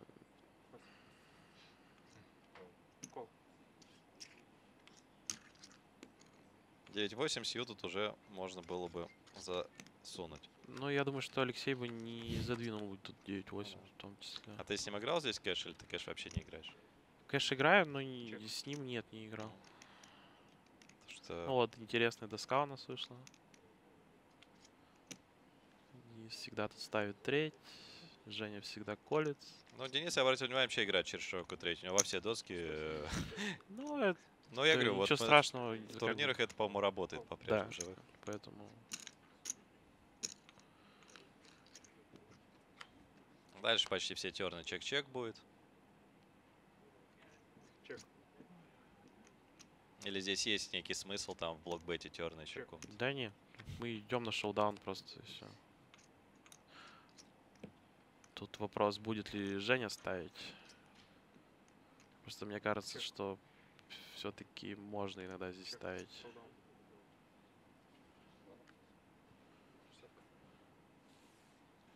Ну вот у нас, это он, это он. Пришел Толик чемпион.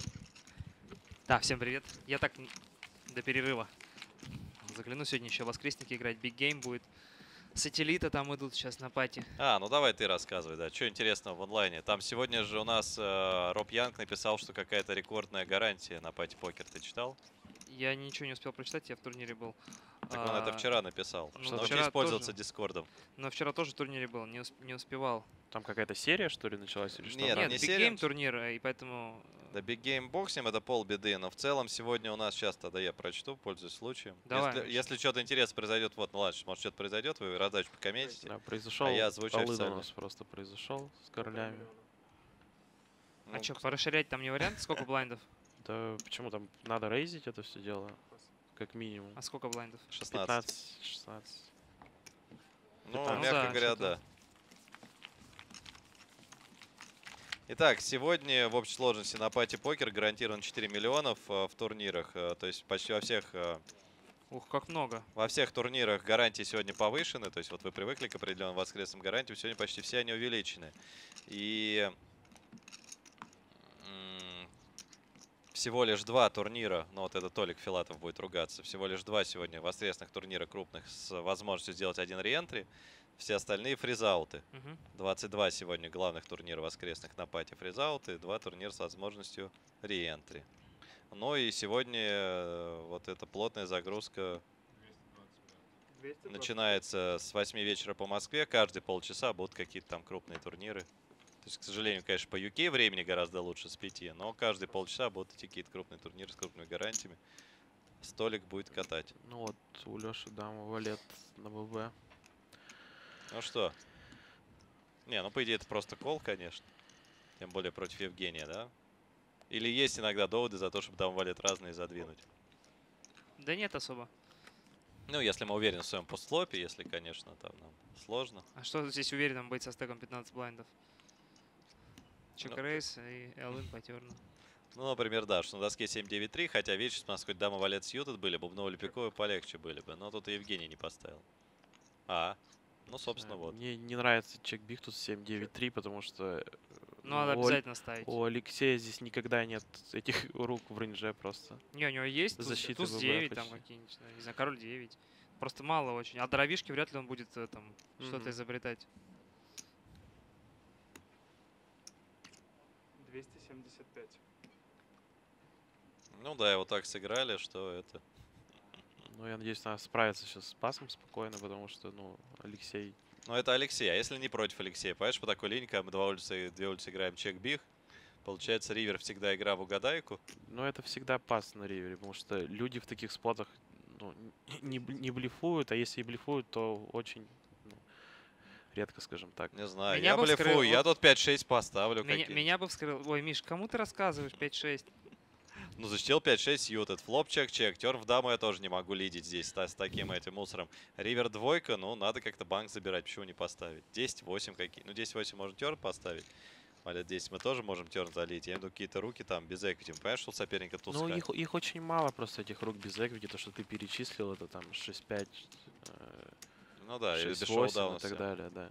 Что- А, ну вот, задание. 25 человек у нас дали правильный ответ.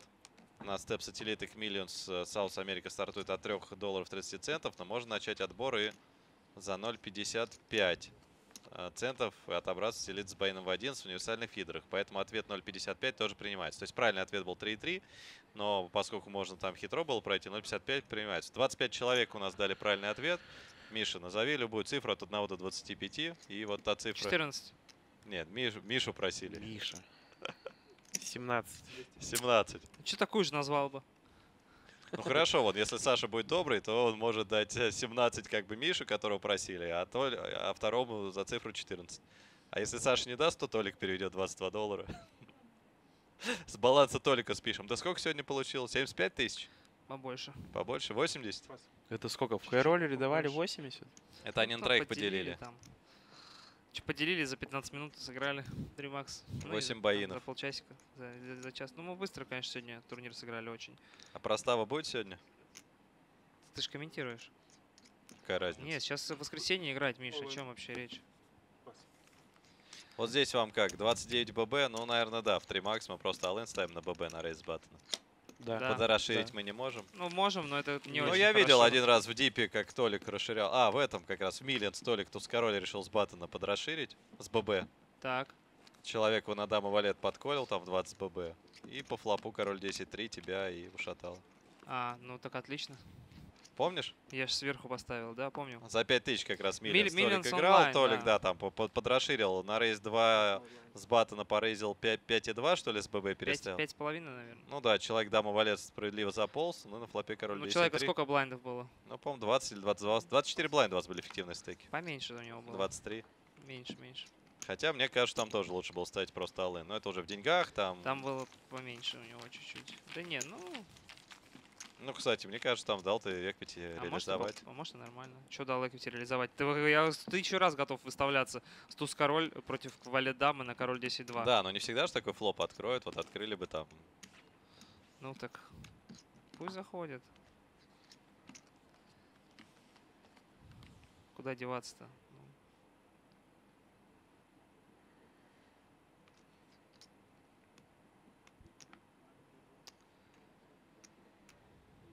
Ну, Так, а как вот, что мы делаем с двумя четверками в таком споте? На СБ чип лидер. Пуш. О, нормально, кстати. Если они же не это, да? Не балуются. А как зовут вот игрока с четверками? Евгений. Женя. А, это так он... Ну, это белорусское написание. А, все, я просто так удивился. О, слушай, ну, это прям Так, вот сейчас Алексей как опытный оффлайнер. От- Что будем делать? рейс. Ну, Надо нужно же еще по телсам А изобразить. ставить, надо зарейзить. рейс.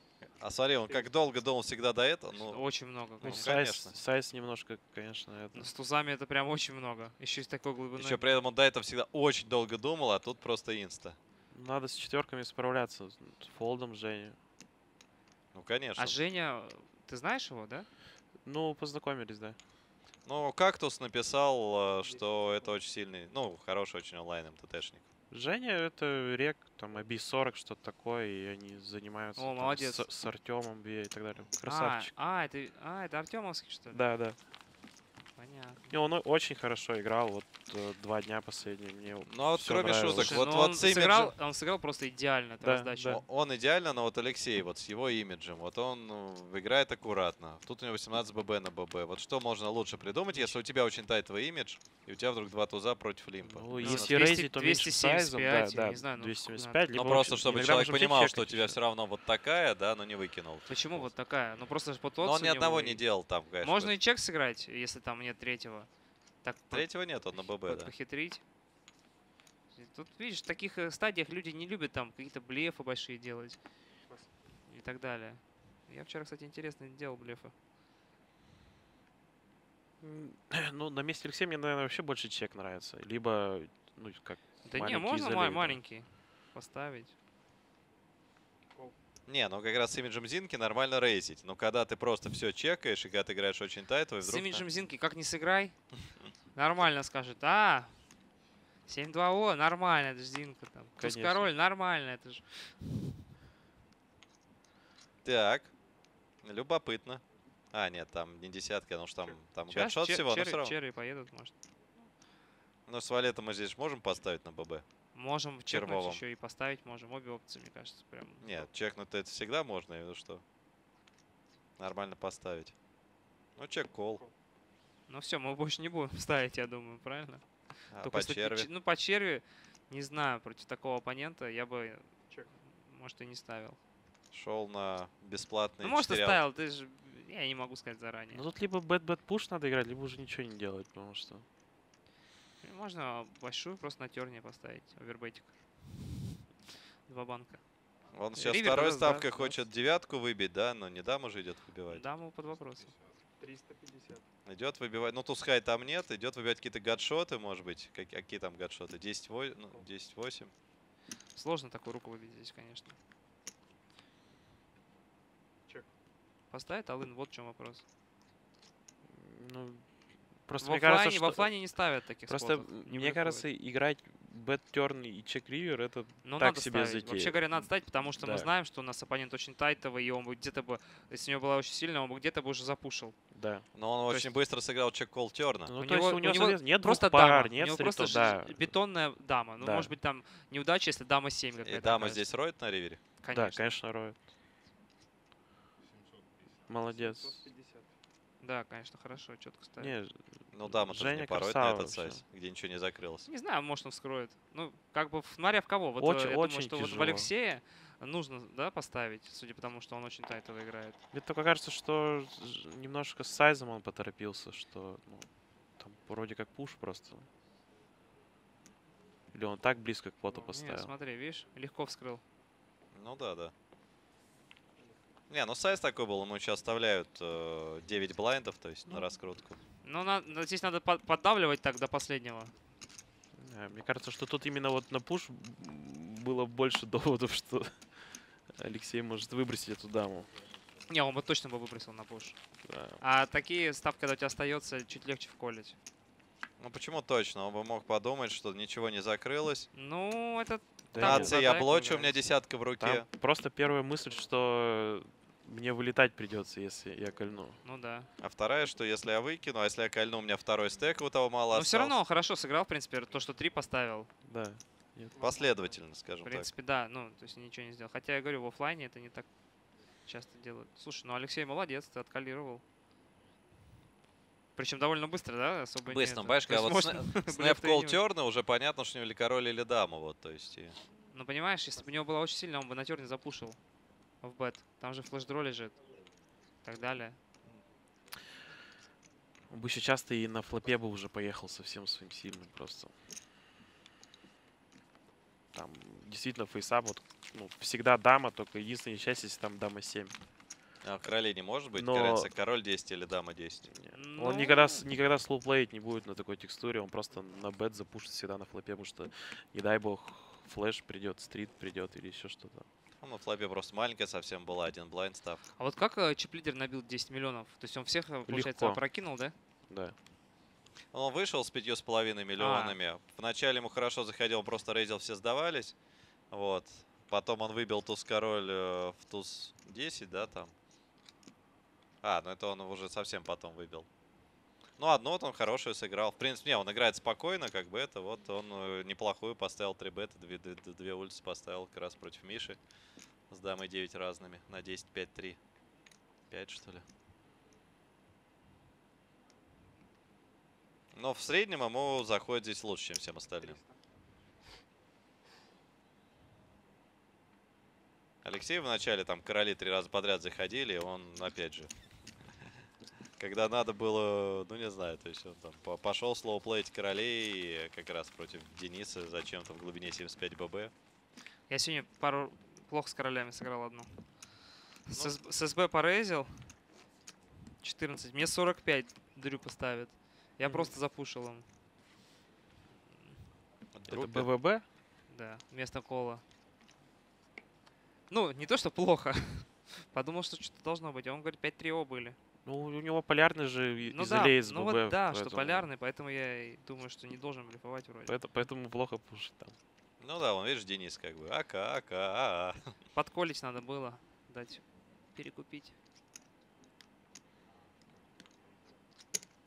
250. А Денис уже был, да, на каких-то финалках? Я вот... э, Он на EPT в 2015 году был в Барселоне, в мейне. Четвертое место занял. Ну и так много дипов. Но повторю, что он играет оффлайн кэш по всему миру. Дорогой. И вот турниры хорошие тоже. То есть он играет турниры только от 2000 долларов. 2, 5, 10. То есть дорогие. Поэтому наверняка с ним пересекался. Ну что, флеш флопа будем? Какой ты злой, Миш. Да Как нет, там- хорошо я в досках разбираюсь. Там не выиграть уже. Очень динамичная структура, да, флопа.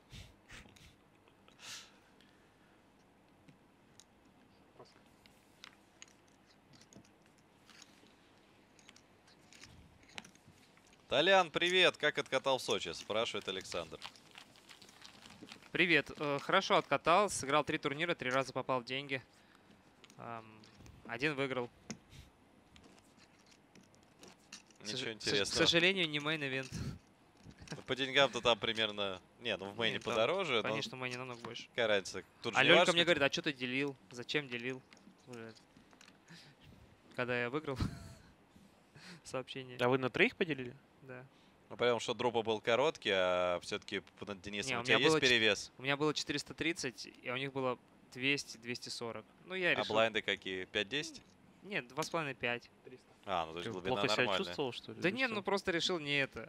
Палки в колеса не вставлять, ребятам. Чё-то По дружбе поделил. Ми- Миша, видишь, не одобряет. Да? Ну, наверное, нет. Ну, у вас Денис-то объективно любитель. э, ну, как бы... Просто сам. как, ну, достаточно идеальная ситуация, чтобы, ну... Я понимаю, еще в хедзапе было поделить, но... Хадзап мы вышли 750 на 150. С Дрюпой? Да. Ну, а там бы уже и не пришлось делить. Ну, да я не это... Не жадный.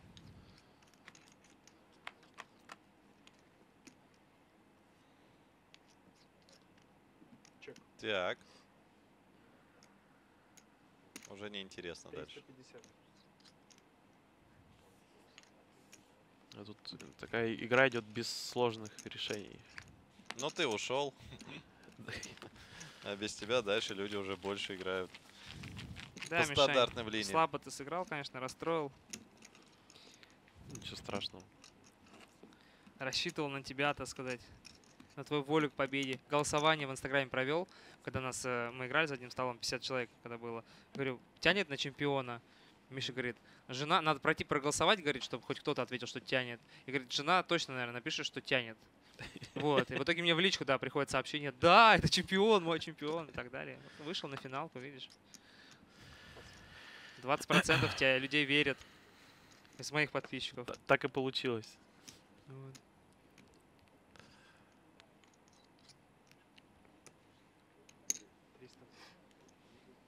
Да, там несколько ключевых банков было. Вот БВБ, когда у Дениса был сет, а у меня ФД совпадением.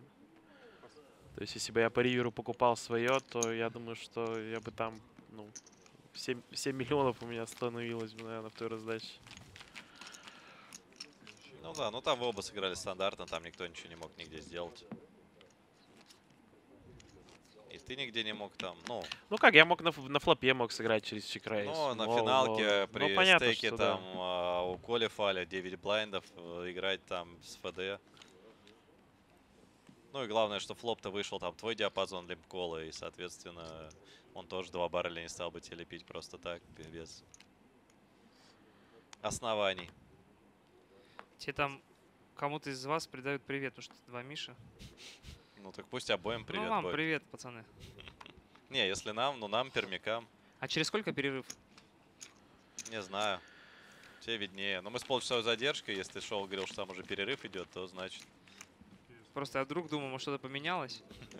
что у а нас я еще main event захожу, знаешь, и так э, мне вот здесь в театре, честно говоря, не нравится ТВ-стол, потому что заходишь очень тихо, никто не шумит, все такие там что-то шепчутся друг с другом. Нет вот этой атмосферы. Да, нет «Оле, атмосферы, да, Ола! Там вперед, Спартак, Москва. А так обычно в зале есть такая атмосфера. Конечно, на всех турнирах, на Миллинс э, была, на ЕПТ, э, на ВСОПе так вообще там.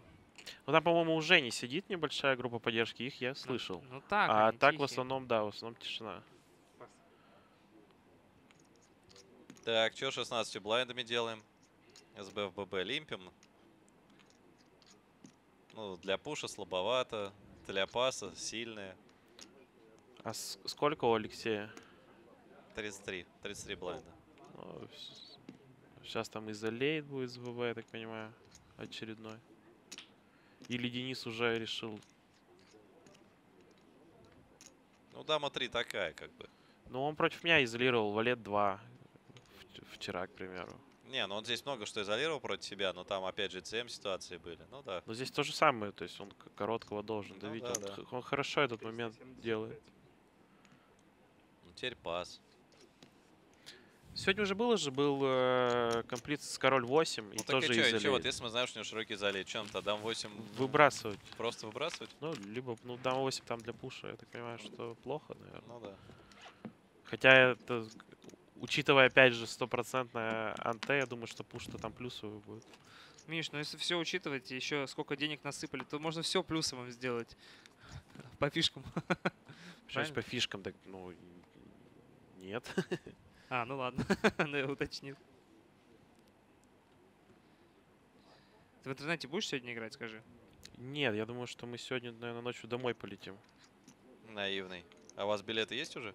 Нет, я вот сейчас смотрю. Там просто раз. цены аховые в воскресенье вечером. Нет, да, ну как бы... Он же в Перми живет, по Миш. дефолту. Ну, так он же через Ну, мы Москву через летит. Москву будем лететь. А, серьезно, да? А, ну они ну, долетают при- другими. Это я сегодня все нету. время Аэрофлот смотрю, потому что мне Шереметьево нужно. А там через Нордвиндом Домодедово слетаешь. S7 каким-нибудь. Тут Женя в десятки он расширить решил. Решил да, попробовать подрасширить.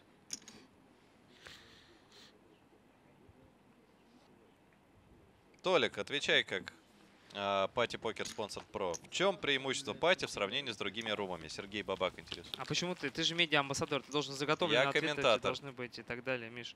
Но э, есть преимущества, есть где-то в других э, румах э, бонусы. У нас э, самый большой бонус, например, это рейкбэк, это отборы на живой турнир, что лично мне нравится. Да? Ну, рейкбэк, я поскольку МТшник, может, мне еще и не так нравится, потому что я так особо никогда не следил. Да нет, все равно, если ты в воскресенье 40%, вгружаешь там ну, 5000, да. там 500 рейка, ты с этого там за неделю сколько ты вгружаешь, там 300 долларов как Не, минимум ну, в месяц. это естественно. Плюс, если ты в кэш играешь, это гораздо более актуально. Плюс э, для игроков есть очень множество отборов на живые турниры, у нас сколько серий проводится. Также проводятся э, различные жесткие промо. А, там Party Poker Live используешь, когда байнишь, тебе 300 на расходы зачисляют. Я уже, кстати, так зарегистрировался на WPT в Барселону и так далее. Поэтому вперед, ребят. Ребят, вперед, а мы тоже немножко вперед. Сейчас перерыв у нас будет 15 минут, потом вернемся. Надеюсь, что Миша или Толя останутся здесь. Ну, вернее, придут еще. Так что не прощаемся с вами. Через 15 минут будем смотреть продолжение. Privyet everybody, we are in Russia. The World Poker Tour has taken us to Sochi, a winter and summer resort by the Black Sea. Made famous by the 2014 Winter Olympics, Sochi is a popular destination for Russian and international tourists alike.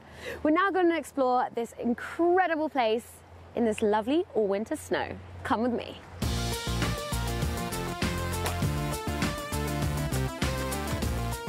Come and jump in a cable car and let's go and explore the mountains. The only way that you'll want to get up the mountains is in the sophisticated cable car. This is pure luxury up to the Caucasus Mountains with panoramic views extending as far as the eye can see. You'll most certainly want to pack your thermals and an extra pair of socks because it is cold here, but look how magical it is. It's certainly worth it. The Winter 2014 Olympics brought with it an incredible selection of winter mountain activities skiing, snowboarding, bobsleighing, ice skating, and even night skiing, where you can overlook the incredible lit up city below you.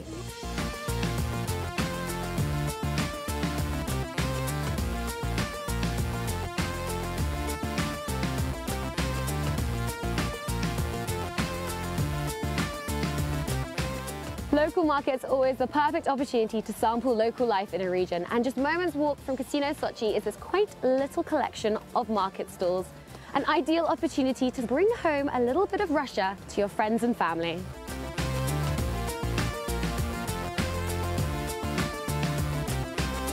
Casino Sochi is one of the largest luxury casinos in Eastern Europe, with everything on offer. With gaming tables, slot machines, poker rooms, a concert hall, theatre, restaurants, and a bar, You really have everything in this one spot. It is no wonder that Sochi is known as the capital of entertainment. You have to come and see it for yourself.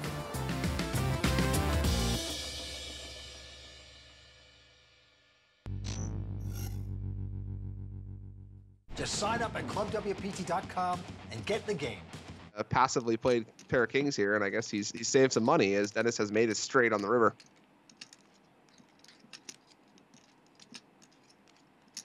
Alexi trying to maneuver this hand in such a fashion as to not risk creating a huge pot against the big stack.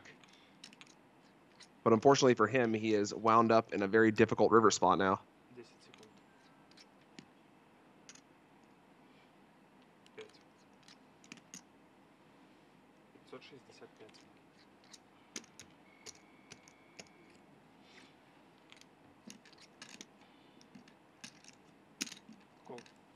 And he will make the call. See the bad news. Sometimes slow playing gets you. A nice run out there for Dennis and a nice pot he picks up.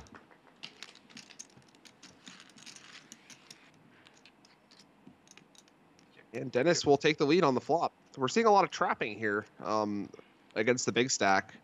People are opting to take very passive lines, and the problem with that is it allows the big stack to catch up on you, as we've seen in the last couple of hands. Mikhail still has a lot of outs with overcards and a gut shot, although only his king is live. His ace would give Dennis two pair. But yeah, we're seeing another advantage of, uh, of having the big stack. It's that people are compelled to play a little bit more passively against you, and that gives you a lot of free cards, and that enables you to sort of get there from behind a lot more easily.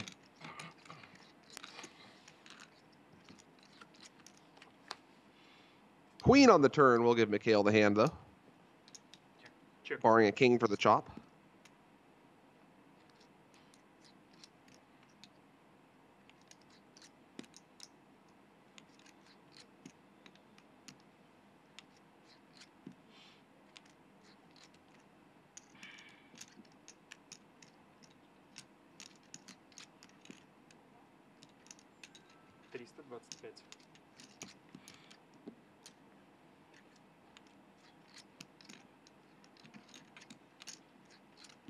Mikhail is going to check, continuing to string Dennis along here.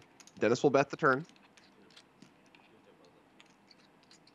And now Mikhail's in a beautiful spot because it looks like he can't possibly have a strong hand on this board since he just flatted pre. It's very difficult for him to have sets, difficult for him to have a straight. Should be nearly impossible for him to have a straight, at least the ace king straight. But he is actually sitting there with the nut, so this is a, a fantastic spot for him to be in.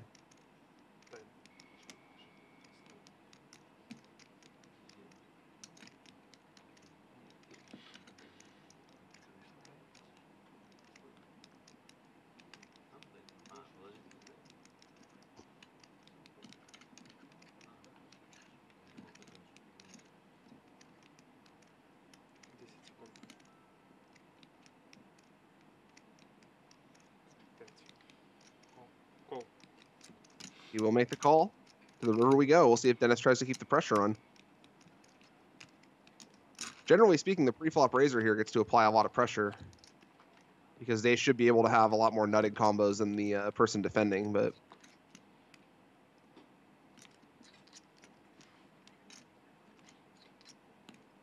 in this case, the big blind is the one with the nuts.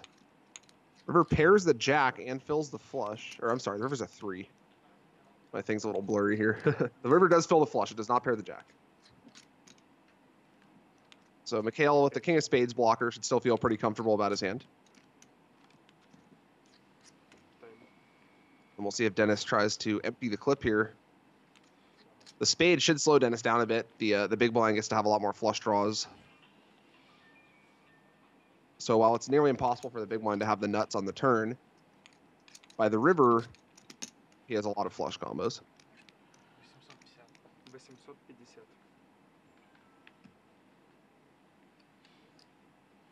Mikhail's going to lead out on the river here.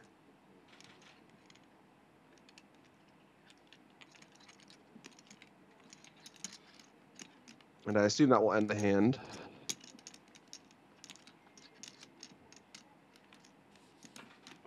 Dennis will quickly fold. His hand was basically a bluff had the best of it on the flop, but on the turn and river, he was bluffing. And Mikhail will win a nice big pot there. Moving him back up the standings a bit. Dennis still in good shape with 5.3 million.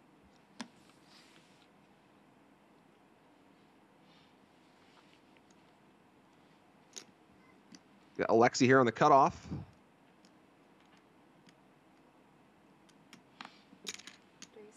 He is going to open to 130,000, more standard sizing we've seen. We've seen a lot of 125 and 130.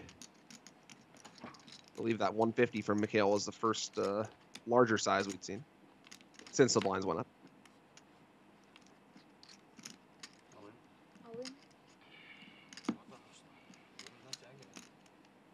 And we see an all in from Oleg in the small blind. He is going to be in bad shape, though. Eights into nines. Not a good place to be.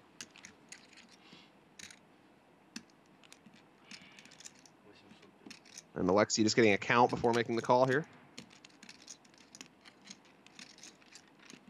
It will be a decent chunk of his stack. Alexi, if he calls and he's wrong, he'll lose almost half his chips, but he is in excellent shape here with nines against eights.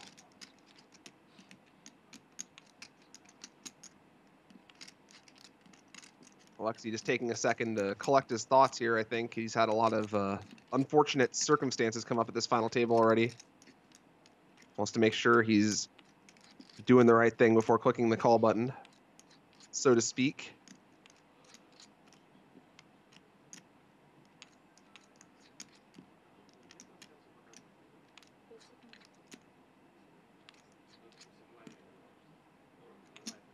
But against a uh, what 14 big blind shove from the small blind, it's very difficult to do anything but call here.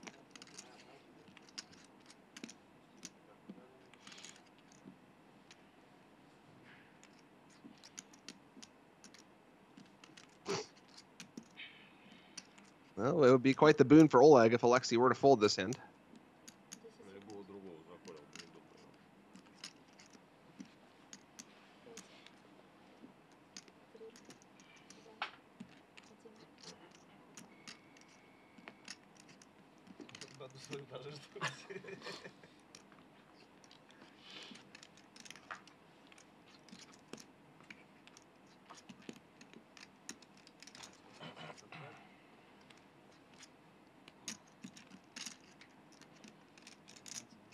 Nikolai sweating this one pretty hard. He is definitely rooting for Oleg to bust on this hand.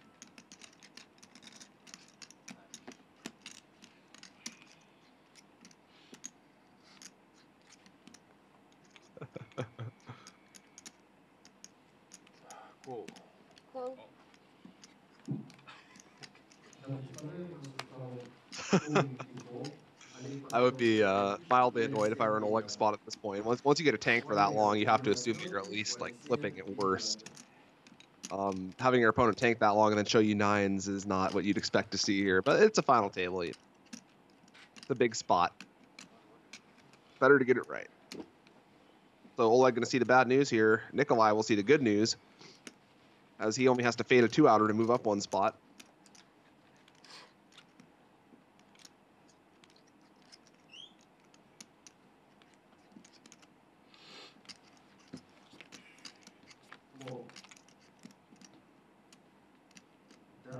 And the flop is no help to either player. Alexi way in the lead here with nines.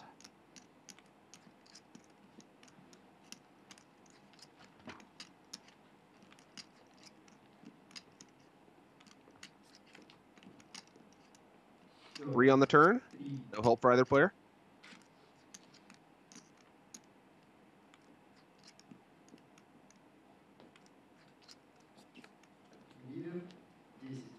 And a 10 Completes the board. Alexi's going to take it down. Oleg will be our first bust out. Taking home a little bit over 50,000 US. Not a, not terrible payday, but I'm sure he would have preferred more.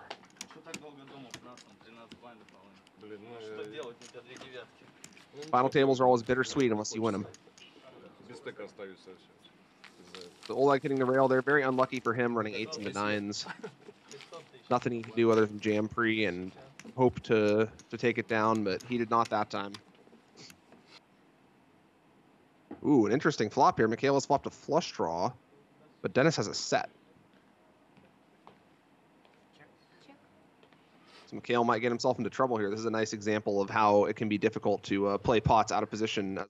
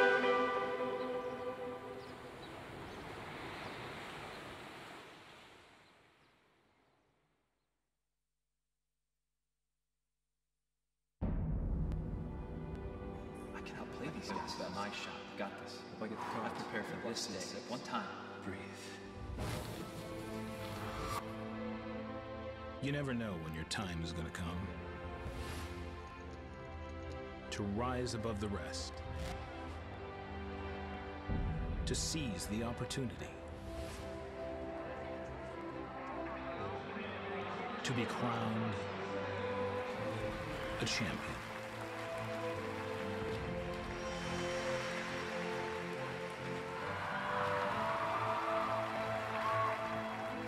Is it time for your story to be told?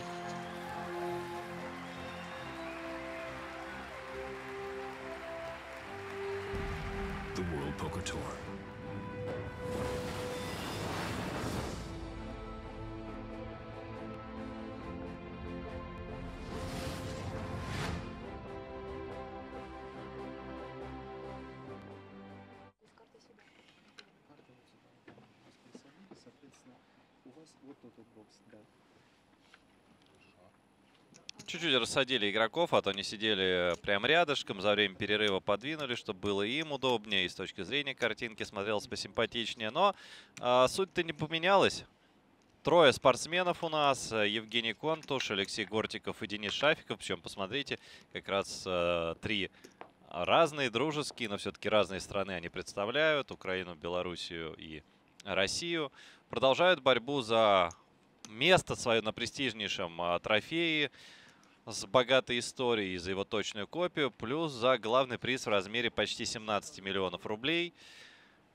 Конечно, большим фаворитом является Денис Шафиков. Объективно говоря, не только за него здесь говорит его большой стек, но и колоссальный опыт и все-таки уровень игры.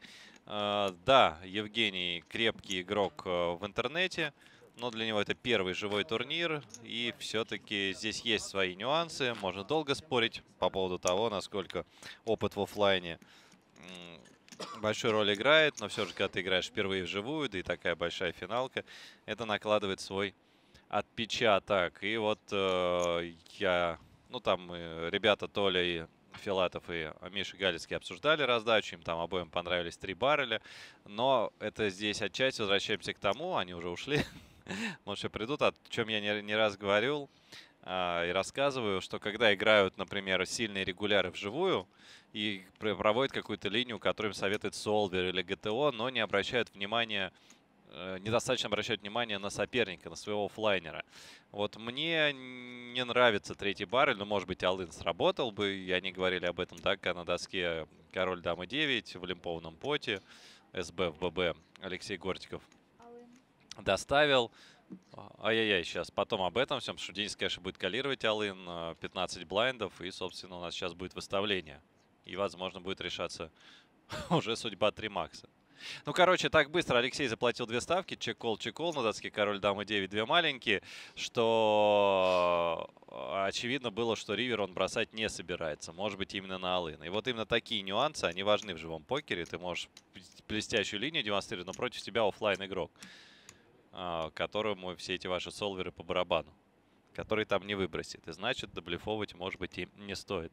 Будет закрывать Денис. Он, конечно, уточняет размер стека, но тут вариантов нет. С туз 8 мы и доминируем а, всех тузов. ну, не всех, а очень многих, потому что любого туза здесь Евгений пушит. 15 блайндов all-in Просто решил Денис уточнить размер стека. Конечно, 15 блайндов all-in должен закрывать. Да, ему хочется найти какой-то там более надежный, там, стопроцентный, более там как бы еще более выгодный спот, но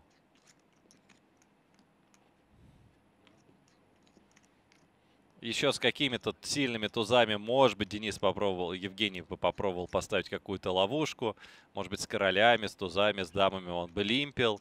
Может быть, минрейзил. Может быть, мы не знаем. Но часть мы можем рук не то чтобы дисконтировать, но подставить под вопрос. Поэтому это такой не тролл сейчас со стороны Дениса.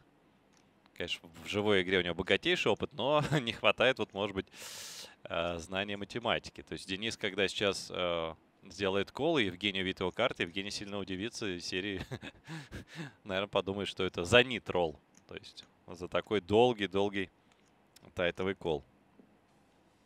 Да ладно. Жесть. Я все красиво рассказал, но может быть какая-то чуйка. Невозможно здесь выбросить, конечно же, ТОС-8. Тем более, если бы еще Алексей Гортиков думал, это было бы обсуждаемо для него кол там на полстеку, называет своего оппонента. Но здесь э, мы калируем на 18% своего стека. Алын 15 блайндов, у нас уже стоит один ББ, плюс не забывайте, они с полной монте здесь играют. И соперник пушит все туз X. А, пушит э, все Бродвеи, пушит руки типа валет 10, 10-8, 9-8 такие. Ну, здесь невозможно, конечно, с 8 обрасывать.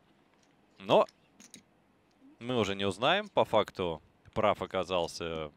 По факту, конечно, не прав, но я имею в виду, что какой был бы шоу-даун а, на ривере, кто лучше бы собрал комбинацию. И опять же, может быть, Денис считает, что у него очень там серьезный перевес, что опять он э, именно и так спокойно сможет забирать деньги, может давить у Алексея там без проблем забирать и типа играть ему, калировать Алын, имея около 60% диапазона против диапазона пуша, ему, в общем, типа не особо нужно. Но это тоже Алын.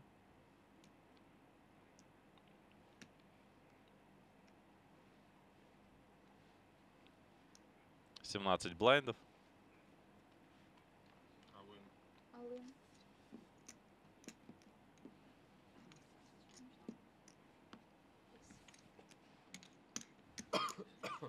И это пас. На даму валет мы закрывать не можем, прямо с таким же стеком. Но здесь забавно будет, конечно.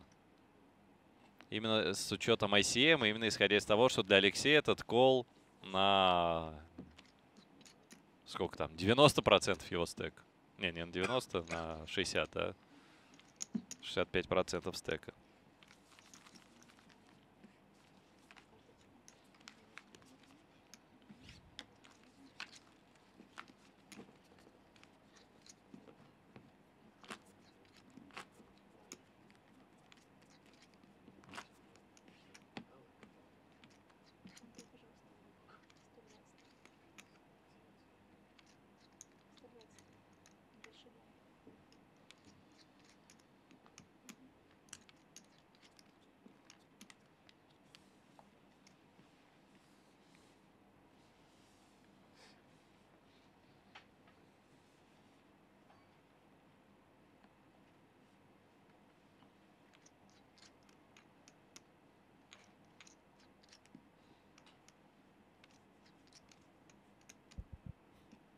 Ну, а Денис может 100% рук открывать с баттона. А, максимальное давление оказывать на Алексея, у которого пока что больше стек, э, чем там, на, на 30%, но больше, чем у Евгения. Ну и опять же два его оппонента, у них серьезная борьба идет, э, очень серьезная разница в выплатах между третьим и вторым местами. Да, конечно же, э, не оставляет ни один из них надежд на то, чтобы стать чемпионом первого в истории турнира WPT Раша, но пока исходим из задачи минимум. У нас э, суммарно в два раза меньше фишек, чем у чип-лидера. Пока что схожие стейки, пока что важно бороться за второе место. Пока задача выйти туда, пересидеть своего оппонента.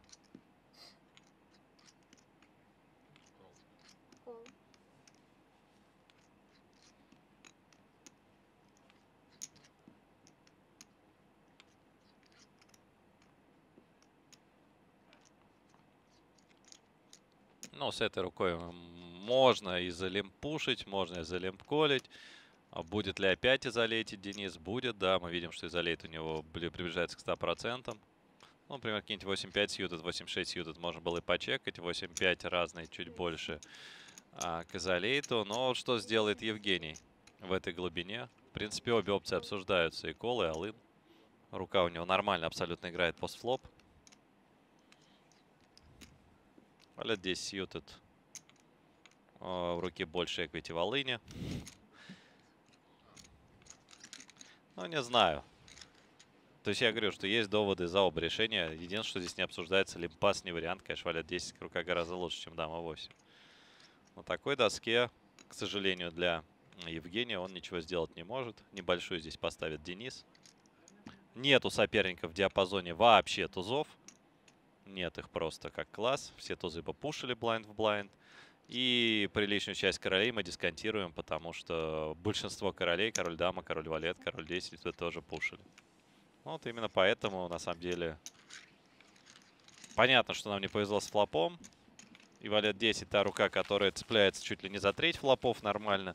Ловит пару, любит, ловит какое-то дро неплохое. Но, тем не менее, опять же, не ошибка против оппонента, который изолирует наши лимпы с частотой к 100%. Не ошибка и через лимпуш сыграть. И, в принципе, open push тоже здесь не преступление. Валет 10 СБ ББ был бы.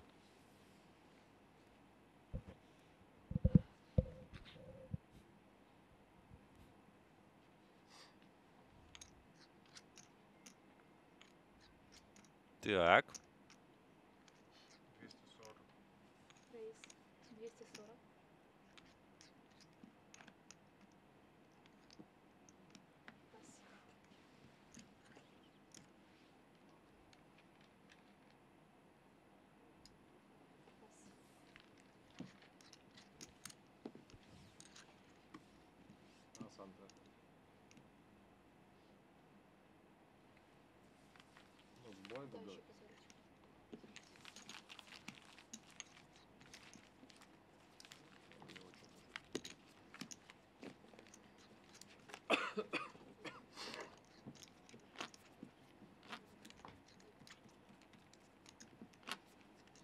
240.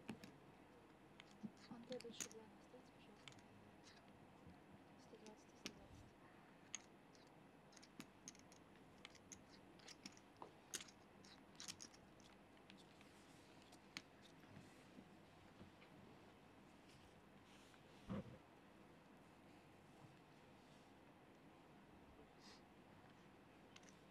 Опять же, здесь Денис должен открывать близко к 100%. Я говорил, что он там не будет 2.7 разные открывать, на 8.4 разные. Как раз вот можно вполне было та рука, которая там по низу где-то 80% идет.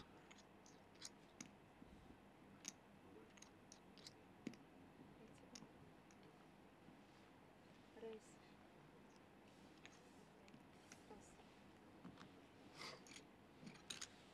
Ну да, здесь кто первый поставил, тот и прав.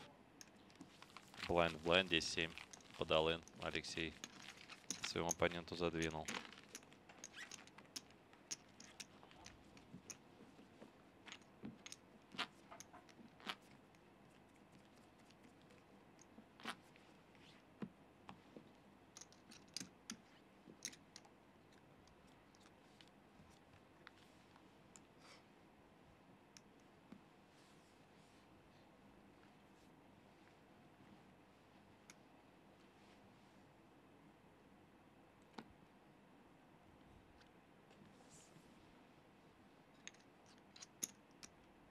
Это алын простой, тут вообще без вариантов. Эту руку мы не можем лимпить. Ну, в глубине побольше можно бы было бы лимпушить, но это хотя бы там 20 блайндов плюс, э, особенно против широкого изоли- изолейта, понятно. Ну, вторая попытка. Точно такие же стейки, как были в начале. Опять же у соперника туз 8. Вот. То есть по логике, которую Денис притворял в жизнь, он должен сейчас опять туз 8 выбрасывать. Ровно точно такой же стек. Миллион восемьсот. Неужели Денис опять выкинет? Да? Ну, я этого совершенно не понимаю. Ну, по крайней мере, последовательно, но, видимо, повторю, что либо Денис э, именно настолько уверен, что он будет так потихонечку маленькими банками, такой у него план. Либо, может быть, немножечко все-таки не идеально, как многие оффлайн, да и особенно кэш-игроки, которые не сталкиваются с игрой в блайндах э, там в коротких стеках, в блайндах там до 20-30 ББ, а все-таки кэш-игра вживую проходит не то, что в 100 ББ плюс, а вживую играют там в 300, в 400 ББ зачастую в оффлайне. Возможно, что Денис просто не очень хорошо и пушбот знает, потому что ну, дважды подряд блайнд на блайнд против самого короткого выбрасывать 15 блайндов, 108.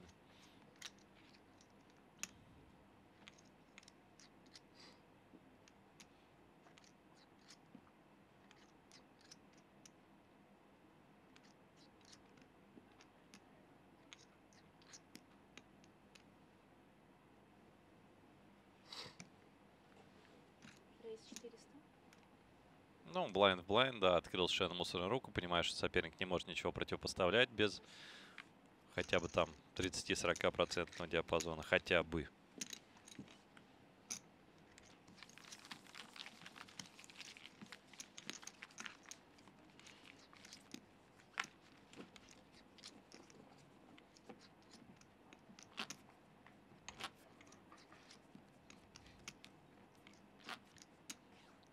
Миша, распуди, рассуди спор про Fall 108, пожалуйста. Я выше не читал, но я, по-моему, очень там долго и детально раскладывал. Туз 8 со стеком 10 миллионов против Аллы на 1,8 миллионов. Блайнд в блайнд против самого короткого. Это, конечно же, это кол, потому что мы э, против диапазона пуша имеем в районе 60%. То есть ну, преступления в турнирах такие выкидывать, э, когда у нас 10 миллионов. Когда человек пушит все туз X, которые мы многие доминируем. Когда там весь марьяж, против которого у нас 60 на 40, а там все карманки, с которыми мы флипаем. То есть там, конечно же, пушится и туз 10, и туз валет, и туз дама по уму. Но опять же, там, например, туз король могут игроки играть через лимп э, ну, как бы индюсить через лимп кол, могут играть тузов королей через лимп, могут что-то из этого играть через рейс еще, чтобы соперник что-то придумал.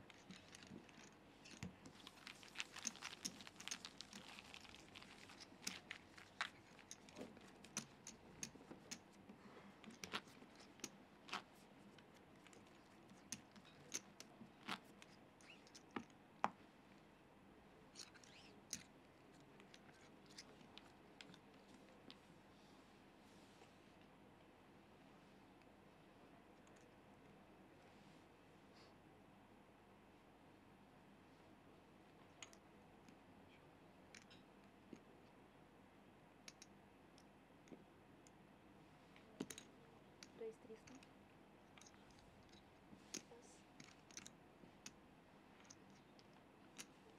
Имидже здесь Алексей порейзил, скажем так.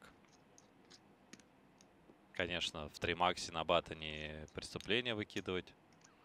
Туза не то, что преступление, но... Денис совсем мусор, просто тут, да, он со многими руками мог бы оказывать максимальное давление, там, отвечая алыном. Но он и здесь, похоже, 3 готовит. Понимаю, что соперник ничего не может здесь сделать.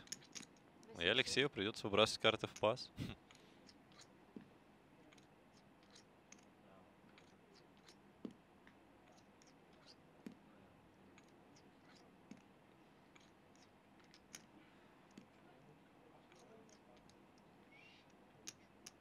Калировать он с этой рукой не может, но только если есть четкая чуйка, может какие-то рицы, то можно задвинуть.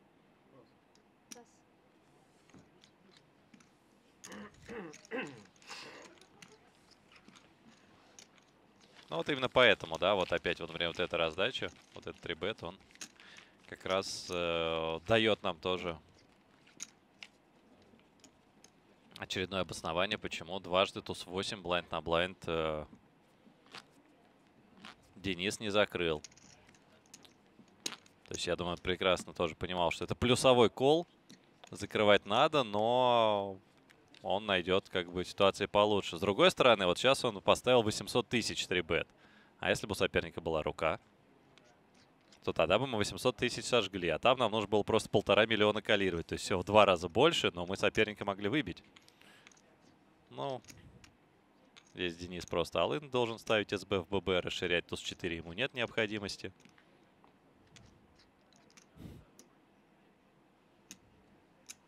Но оффлайн, это такой оффлайн. Просто проблема в чем? Вот мы сыграли рейз. У Алексея нашлись какие-нибудь там, не знаю, король валет suited. Он нам поставил all-in. И мы туз 4 свои выбросили. Мы же на туз 8 не колем. СБ в ББ, а там диапазон-то посильнее.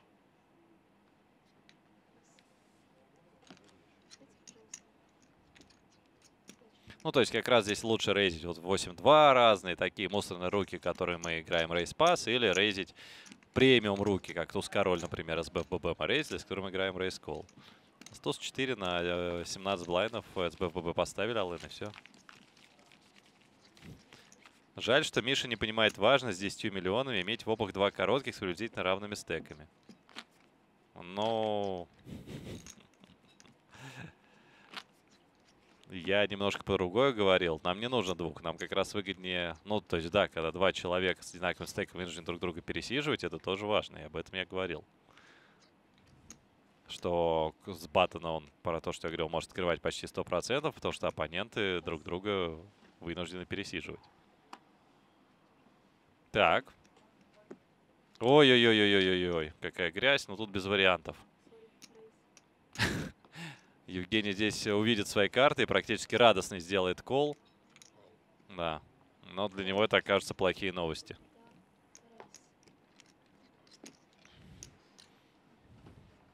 Да, Лын и кол. Ну, здесь дилер пересчитывает э, стейки. Это важно для трансляции, для графики. Только с этим это связано, чтобы точно знать, у кого сколько фишек. Но Евгению сейчас нужно будет тащить два аута. Да.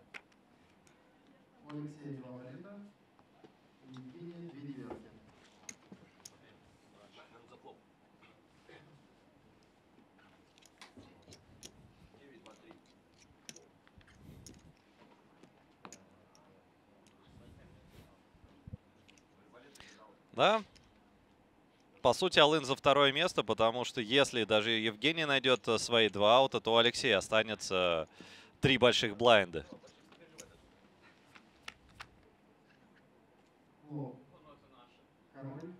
А, бубна есть у Евгения, так что Бубна добавит ему аутов.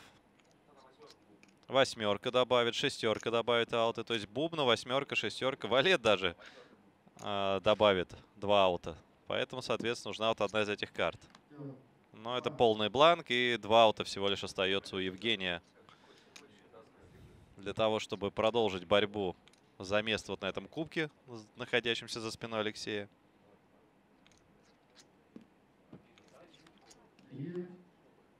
Это штанга.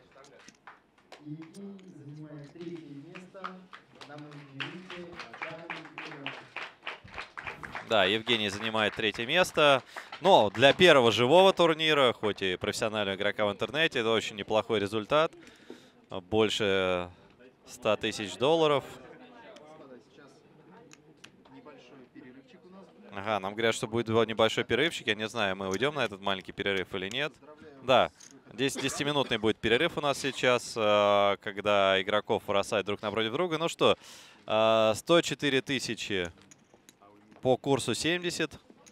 То есть почти что 7,5 миллионов. По, ну, 7,280. Где-то 110 тысяч долларов зарабатывает Евгений Контуш. Поздравляем его с этим результатом. Ну и нас с вами ждет хедзап. Достаточно любопытный. 31 ББ. Эффективные стейки. Для хедзапа это не так мало. Уровни по полтора часа. И э, опять же, как вы понимаете, пару банков, если Алексей выиграет, то может пойти вязкая. Очень борьба. Интересно будет посмотреть. На 10 минут с вами прерываемся, а потом смотрим продолжение. Кто кого и кто станет первым в истории чемпионом WPT Russia.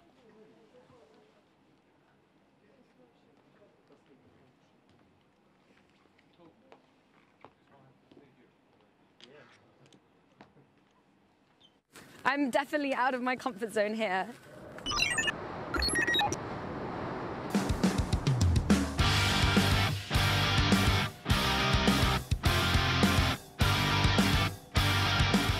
You ready, Kevin? Let's do this. Let's go. Hi ho, hi ho. It's off to death I go.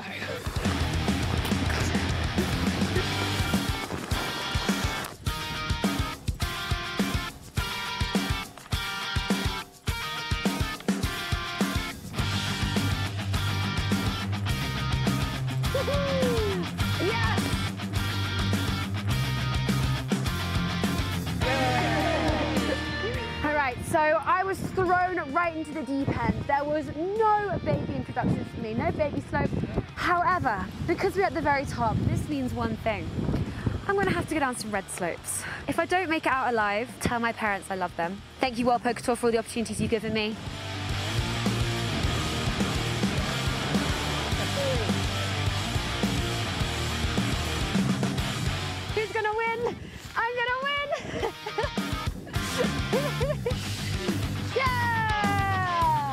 Hallelujah, by some act of God. I survived. We had an epic day, it's beautiful. The mountains here are absolutely incredible.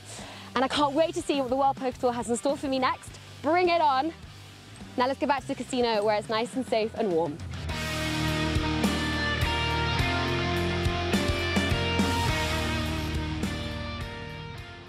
Sign up at clubwpt.com.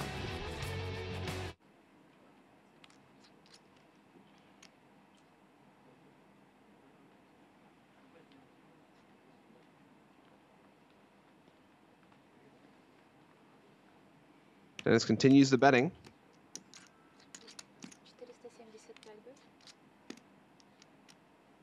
As one would expect.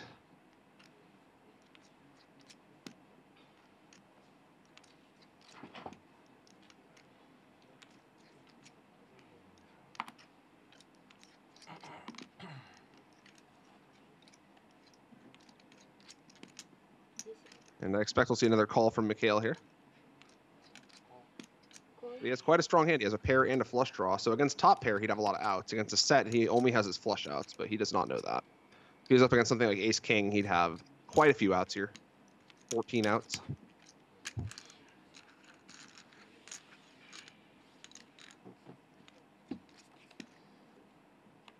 And the rivers of seven does not change anything. Dennis is going to win a large pot here. And Mikhail got himself in quite a bit of trouble by not letting his hand go pre-flop.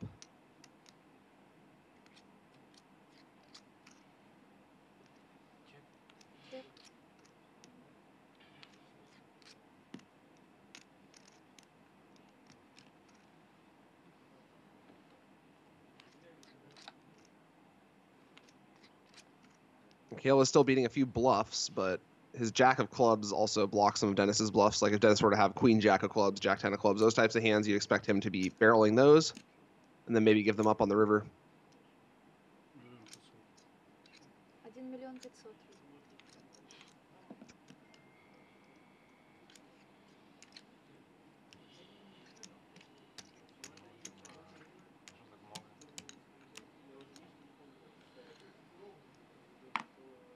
It's going to lead out for a large river bet here. Now Mikhail has to decide whether he wants to bluff catch with his bottom pair.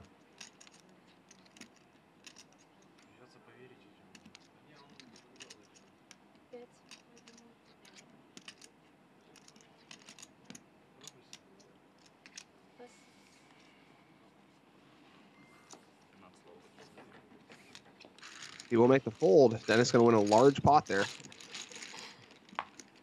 Here in Sochi, first is around 250,000 US, nearly 17 million rubles.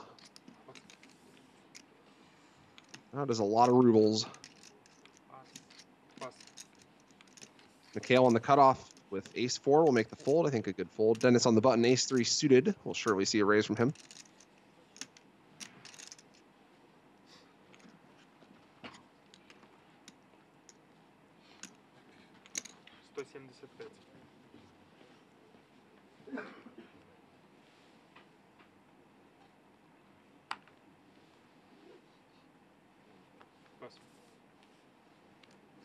to and the big blind, 8 7 suited. Nearly a coin flip spot pre flop.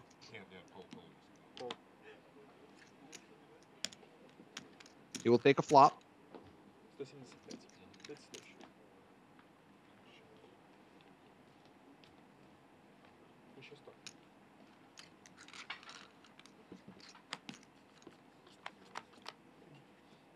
Heads up to the flop we go. And it looks like Dennis has flopped a nut flush. I'm pretty sure he's going to win this hand. Go out on a limb and say he'll win the hand. Stop.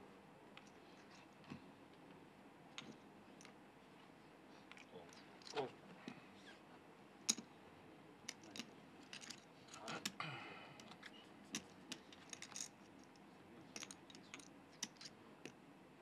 Oh. Go check, check. Dennis is trapping a little bit here. Wait, did I go check that call? I missed the flop action. Even it doesn't look like Galhan's gonna be putting any more money in on the river now. Dennis with a six card nut flush. Not quite the nuts technically, but close enough.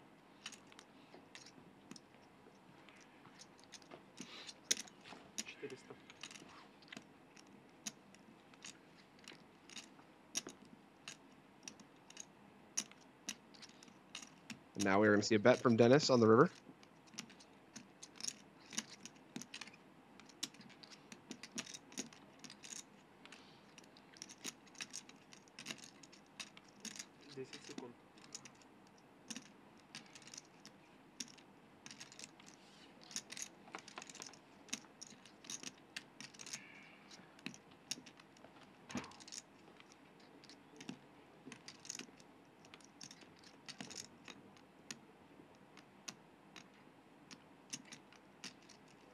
Calvin is in the tank here. He does make the call. Dennis will take a nice pot down with the nut flush. Gowan bluff catching with the straight.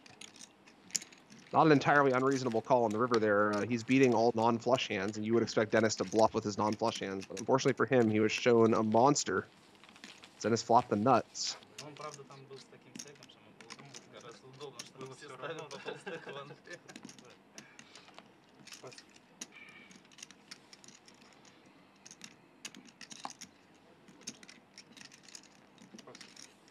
Folds over to Alexi, who's going to fold.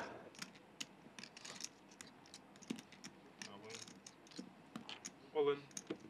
Owen's going to move all in with the what looks like Queen Nine of Spades. Yes, and now Nikolai with sixes in the small blind. It's about half his stack that he's going to be risking here, but six is quite a strong hand in this sort of situation. I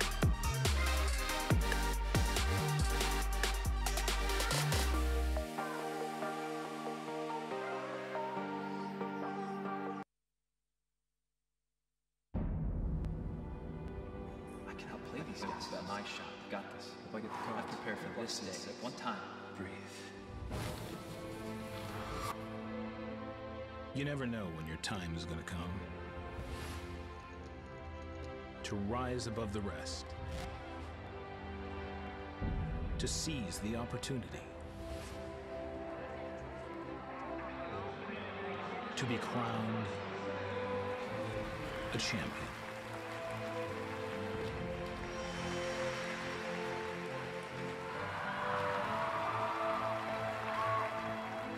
Is it time for your story to be told?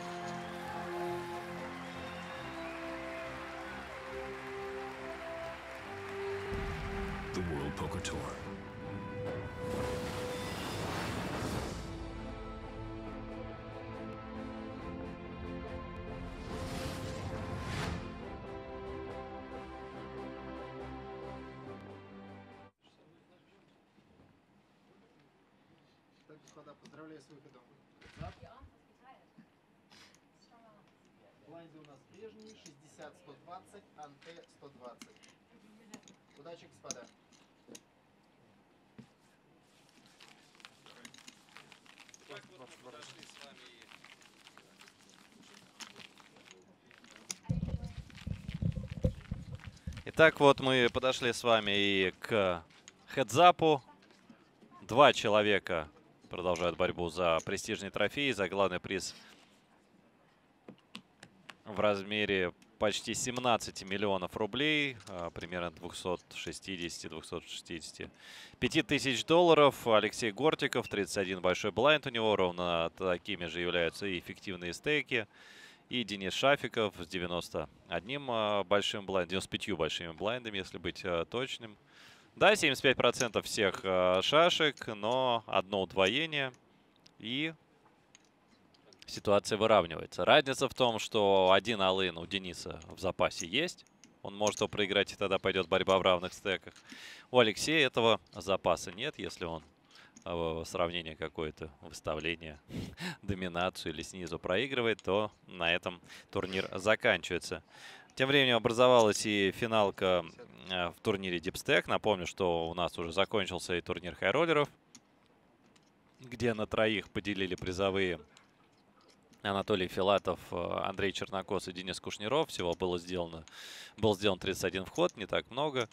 Ну и при все они получили где-то в районе 80 тысяч долларов, плюс-минус. И потом Толя дожал, получил еще и кубок. Ну а что касается дипстека, то вот э, там призовые в боинах э, гораздо лучше. Так-то первое место там 87 тысяч долларов, 87 тысяч казино юнитов, ну то есть в районе, наверное, 95 тысяч долларов.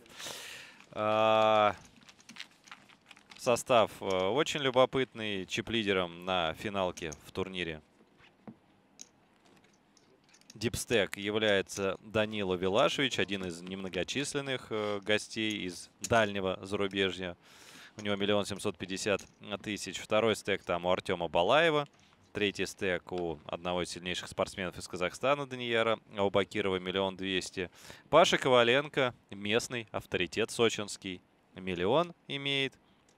Столько же шашек и у Андрея Патайчука. Ну и достаточно небольшие стейки у Николая Чеботарева, который давно-давно РПТ здесь выигрывал. Не здесь, а в Киеве. 475 тысяч у кумиров молодежи. Ой-ой-ой, у нас выставление будет.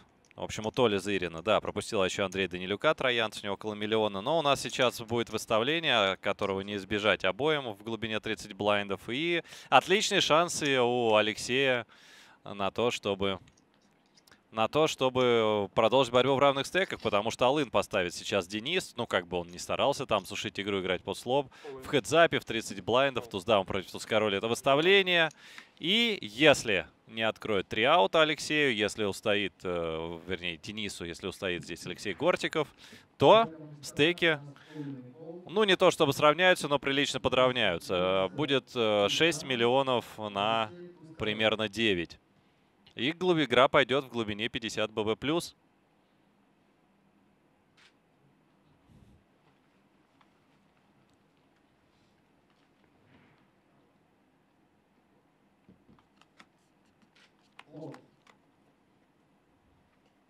Первая же карта король, и только бэкдоры могут здесь помочь Денису. То есть дама-дама или валет 10. Если не кладут на терне даму, валет или десятку, то а ее не кладут, ну что? 6 миллионов банк, 5 миллионов 930. Соответственно, 9,2 на 5 930. Вот что такое покер. Вот почему, кстати, зачастую делят игроки в 3 макс, хедзапе. Ну, по игре все-таки складывается впечатление, что у Дениса чуть больше опыта. Он играет офлайн кэш э, на международной арене. Алексей является в основном регуляром э, офлайн игры здесь, в Сочи. Э, но даже если бы, например, вот в этой ситуации на месте, не знаю, там Дениса Шафикова был бы, ну, кто там, Филайве, а на месте Алексея Гортикова э, был бы совсем начинающий игрок, впервые приехавший в казино Сочи, то, соответственно, все равно также бы они выставились бы и это самое.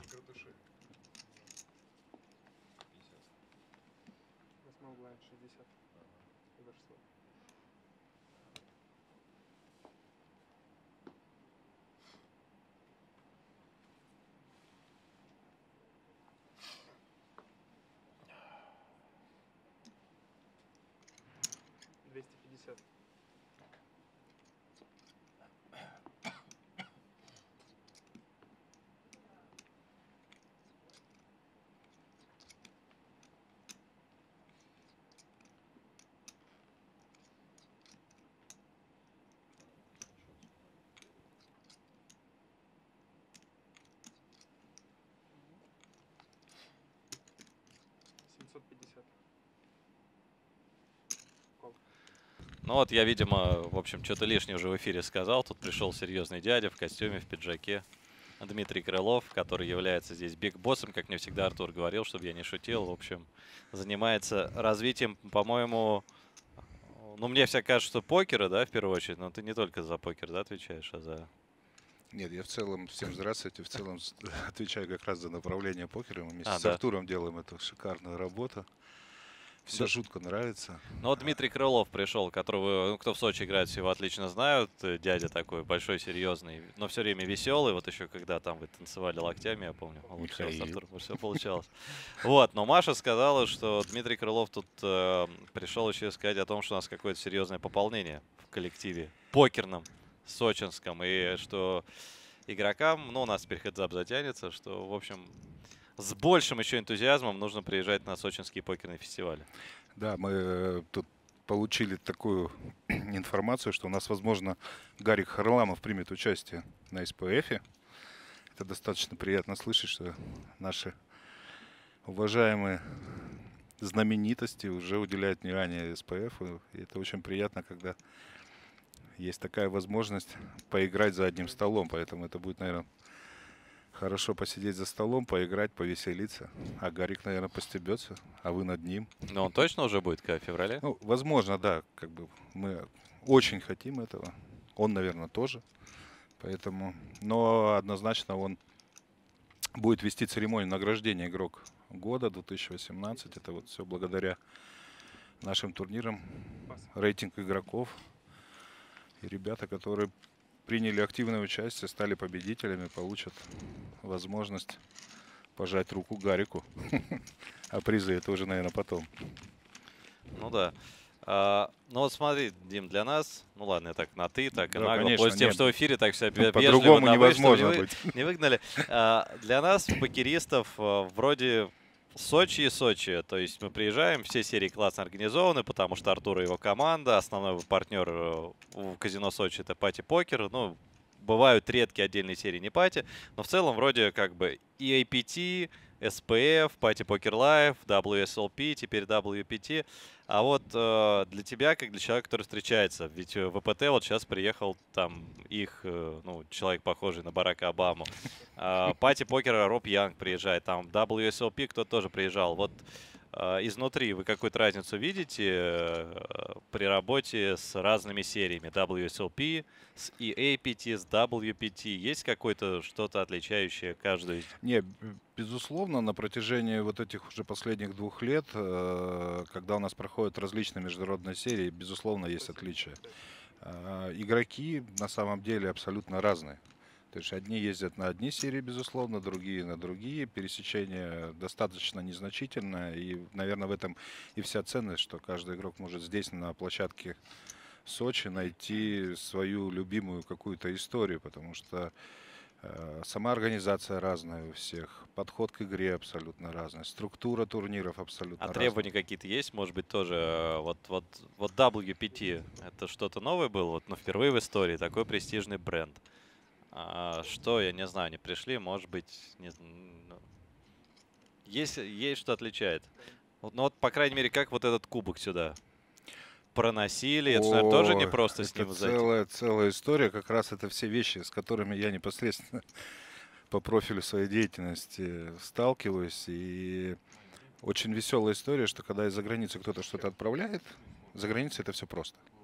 Когда это все приходит на российскую таможню, начинаются какие-то сложности. Бумаги, инвойсы, какие-то пояснительные э, записки, все что угодно. Поэтому да, он пришел, да, он шел долго. а, Мы приложили максимум усилий и возможность, чтобы он все-таки стоял, чтобы его все видели. Сколько он весит, кстати? Он же, наверное, тяжеленный. Ой, к сожалению, не скажу. Он состоит из э, как бы из нескольких частей, поэтому вес его достаточно такой внушительный. Но вот коробка, в которую он э, пришел, то есть один человек поднять просто физически не может. То есть Ну, на таможне я догадываюсь, на все таможне. А вот в казино Сочи самого внести уже, наверное, тоже непросто. Я помню, что там, если ты хочешь пройти... Подождите, подождите. А, по мы же тоже учимся, мы же тоже как бы растем. Поэтому во все международные серии, когда там требуется от нас какое-то участие э, в организации, мы всегда идем э, навстречу и все это делаем лайтово. Вот даже взять э, оборудование, которое вот транслирует вот эту прекрасную картинку, тут же приезжает целая большая фура, а то и там 2-3. И это все нужно занести, нужно досмотреть, нужно убедиться, что это безопасно. Служба безопасности как бы это все отрабатывает. И процессы такие достаточно сложные, но уже мы все можем. Поэтому... Не, понятно, что все, да, но... Я уж не брал, вот где он, кстати? А куда кубок делся? А, он его Не, сюда не приносили, потому что Почему? жил? Кубок там. Он не может быть. Не, он же вроде был, я тоже видел, он вот он, вот он, попадал. и вот как раз за дилером. Со спины А, дилера. всё, вот, там просто раньше... Вот эта масочка, как у гонщика. Там да, раньше Алексей Гортиков сидел, а теперь это... Да, да, да, да. Теперь это кубок стоит. Да, просто ракурс немножко другой. Да, Мне вот очень, очень интересно со стороны комментаторской на все это смотреть. У нас в чате спрашивают, что такое СПФ. О. Это Сочи Покер Фестиваль. Не-не-не, это детище. Это новый бренд, это будет... э, Подожди, э, как новый? Он же у вас давно уже есть. Не-не-не-не-не. Это новый бренд, который мы выведем на международную арену. А, понял. Мы заявим, вот если э, каждое казино мечтает провести серию ВПТ, то поверьте мне, в ближайшее время это будет то же самое с СПФ. Вот, пожалуйста, и кубок появился. Это при том, что мы с получасовым отставанием комментируем. Ты знаешь, как бы это мы во времени шаг, а так как будто бы попросили и его показали. Да. Слушай, ну вот чтобы не думали, что у нас тут все вот там вот прям такое. А то, ну ты пришел, я задаю правильный вопрос, ты отвечаешь. Я вот на днях играл э, с парнем, который рассказал, что он выиграл вот этот браслет. О, ваш это красивый да-да-да. просто. Но это же И еще он у него сломался, что он что-то начал застегивать, у него прям застежка сломалась. Ты Ну, знал? это, ну, как бы, знаете, как э, девушка, да, там, получает в подарок красивую сережку, пытается ее ставить в ухо, но забыла спросить, как, как же застежка работает. То есть, ну, как бы это Ну, такие понятно, вещи, которые, да. Я просто, чтобы это вот какая-то, знаешь, там, Да, и отличительная черта. У нас действительно на СПФах есть уникальные браслеты. И более того, на декабрьском фестивале, который пройдет в конце этого года, будет еще дополнительный э, браслет, еще более интересный. У нас еще много всяких, как, как мы называем, фенечков, да, для Ну да, игроков, ко- фенечек. которые мы не хотим все открывать. У нас тут интересная ситуация, но Денис, наверное, выбросит, но, конечно, оба выбрали. Не, ну, туз-3 блефовый, э, блефовый 3 бет это нормально, а Алексей вот просто 46 блайндов воткнул, не хочет он с король 9 сьютед играть под флоп, то есть здесь абсолютно стандартный кол 3 бета, нет, он просто вонзил э, 4 бета Кстати, меня поправляет, я все время говорю, что около 17 миллионов приз, я действительно забыл, что еще победитель получает билет стоимостью 15 тысяч долларов здесь Да-да. на турнир чемпионов WPT в Вегасе. Ну а Саша Исаченко справедливо напоминает, что на SPF можно отобраться через PPL. Это вот тоже большой плюс, что валюта, которую вы выигрываете на Party Poker, Party Poker Live, ну, в большинстве турниров, по крайней мере, всех турниров, где партнером является Party Poker в казино Ну, это некая форма сателлитов, поэтому все достаточно легко. Дмитрий, а ты сам в покер когда начнешь играть? Я понимаю, что здесь тебе в казино Сочи Не, по я- долгу службы нельзя. Нет, я в покер иг- играю достаточно давно. Как э, на самом деле я сам с Владивостока. Это вживую. В Владивостоке? Нет.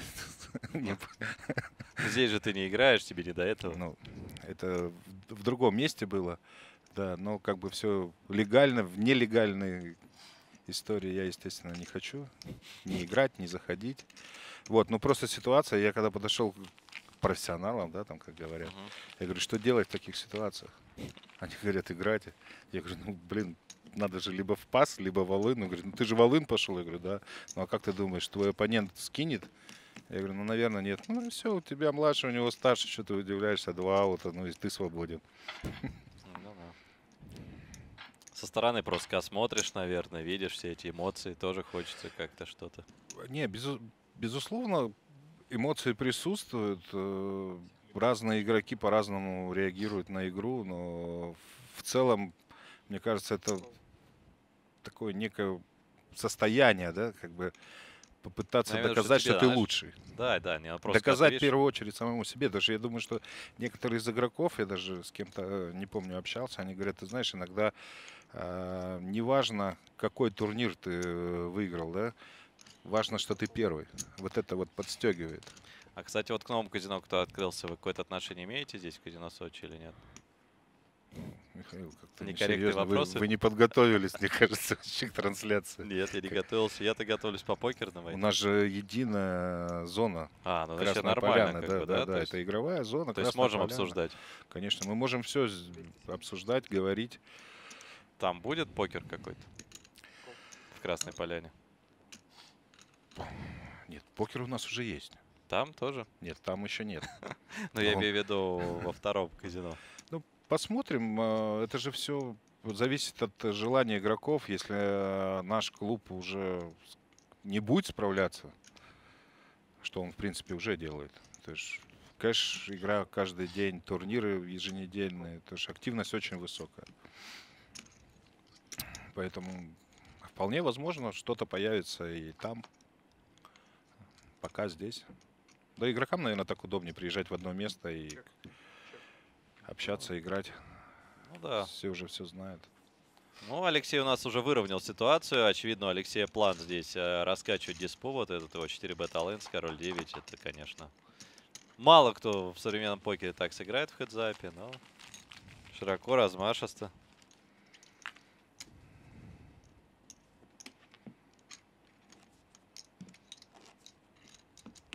Миша, а ты на СПФ-то собираешься к нам? Не знаю, На награждение? пойдет. А, тебя не пригласили, да? Ты же выиграть у тебя не получается, да? Ну, у вас, во-первых, теперь есть Гарик Бульдог Харлабов. Зачем Нет, не во-первых, у нас есть. а- Ну, в смысле, всегда было. Во-вторых, э, не, а так-то я как раз стараюсь приезжать. То есть несколько раз было, когда я не- по долгу службы. То есть сюда, окей, по работе приехал, а э, и в прошлом году в январе прилетал, например, тогда первый стоял э, SPF, а потом стоял APT, и недавно я что-то. То есть, конечно, это очень удобно. э, А ну, про- только а вот про машину ты что-нибудь слышал? про машины? Про машину. В смысле? Прямом.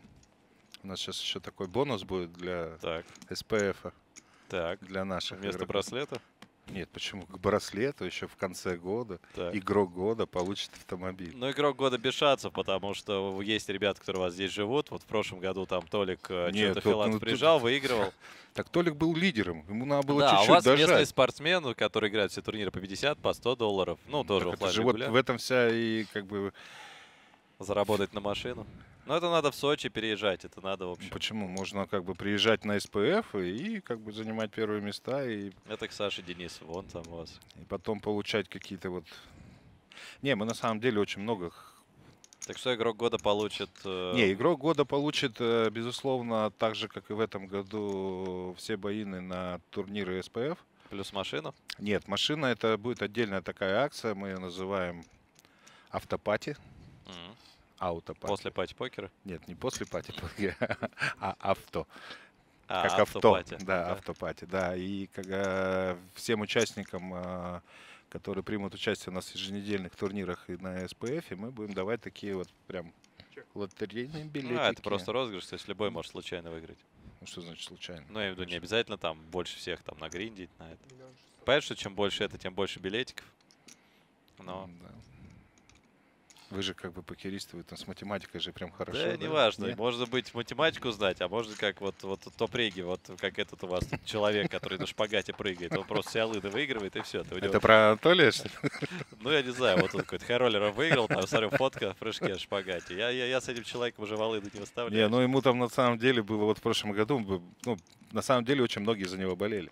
Нет. И, в прошлом я, году я там чуть-чуть осталось. Мы говорим, на тоже болел. Анатолий говорит, приезжай, приезжай, там дотяни чуть-чуть, добери. Он такой, нет, я честно буду. Ну, а у нас тут неожиданно впервые, пусть и символически, там на несколько фишек, но Алексей Гортиков выходит вперед, справедливости ради ему и насыпают гораздо лучше. И, конечно, это вот Денис очень опытный игрок, но это всегда может быть э, большим расстройством. Все, ты уже дожимал, у него на троих было, когда они были втроем, у него было 10 миллионов, у соперников Мгм. там 5 на двоих, а теперь уже получается, ну, 6 на двоих. Получается уже в равных стеках. И борьба может быть еще долгой и достаточно затяжной. Не, главное, чтобы атмосфера была хорошая. Ну вот мы общаемся э, с ребятами, которые приезжают. Все говорят, ну действительно очень атмосфера хорошая. Неважно, какой э, турнир, какой бренд. То есть всем очень все нравится. В принципе, по организации, по проведению. Хотелось бы, конечно, вот побольше таких телевизионных столов, чтобы популяризировать. Ну, это, кстати, вполне решаемо. То есть в том же Развадове, например, у них ТВ-стол стоит круглогодичный, там постоянно идут трансляции. Все упирается в законодательство. а бы. что здесь нельзя? Какие-то проблемы с Нет, показом? Нет, ну с показом-то а, можно. ты имеешь в виду, что да. ТВ стало на центральном телевидении, а не в Да, интернете? да, да, да, да. Но телевидение-то отмирает. Здесь уже я могу рассуждать как человек, который на телевидении много лет проработал. Сейчас все постепенно уходит в интернет, поэтому как раз трансляции. Я не против, у меня хоть и работа будет. В покер я буду закатывать, а так буду приходить, Кстати, комментировать. Михаил, надо об этом нам подумать. Нам же нужно тоже развиваться. Как бы. Оп. А вот. Что-то какой-то они вообще мизерный банк разыграли. И ривер прочекали. Нет, ну то есть понятно, к риверу тут уже стрит лежит на одну карту, но просто хедзап под на флопе валет 9-9, у одного валета, другого девятка. Они поставили две фишки дальше дочекали до конца. То есть, Ну, кто знает, о чем они думают сейчас. Да? Как, как разыграть ну, один э, комбинацию. заманивал, слоуплеил, другой подконтролил, но, по крайней мере, играют быстро. Да, я просто помню, что еще года полтора назад обсуждали, что а вот, например, три крупных или четыре крупных турнира в году в Сочи не слишком ли много, не присытится ли народ? Э, На самом деле, когда мы на- начинали первые вот встречи, переговоры по поводу там, организации каких-то таких больших международных ивентов, ну, было очень много сомнений. Как мы проведем, справимся ли мы, не справимся, как э, будут игроки на это реагировать, будут ли они приезжать, есть ли доверие. Ну вот то, что происходит, э, это безусловно благодаря э, игрокам, и они высказывают свои пожелания, а мы делаем для них эту работу. Потому что если бы не было бы игроков, то я думаю, что ни ВПТ, ни ну, не было бы турниров. Да понятно, причем вот здорово, что как раз наши коллеги отметили WPT вне пределов США. В США это бренд, э, ну, наверное, номер один наряду с WSLP. WSLP просто, ну, хотя в СОП-серку тоже проходит очень часто, но турниров много. Там, конечно, большое количество участников. А вот когда WPT, американский бренд, э, приезжает куда-нибудь в Европу, не знаю, приезжает ли он в Азию, но главные турниры с боином по 3000 собирают 200, максимум 300 игроков. В Великобритании, где действующее казино, Dusk Till Down, ну Мгм. вот, э, которым владеет Рубьян, разговаривает коне- партнер. конечно, знаю. А, Ну, это я нашим зрителям рассказываю. Там 300 человек они собирают в мейне, а здесь у нас 500 входов набралось. Ну, то есть входов там же тоже с реентри. То есть как раз это большой успех, просто так кажется, что... Не, на самом деле многим кажется, что это легко, а и на а то, что происходит во время турнира, как организована структура, как к этому подходит, как сделано расписание, это очень ну, сильно влияет э, на игроков, Потому что если там турниры пересекаются между собой, у него нет возможности принять участие в другом, хотя он жутко хочет. Или он говорит, а зачем мне э, здесь принимать участие, потому что завтра будет продолжение, и мне уже нету смысла. И вот, вот эти все мелкие шероховатости, которые происходят, мы на самом деле в течение всего вот этого времени дорабатываем. Поэтому вот эти вот все успешные турниры, которые на самом деле происходят, это вот благодаря работе именно вот с нашими партнерами, с нами. И и рынки, безусловно, разные. Это же тоже как Да, бы я сам приятно удивлен, в чем тут еще проблема с логистикой. То есть, если подумать, я всегда говорю, что в Развадове всегда аншлаг, потому что сел из любой там точки Европы Европа, да. без виз, без всего на машине за 2-3 часа доехал. Да-да-да-да. в крайнем случае сел на самолет, долетел. У нас, к сожалению, вот из-за политических моментов теперь из Украины ребятам добираться а, нужно черти сколько, ну, то есть через Белоруссию, и при этом все равно, ну, или на поезде, да, и все равно у нас э, ребят из Украины хватает, хотя им поехать в тот же Развадов гораздо проще. Ну вот за, ст- за столом же, вот, пожалуйста, ну ситуация. да, Денис Шафиков, э, вот Вадим Шлес тут э, приехал. Да нет, ребят украинских много. Артем Металиди, наши все, то есть, э, которые и по банкролл, и все могут себе позволить поехать на любую серию в Германии. А, ну, все равно с радостью приезжают сюда, в Сочи. А дай бог, когда-нибудь все-таки решатся у нас политические моменты. Хоть Украину там, давайте откройте, верните обратно. Там, кстати, что же теперь покер вообще стал видом спорта, и теперь из Не, Украины. ну, ну, если я не ошибаюсь, там он не совсем как бы легализован. Вроде как бы разрешили, но никто не знает, что с ним делать. Когда к тебе приходят, просят какие-то документы, а кто говорит, а какие документы? Просто разрешили. И вот, вот эта вот ситуация... Ну да, но... Ну, то, что мы делаем, в любом случае, рано или поздно позволит нам в том числе э, привозить больше игроков из зарубежья, дальнего, ближнего уже не важно.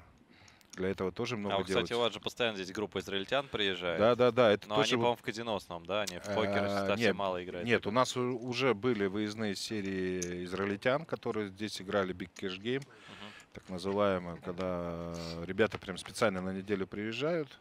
Им тоже, безусловно, здесь очень нравится. Э, Многие иностранцы просто впервые приехав в Россию, они не понимают, что здесь так может быть. Ну, то, что Сочи, это, конечно, супер место в любое время года. Да, сверху горы. Окей, летом снега нет, но все равно здесь приятно погулять. Внизу море. Это здорово, но я имею в виду, что... Ну, здесь, ладно, одну улицу поставили, дальше до ривера дочекают. И... Не, здесь и структура доски такая, что вопросов нет.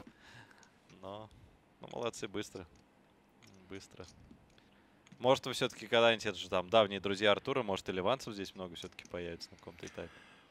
А, Я скажу более того. а, В прошлом году а, я летал в Гонконг и Макао, и мы вели э, такую вот по приглашению.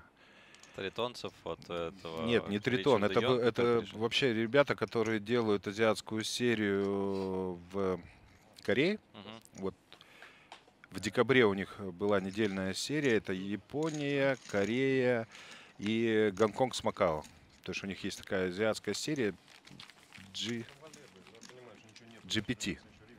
Забавно сейчас раздача, потому что я говорил, что поставили, дальше дочекают, но получилось так, что на терне Денис поставил для защиты своей руки, у него две было пары, а точно такую же руку, потому что здесь кикер роли не играл, там все равно же была дележка. А, ну, если бы дамы только в стрит не закрыли. Точно такую же руку здесь э, Алексей выбросил. Ну, конечно, Денис технически получше выглядит, да. Но извините, прости. Да, не, не, все нормально. И вот э, мы когда общались, там, э, когда игроки узнали, что у них безвизовый въезд в Россию, они пригласили нас, мы с ними провели переговоры. Мы говорим, давайте мы организуем подобную серию, там, может быть, серию там кэш-фестивалей, да, чтобы игроки сюда приезжали и играли. И когда все уперлось в логистику, о чем мы говорим, Миш, э, нет прямых рейсов. И вот они все в стопор встают. Так Говорит, «Нам про- сделайте. Работаем. А, кстати, Аэрофлот там не является да, каким-нибудь партнером казино Сочи, что-нибудь такое? Хотелось бы, конечно. Пока нет. Хотелось бы. Ну вот Израиль, да, ожил. Летают регулярно.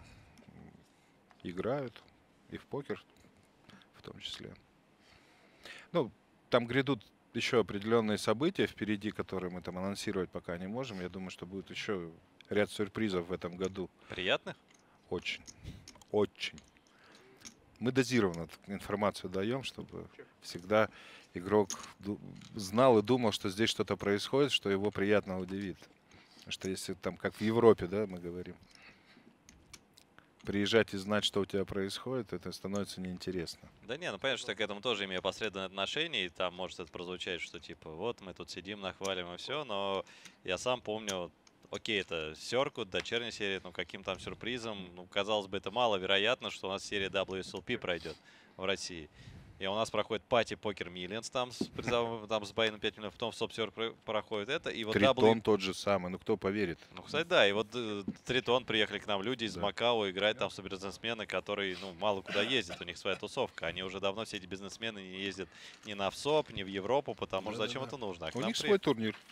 А в этом году уже, ну, WPT как что-то само собой разумеющееся, ну как-то, то есть все крупнейшие бренды у нас были и есть, пора Ну, в этом году это первый. Ну, Первый, ну, спокойно. Да, Ну, все равно виду, он он ответственный. воспринялся, ну окей, там. Ну, единственное, я говорю, что немножко начинает глаз замыливаться, потому что вот я тут немножко с тобой не соглашусь, ты говоришь, что разные игроки, и это, но в целом, мне кажется, что в основном игроки-то на 70-80% Миш, те же. Вот поверь, у Да? нас статистика. Вот просто возьми и поверь. Я также ошибался до тех пор, пока мы не начали работать со статистикой. Статистика штука упрямая, как, как и математика в покере. Поэтому, когда мы посмотрели, сделали срез-анализ, э, да, вот кто, да, по каким причинам есть, и были крайне удивлены, что, оказывается, очень много именно новых лиц приезжает на определенные серии. Ну, я понял, много. это, наверное, связано с тем, что я-то всех вижу на разных, и для меня я не помню, видел я его на серии там WSOP Circuit или Может на быть, SPF, или да, это, то есть, быть. ну, как бы наши игроки, я их всех знаю. А, а может, даже я их видел где-то там за границей, а может еще. И Не, пересечение, безусловно, есть, но есть прям ряд игроков, которые, допустим, ездят только на пати или там приезжают только на СПФ. Ну, есть, Ну есть да. вот такая история. А вообще, конечно, это круто в одном месте на площадке собрать все бренды и проводить такие мероприятия. Как говорит Артур, у меня, говорит, мечта взять, взять их, построить один за одним и сделать такую долгую, длинную серию в течение года. так, по сути, так у вас и есть. Ну, вот в разные бренды, но я имею в виду, что если Но абстрагироваться у нас еще есть две недели выходных для, Ага. для игроков. Для нас-то понятно уже. Ну, здесь же Денис не будет добирать, он уже добрал все на терне. Это приятно услышать. Дама хай, когда ты поставил две ставки на доске валет 4, 5, 7, ты дважды поставил, получил быстрый Не кол. факт. И на ривере у соперника как бы опа, а он тебе говорит, что у него и шоу-дауна нет. Нет, ну, конечно, здесь при игре один на один чувствуется большой перевес Дениса. И вот в этом отношении понятный план Алексея по возможности дисперсию при флоп разгонять.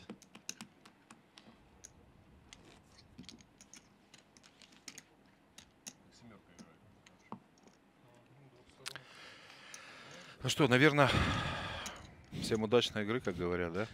Ну, наверное. Спасибо, Дмитрий, что Да. зашел. Да, наверное, Рассказал, надо делать эти встречи регулярно. Ты как сказал, надо стол организовать телевизионный, тебе работу. А, да, я буду и- работать, посадить а я меня, буду, а то я в покер да, все закатываю, а здесь вот одна трансляция, мне на нее там даже неделю не покушать. Буду комментировать. Хорошо, ск- скидочку, скидочку попросим. А, да, да, да, да, карту золотую Все, всем удачи, хорошей игры. Это был, да, Дмитрий Крылов, один из главных людей здесь, в казино Сочи, по крайней мере, в направлении покера. Ну и по остальным вопросам тоже.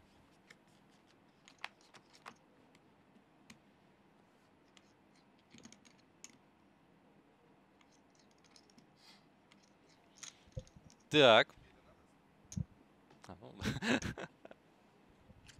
320. Ладно, возьму даже книжечку какую-то почитаю тут. Про Сочи покер фестиваль. Спрашивали, когда? С 16 по 24 февраля. 775. И главный турнир здесь будет со вступительным взносом в 38 тысяч рублей. Ну, то есть, как всегда, там по 500 долларов, грубо говоря, main event. Хайроллеры здесь э, по 1000 долларов. Ну, в казино Сочи в юнитах 77 тысяч рублей. В общем, 16 по 24 февраля. Может, и заскочу, посмотрим. В Сочи добираться из России очень-очень несложно. 2 миллиона 320.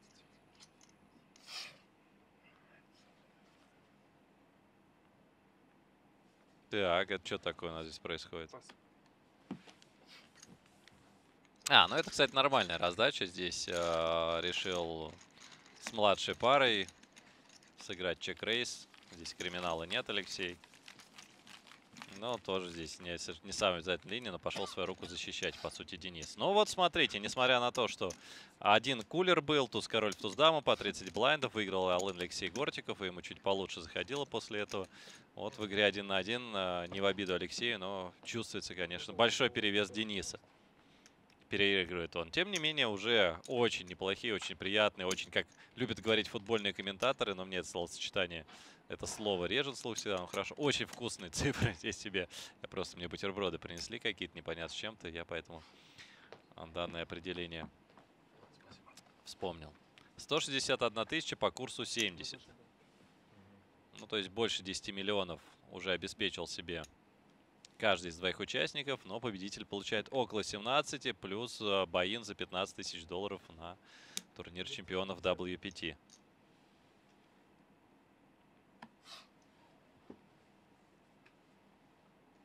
Откуда Миша вопрос читает? Ну, я везде что у меня открыт чат на YouTube, чат на Твиче, но здесь как раз живое общение идет между зрителями.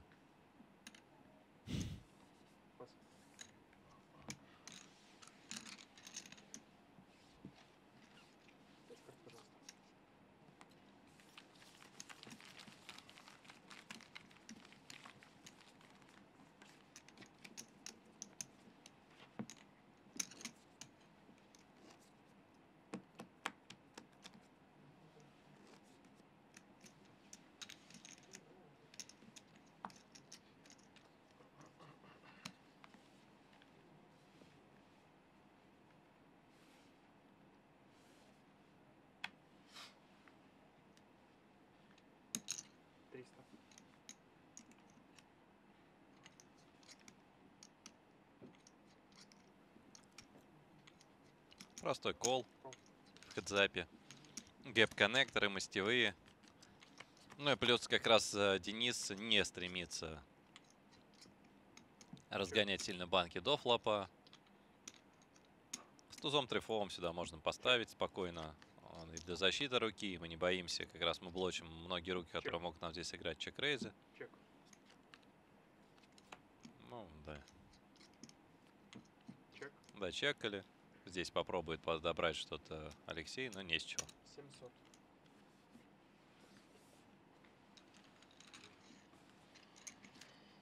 Алексей еще играет так, так, как будто куда-то опаздывает. Очень быстрые ставки, а, большие сайзинги. Хотя, на самом деле, когда ты чувствуешь, ну, не знаю, отдает себе отчет в этом Алексей или нет, а, когда ты чувствуешь, что у твоего оппонента есть перевес в игре один на один, то тебе как раз выгоднее уменьшать глубину. Чем меньше эффективные стейки, тем а, менее дорогими будут ошибки. И, соответственно, наоборот, тебе вы- выгоднее играть помедленнее. Но речь не идет о столинге. Плюс, конечно, тот самый фактор, что просто ты чуть дольше думаешь над решениями, чуть более взвешенно их принимаешь, чуть точнее у тебя получается, это тоже важно. Но такое впечатление, что здесь катать, катать, катать, быстрее дилер раздавай. Можно ли на живых сериях сидеть в маске, чтобы Телсов никто не увидел? Нельзя, и сейчас аж- обсуждается вот после того, что было на Багамах недавно в январе, когда Кристоф Фогельсанг постоянно закрывал э, половину лица нижнюю, кутаясь э, высокий там воротник, по-моему, не помню, что у него там воротник или шарф был, по-моему, шарф, да, сверху. Вот, как раз э, даже кто там, Джек Эйфиль или забыл кто, ну, в общем, из э, WSLP, известный а, турнирный директор, запустил голосование, надо ли э, вообще запретить игрокам запре- закрывать половину лица, стоит ли это делать или не стоит.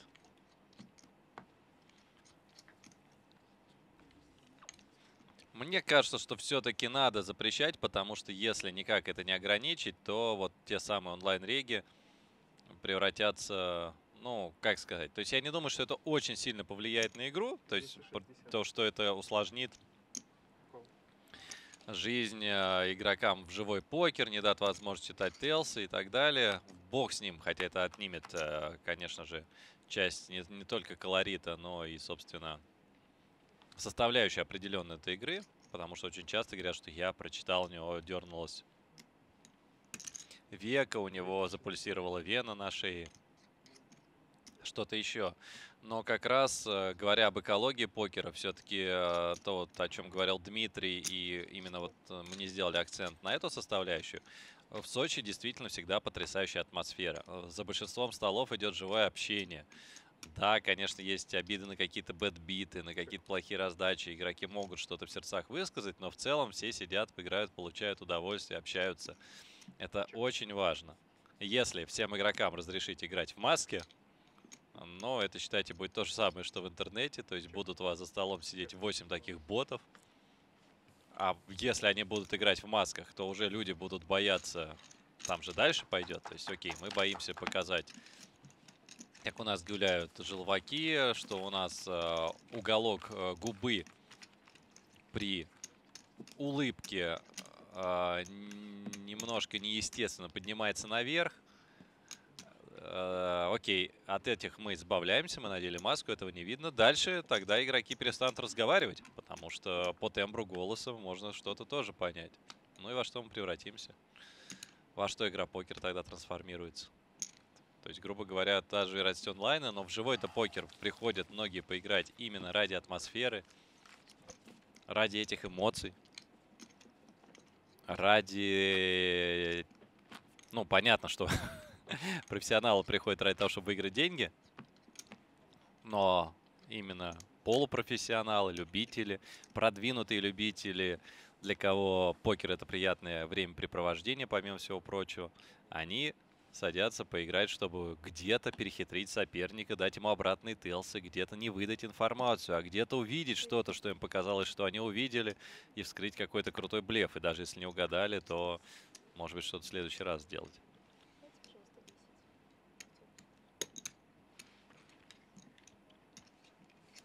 Миш, ты был когда-нибудь в Давиле на турнире? Расскажи немного, пожалуйста. Маш, был много раз, а, когда мы перестали комментировать ЕПТ в Давиле.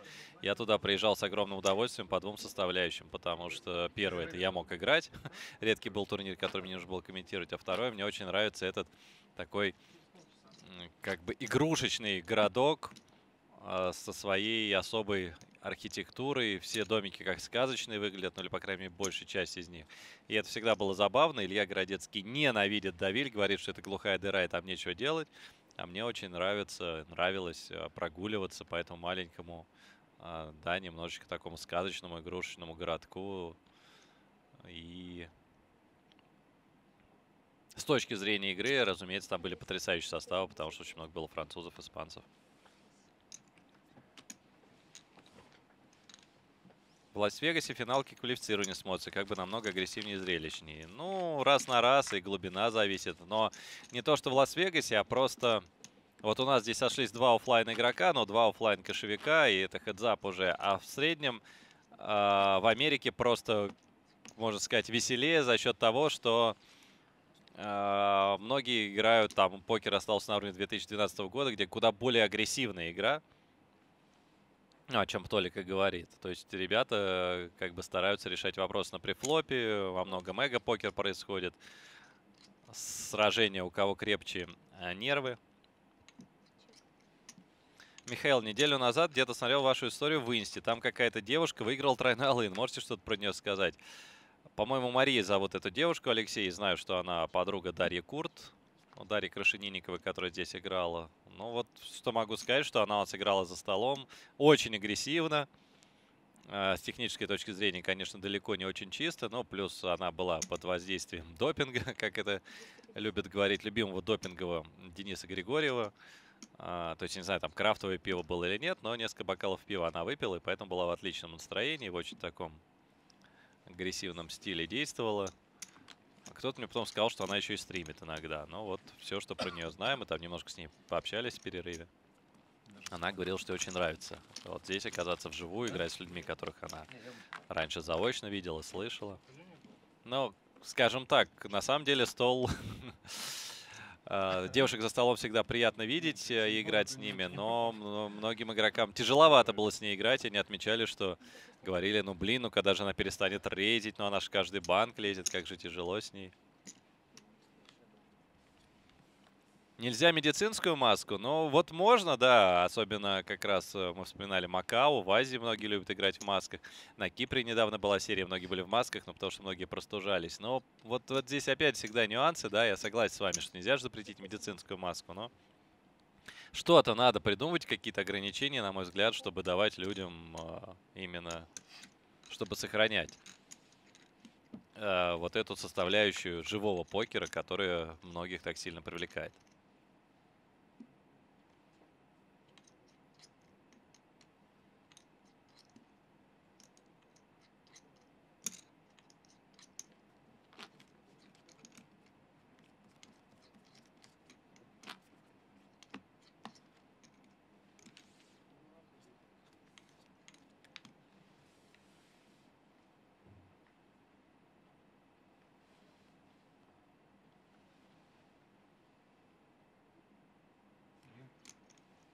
Две сильные руки.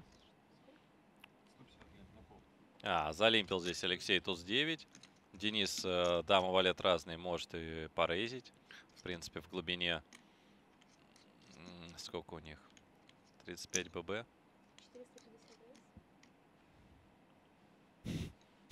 Смотрите, скорость какая. и сайзы. То есть, действительно, может там Алексей поезд отходит куда-то? Ну, отбивает он охоту у Дениса и залететь.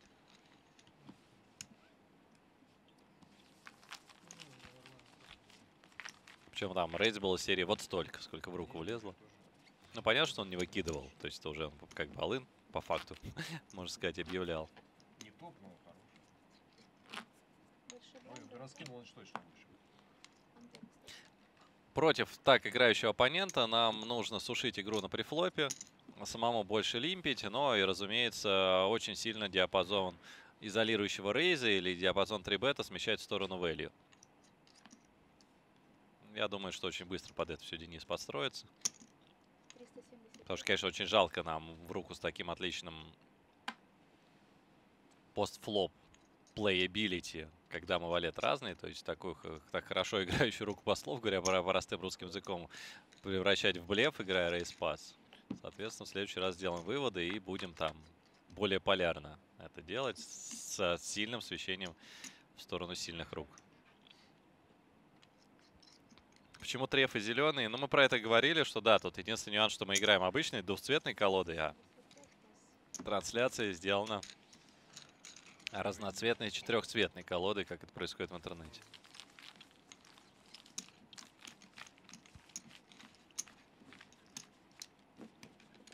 Вот Саша Исаченко меня просит еще раз напомнить о том, о чем мы говорили с Толей Филатом часа полтора назад, что сегодня супер воскресенье для турнирных игроков. Кто уже начал катать, всем удачи. Воскресная катка дело святое. Но напоминаю, что сегодня общая гарантия турнира составляет около 4 миллионов долларов. То есть э, пати прибавляет, и сейчас еженедельная гарантия будет составлять порядка 10 миллионов. А в пиковые часы, то есть начиная с 8 вечера по Москве, турниры начинаются каждые 30 минут, но ну, мы про крупные говорим.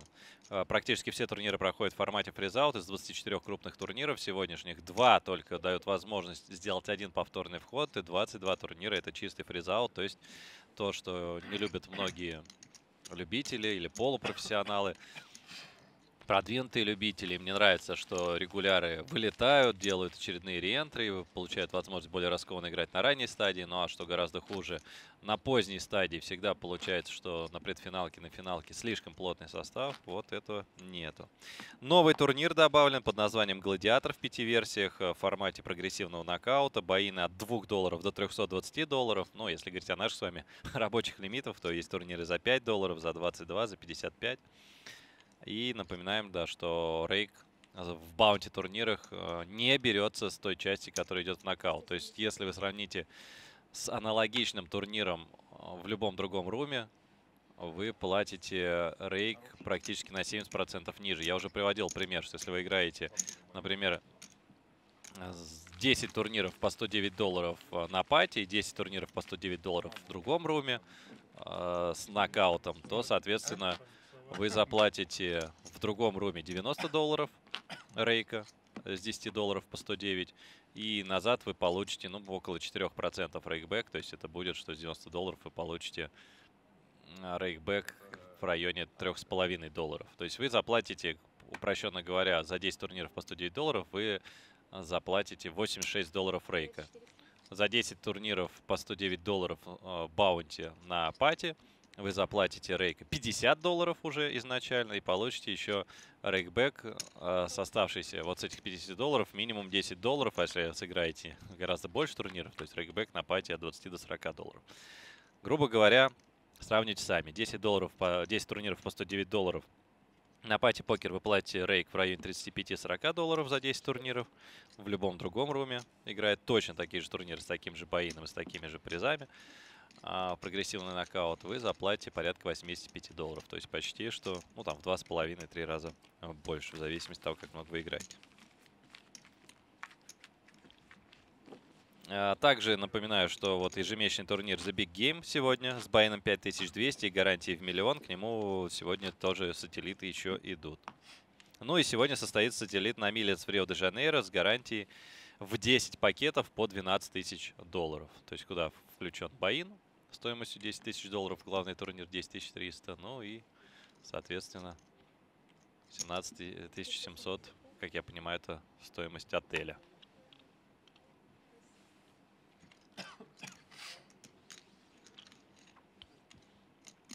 Прокомментируйте, пожалуйста, раздачу, которая произошла на PCA 2019, где девушка, дедуш, девушка сбросила фулл хаус и оказалась права. Хороший пас, непростой пас, но если там посмотреть на розыгрыш, на комбинаторику, на ривере, у нее пас э, не настолько сложный, потому что когда на доске э, король, дама, маленькая, терн дама и ривер туз, э, мы ставим плотно ривер и получаем алын, а, мы, собственно, только делим с рукой туз-дама. И, может быть, иногда там есть какие-то блефы, но наш соперник сразу кекши. То есть красивый пас, все классно, здорово. Не знаю, нашел бы я этот пас или нет, но особенно эта девушка, понятно, она молодец, умница, красавица, но это вовсе не пас из разряда каких-то феноменальных. Непривычно после богам видеть трансляцию в дневное время. Спасибо за вашу работу, Михаил. Пожалуйста.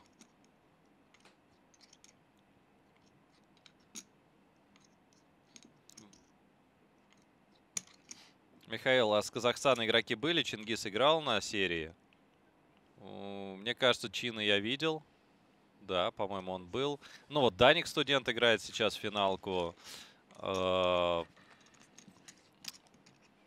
финалку дипстека. У него там один из самых крупных стеков был. Сейчас, кстати, может, в паузе посмотрю, как дела развиваются дальше. Э Слава Вип играет здесь, Вячеслав Бондар... Бондарцев. Клинит меня уже в плане ударения. Ну, в общем, Слава Вип здесь точно играет. Олег Кан из Казахстана играет. Ну, я думаю, человек 10 как минимум здесь есть. А в Сочи традиционно из Казахстана много ребят. Они и кэш играют, и турниры. И, кстати, и ребята все приятные очень, и игроки э, в основном высокого класса.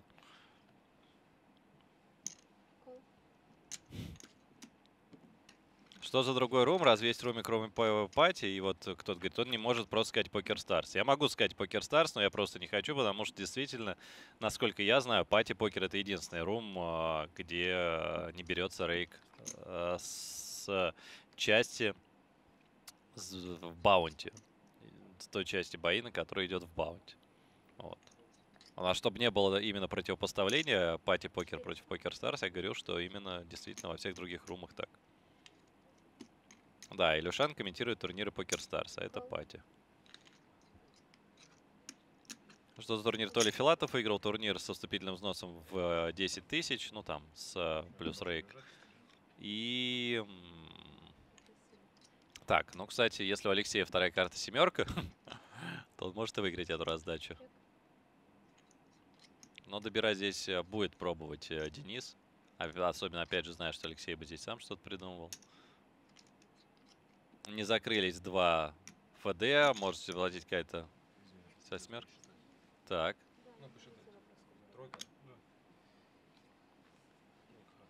Ну, чуть не мискликнул здесь Алексей, да. Заколил. Интересно, о чем заколил. Дама 6. Заново посчитайте. Я просто кинул фишки, не... не... Ну да, да, там просто нужно пересчитать, сколько лежит. Стояло 150, 150. Очень небрежно играет Алексей. Опять же повторяю, что очень куда-то он торопится, спешит. И анты, и анты 150. В общем, 31 вход был в том турнире по 10 тысяч, который выиграл Толя Филатов. Ну а пока пересчитывает банк, давайте я посмотрю, какие новости у нас с финалки Дипстека, которые очень любопытные.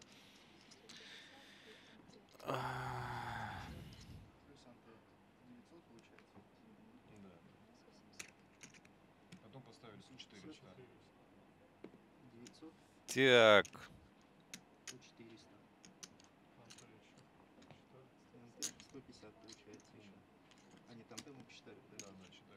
ну, Толя Зырин выиграл свою тут 128-ю монетку. В онлайне вот два человека, с которыми я стараюсь в Алын не выставляться. Обоих зовут Анатолий. Одного Фил Латов, а другого э, Анатолий Зырин, он же Дукалис. Вот. Зырин здесь выиграл монетку с парой семерок у Чеботарева против Туз-10. И потом Олег вылетел. Больше пока новостей нет. Их 8 финалистов Дипстека. Ну, почти все знакомые лица. Напомню, что вот в числе этих восьми присутствует Андрей Патейчук, м, троянец Андрей Данилюк, который еще в далеком, не помню каком году, чуть не в 12 был на финалке EPT Мадрид, который показан у нас по центральному телевидению на РЕН-ТВ или на ТВ-3, по-моему, на РЕН-ТВ. Потому что Илюшан-то ездил, комментировал с места события, а я был на подстраховке, сидел в московской студии на случай, если у Илюшана там язык сведет, э, горло заболит или просто э, звуковой сигнал пропадет. Вот тогда троянец там играл финалку. Паша Коваленко на финалке. э, Ну вот, как мы говорили, Даня из Казахстана. Толя Зырин. Плотный состав.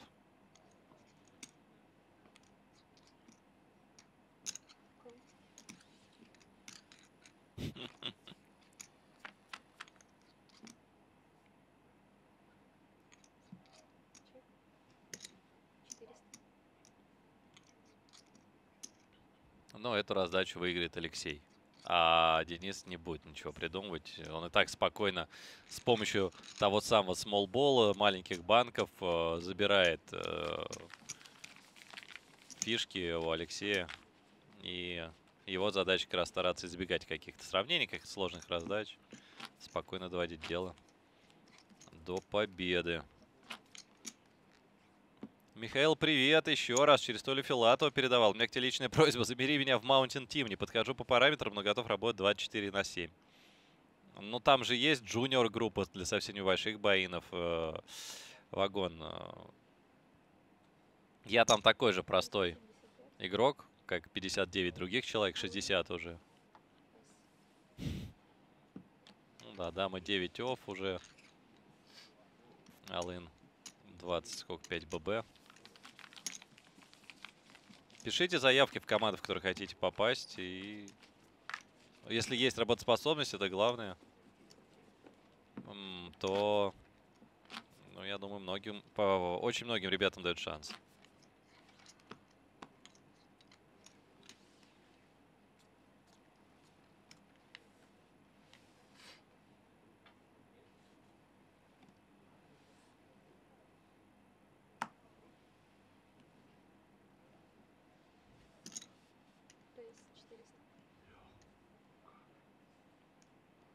Денис, конечно, с рукой сыграет кол. Хоть и повышенный сайз рейза, но в хедзапоте дамы 9 мы, конечно же, защищаем.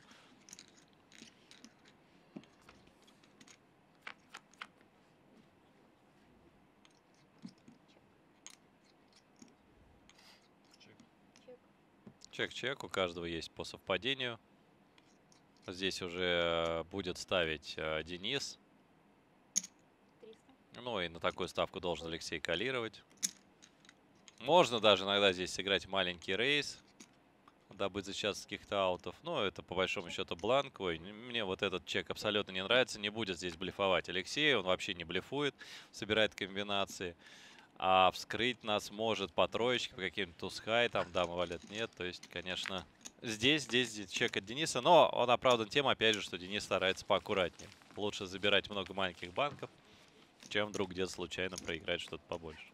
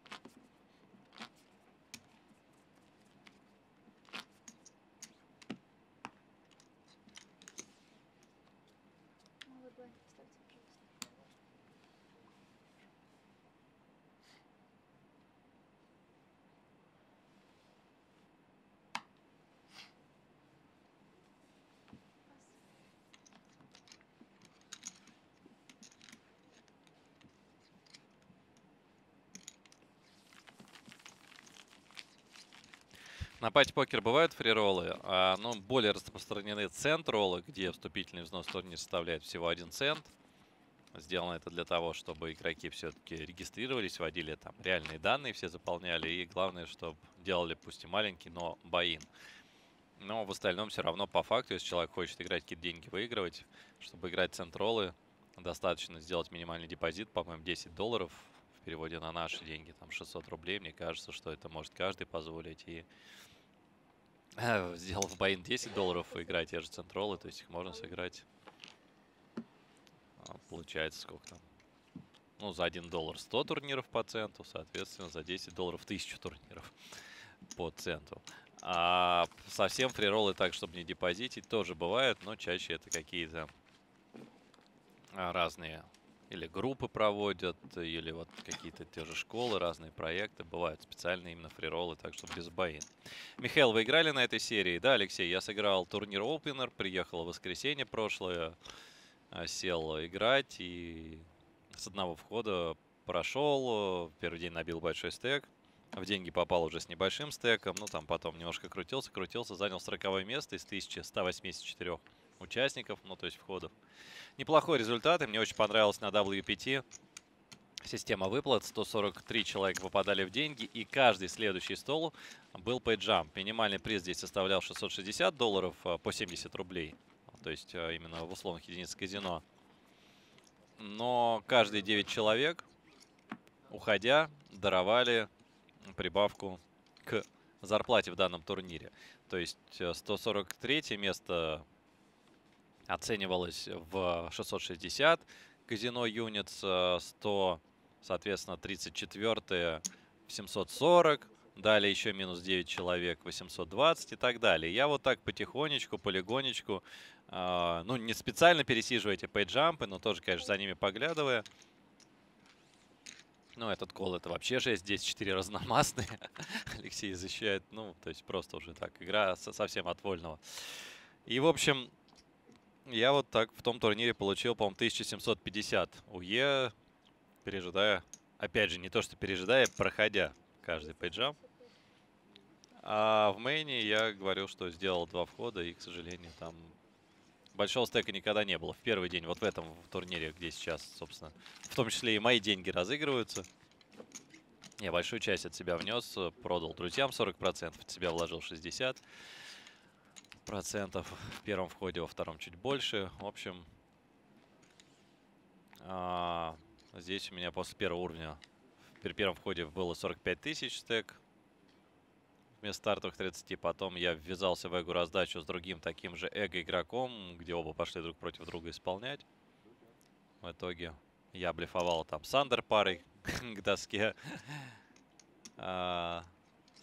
Ну, с четырьмя оверкартами и стритом лежащим. То есть я блефовал с андер парой с карманной, а он меня зареблефовал. Ну, у него эквити пошло по терну, у него там две оверкарты и флешдроп был. И вот после этого все покатилось как-то по наклонной, так что здесь я что-то... Ну, а дальше мне просто сдавали сплошные там дамы в тузе один вылет, туз дамов два туза другой. В 20 и 14 ББ стеках, так что в этом турнире я явно славы не снискал.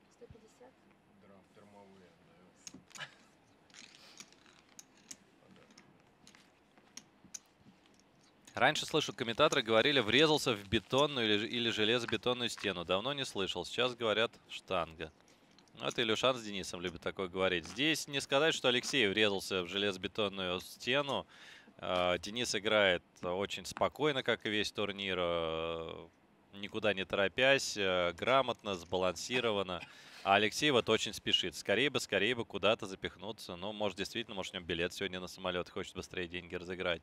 Мне кажется, что ради тут разница, так на секундочку, составляет около 80 тысяч долларов между вторым и первым местами. Наверное, можно было бы потерпеть, но каждый игрок внес боин, каждый э, имеет полное право делать то, что ему нравится, и, соответственно, раз Алексей решает в таком стиле играть один на один, значит, он так играет.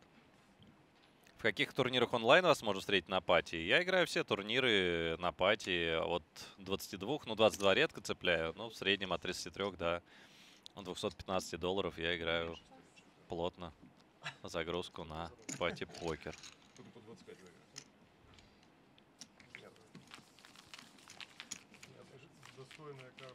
Михаил, на все поэте в этом году? Планирую. Планирую. Начали смотреть варианты с проживанием.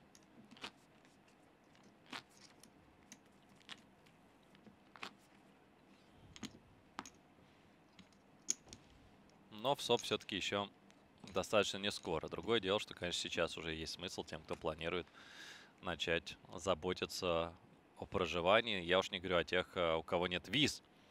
Потому что есть ряд ребят, я спрашиваю, поедете? Ну, не знаем, мы пока визы не делали. Если кто-то в уме держит э, вероятность поездки в Америку не то, что на ближайший ВСОП, а в следующем году на ВСОП, если кто-то из вас вот допускает для себя такую вероятность или ну, предполагает, что такое, ну да, предполагает допускать вероятность тоже, но, в общем, хочет или планирует, обязательно делать визу уже сейчас. То есть по-прежнему с учетом собеседования визу дают на три года, да, особенно для кого-то первая виза будет, а собеседование обязательно. И вы точно не ошибетесь, учитывая все эти очереди, необходимость там использовать ботов для того, чтобы записаться и попасть на собеседование. Делайте, обязательно делайте визу в Соединенные Штаты. Если такую вероятность, даже гипотетическую, вы рассматриваете не то, что про этот СОП, про следующий год уже надо думать сейчас. Потом можно не успеть.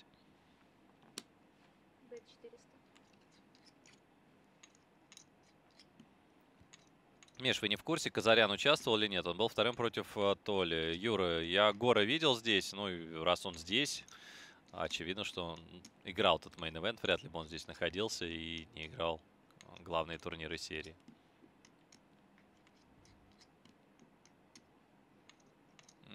Денис хочет по король хай вскрыть. Вряд ли он думает здесь над блефом, просто этот блеф совершенно не нужен, ну да.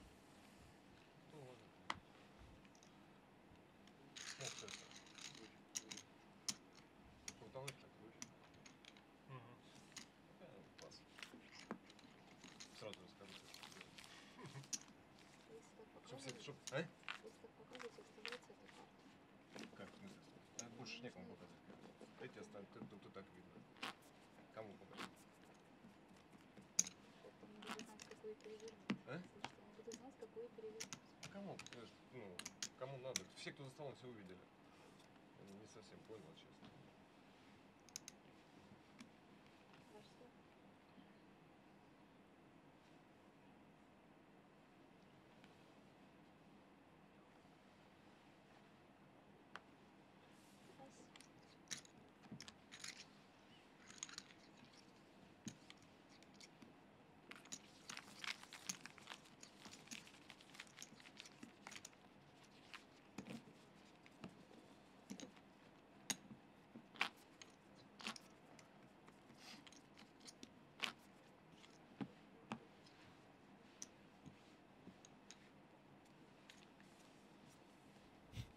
Миш, сколько браслетов думаешь в этом году взять? Три или, как обычно, не больше парочки? Ну, как обычно, не больше нуля. Шесть финалок у меня уже был на мировой серии покера. Но самый близкий результат это два пятых места. Третье место в команде с, с Мороном. Так, ну а у нас тем временем Алына Кол. Здесь без вариантов. Две девятки, даже если бы соперник адекватно играл, мы бы закрывали. Ну, а учитывая, как играет Алексей, как он сейчас ставит алыны. Итак, вторая попытка, только на сей раз уже с 70% эквити. Ну, 67 выставляется Денис. И либо, либо как бы все произойдет по математике. Первое выставление э, сверху э, выиграл Алексей, второе выиграет э, Денис. Либо же, если фортуна здесь окажется на стороне Алексея, снова стейки выровняются. Снова пойдет все сначала. Банк 9 миллионов. Ровно 50 на 50 будет. Ну, пока что а, три прямых аута, четверка-пятерка добавят гадшотов.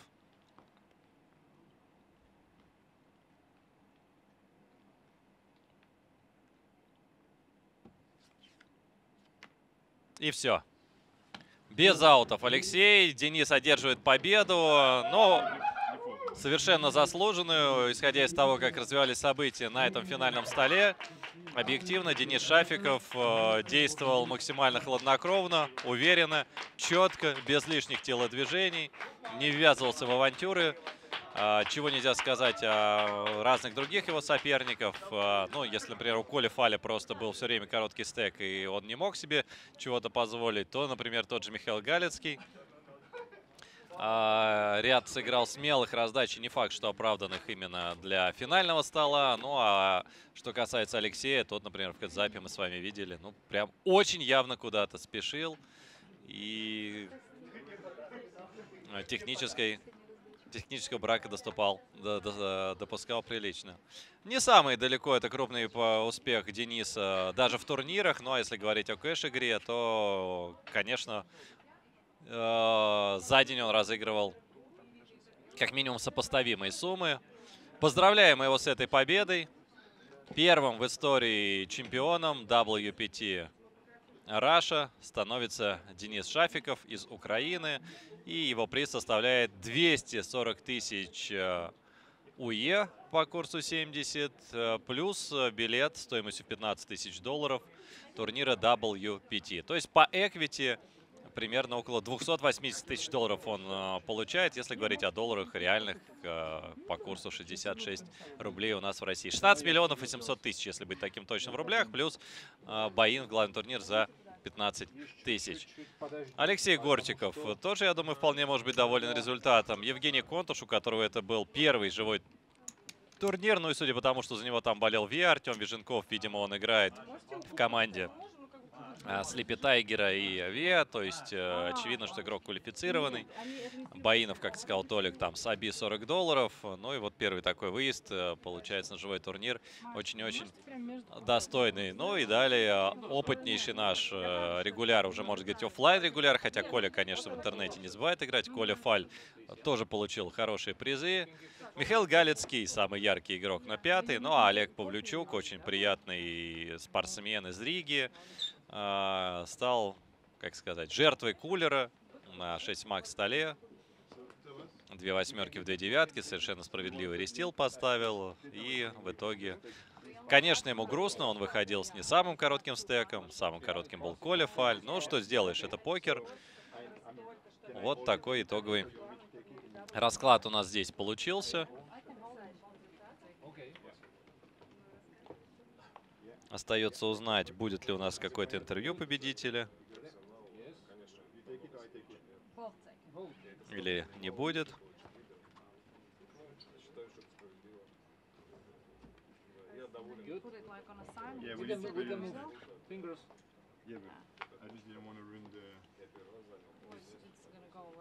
I can move like this.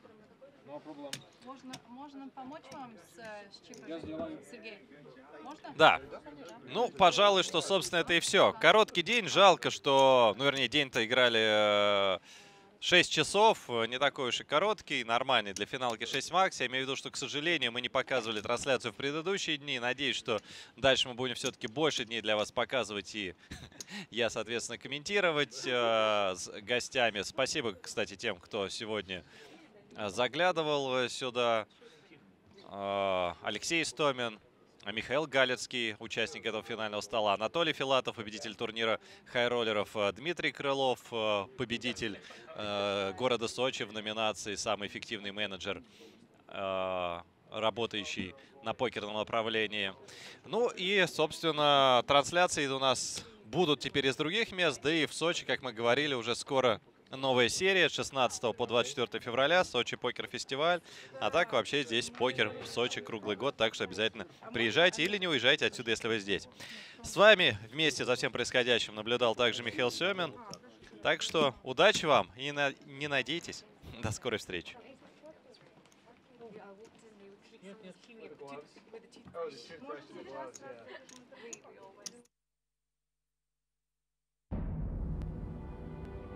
I can outplay these guys with my shot. Got this. If I get the code, I've prepared for this day. At one time, breathe. You never know when your time is going to come. To rise above the rest. To seize the opportunity. To be crowned a champion.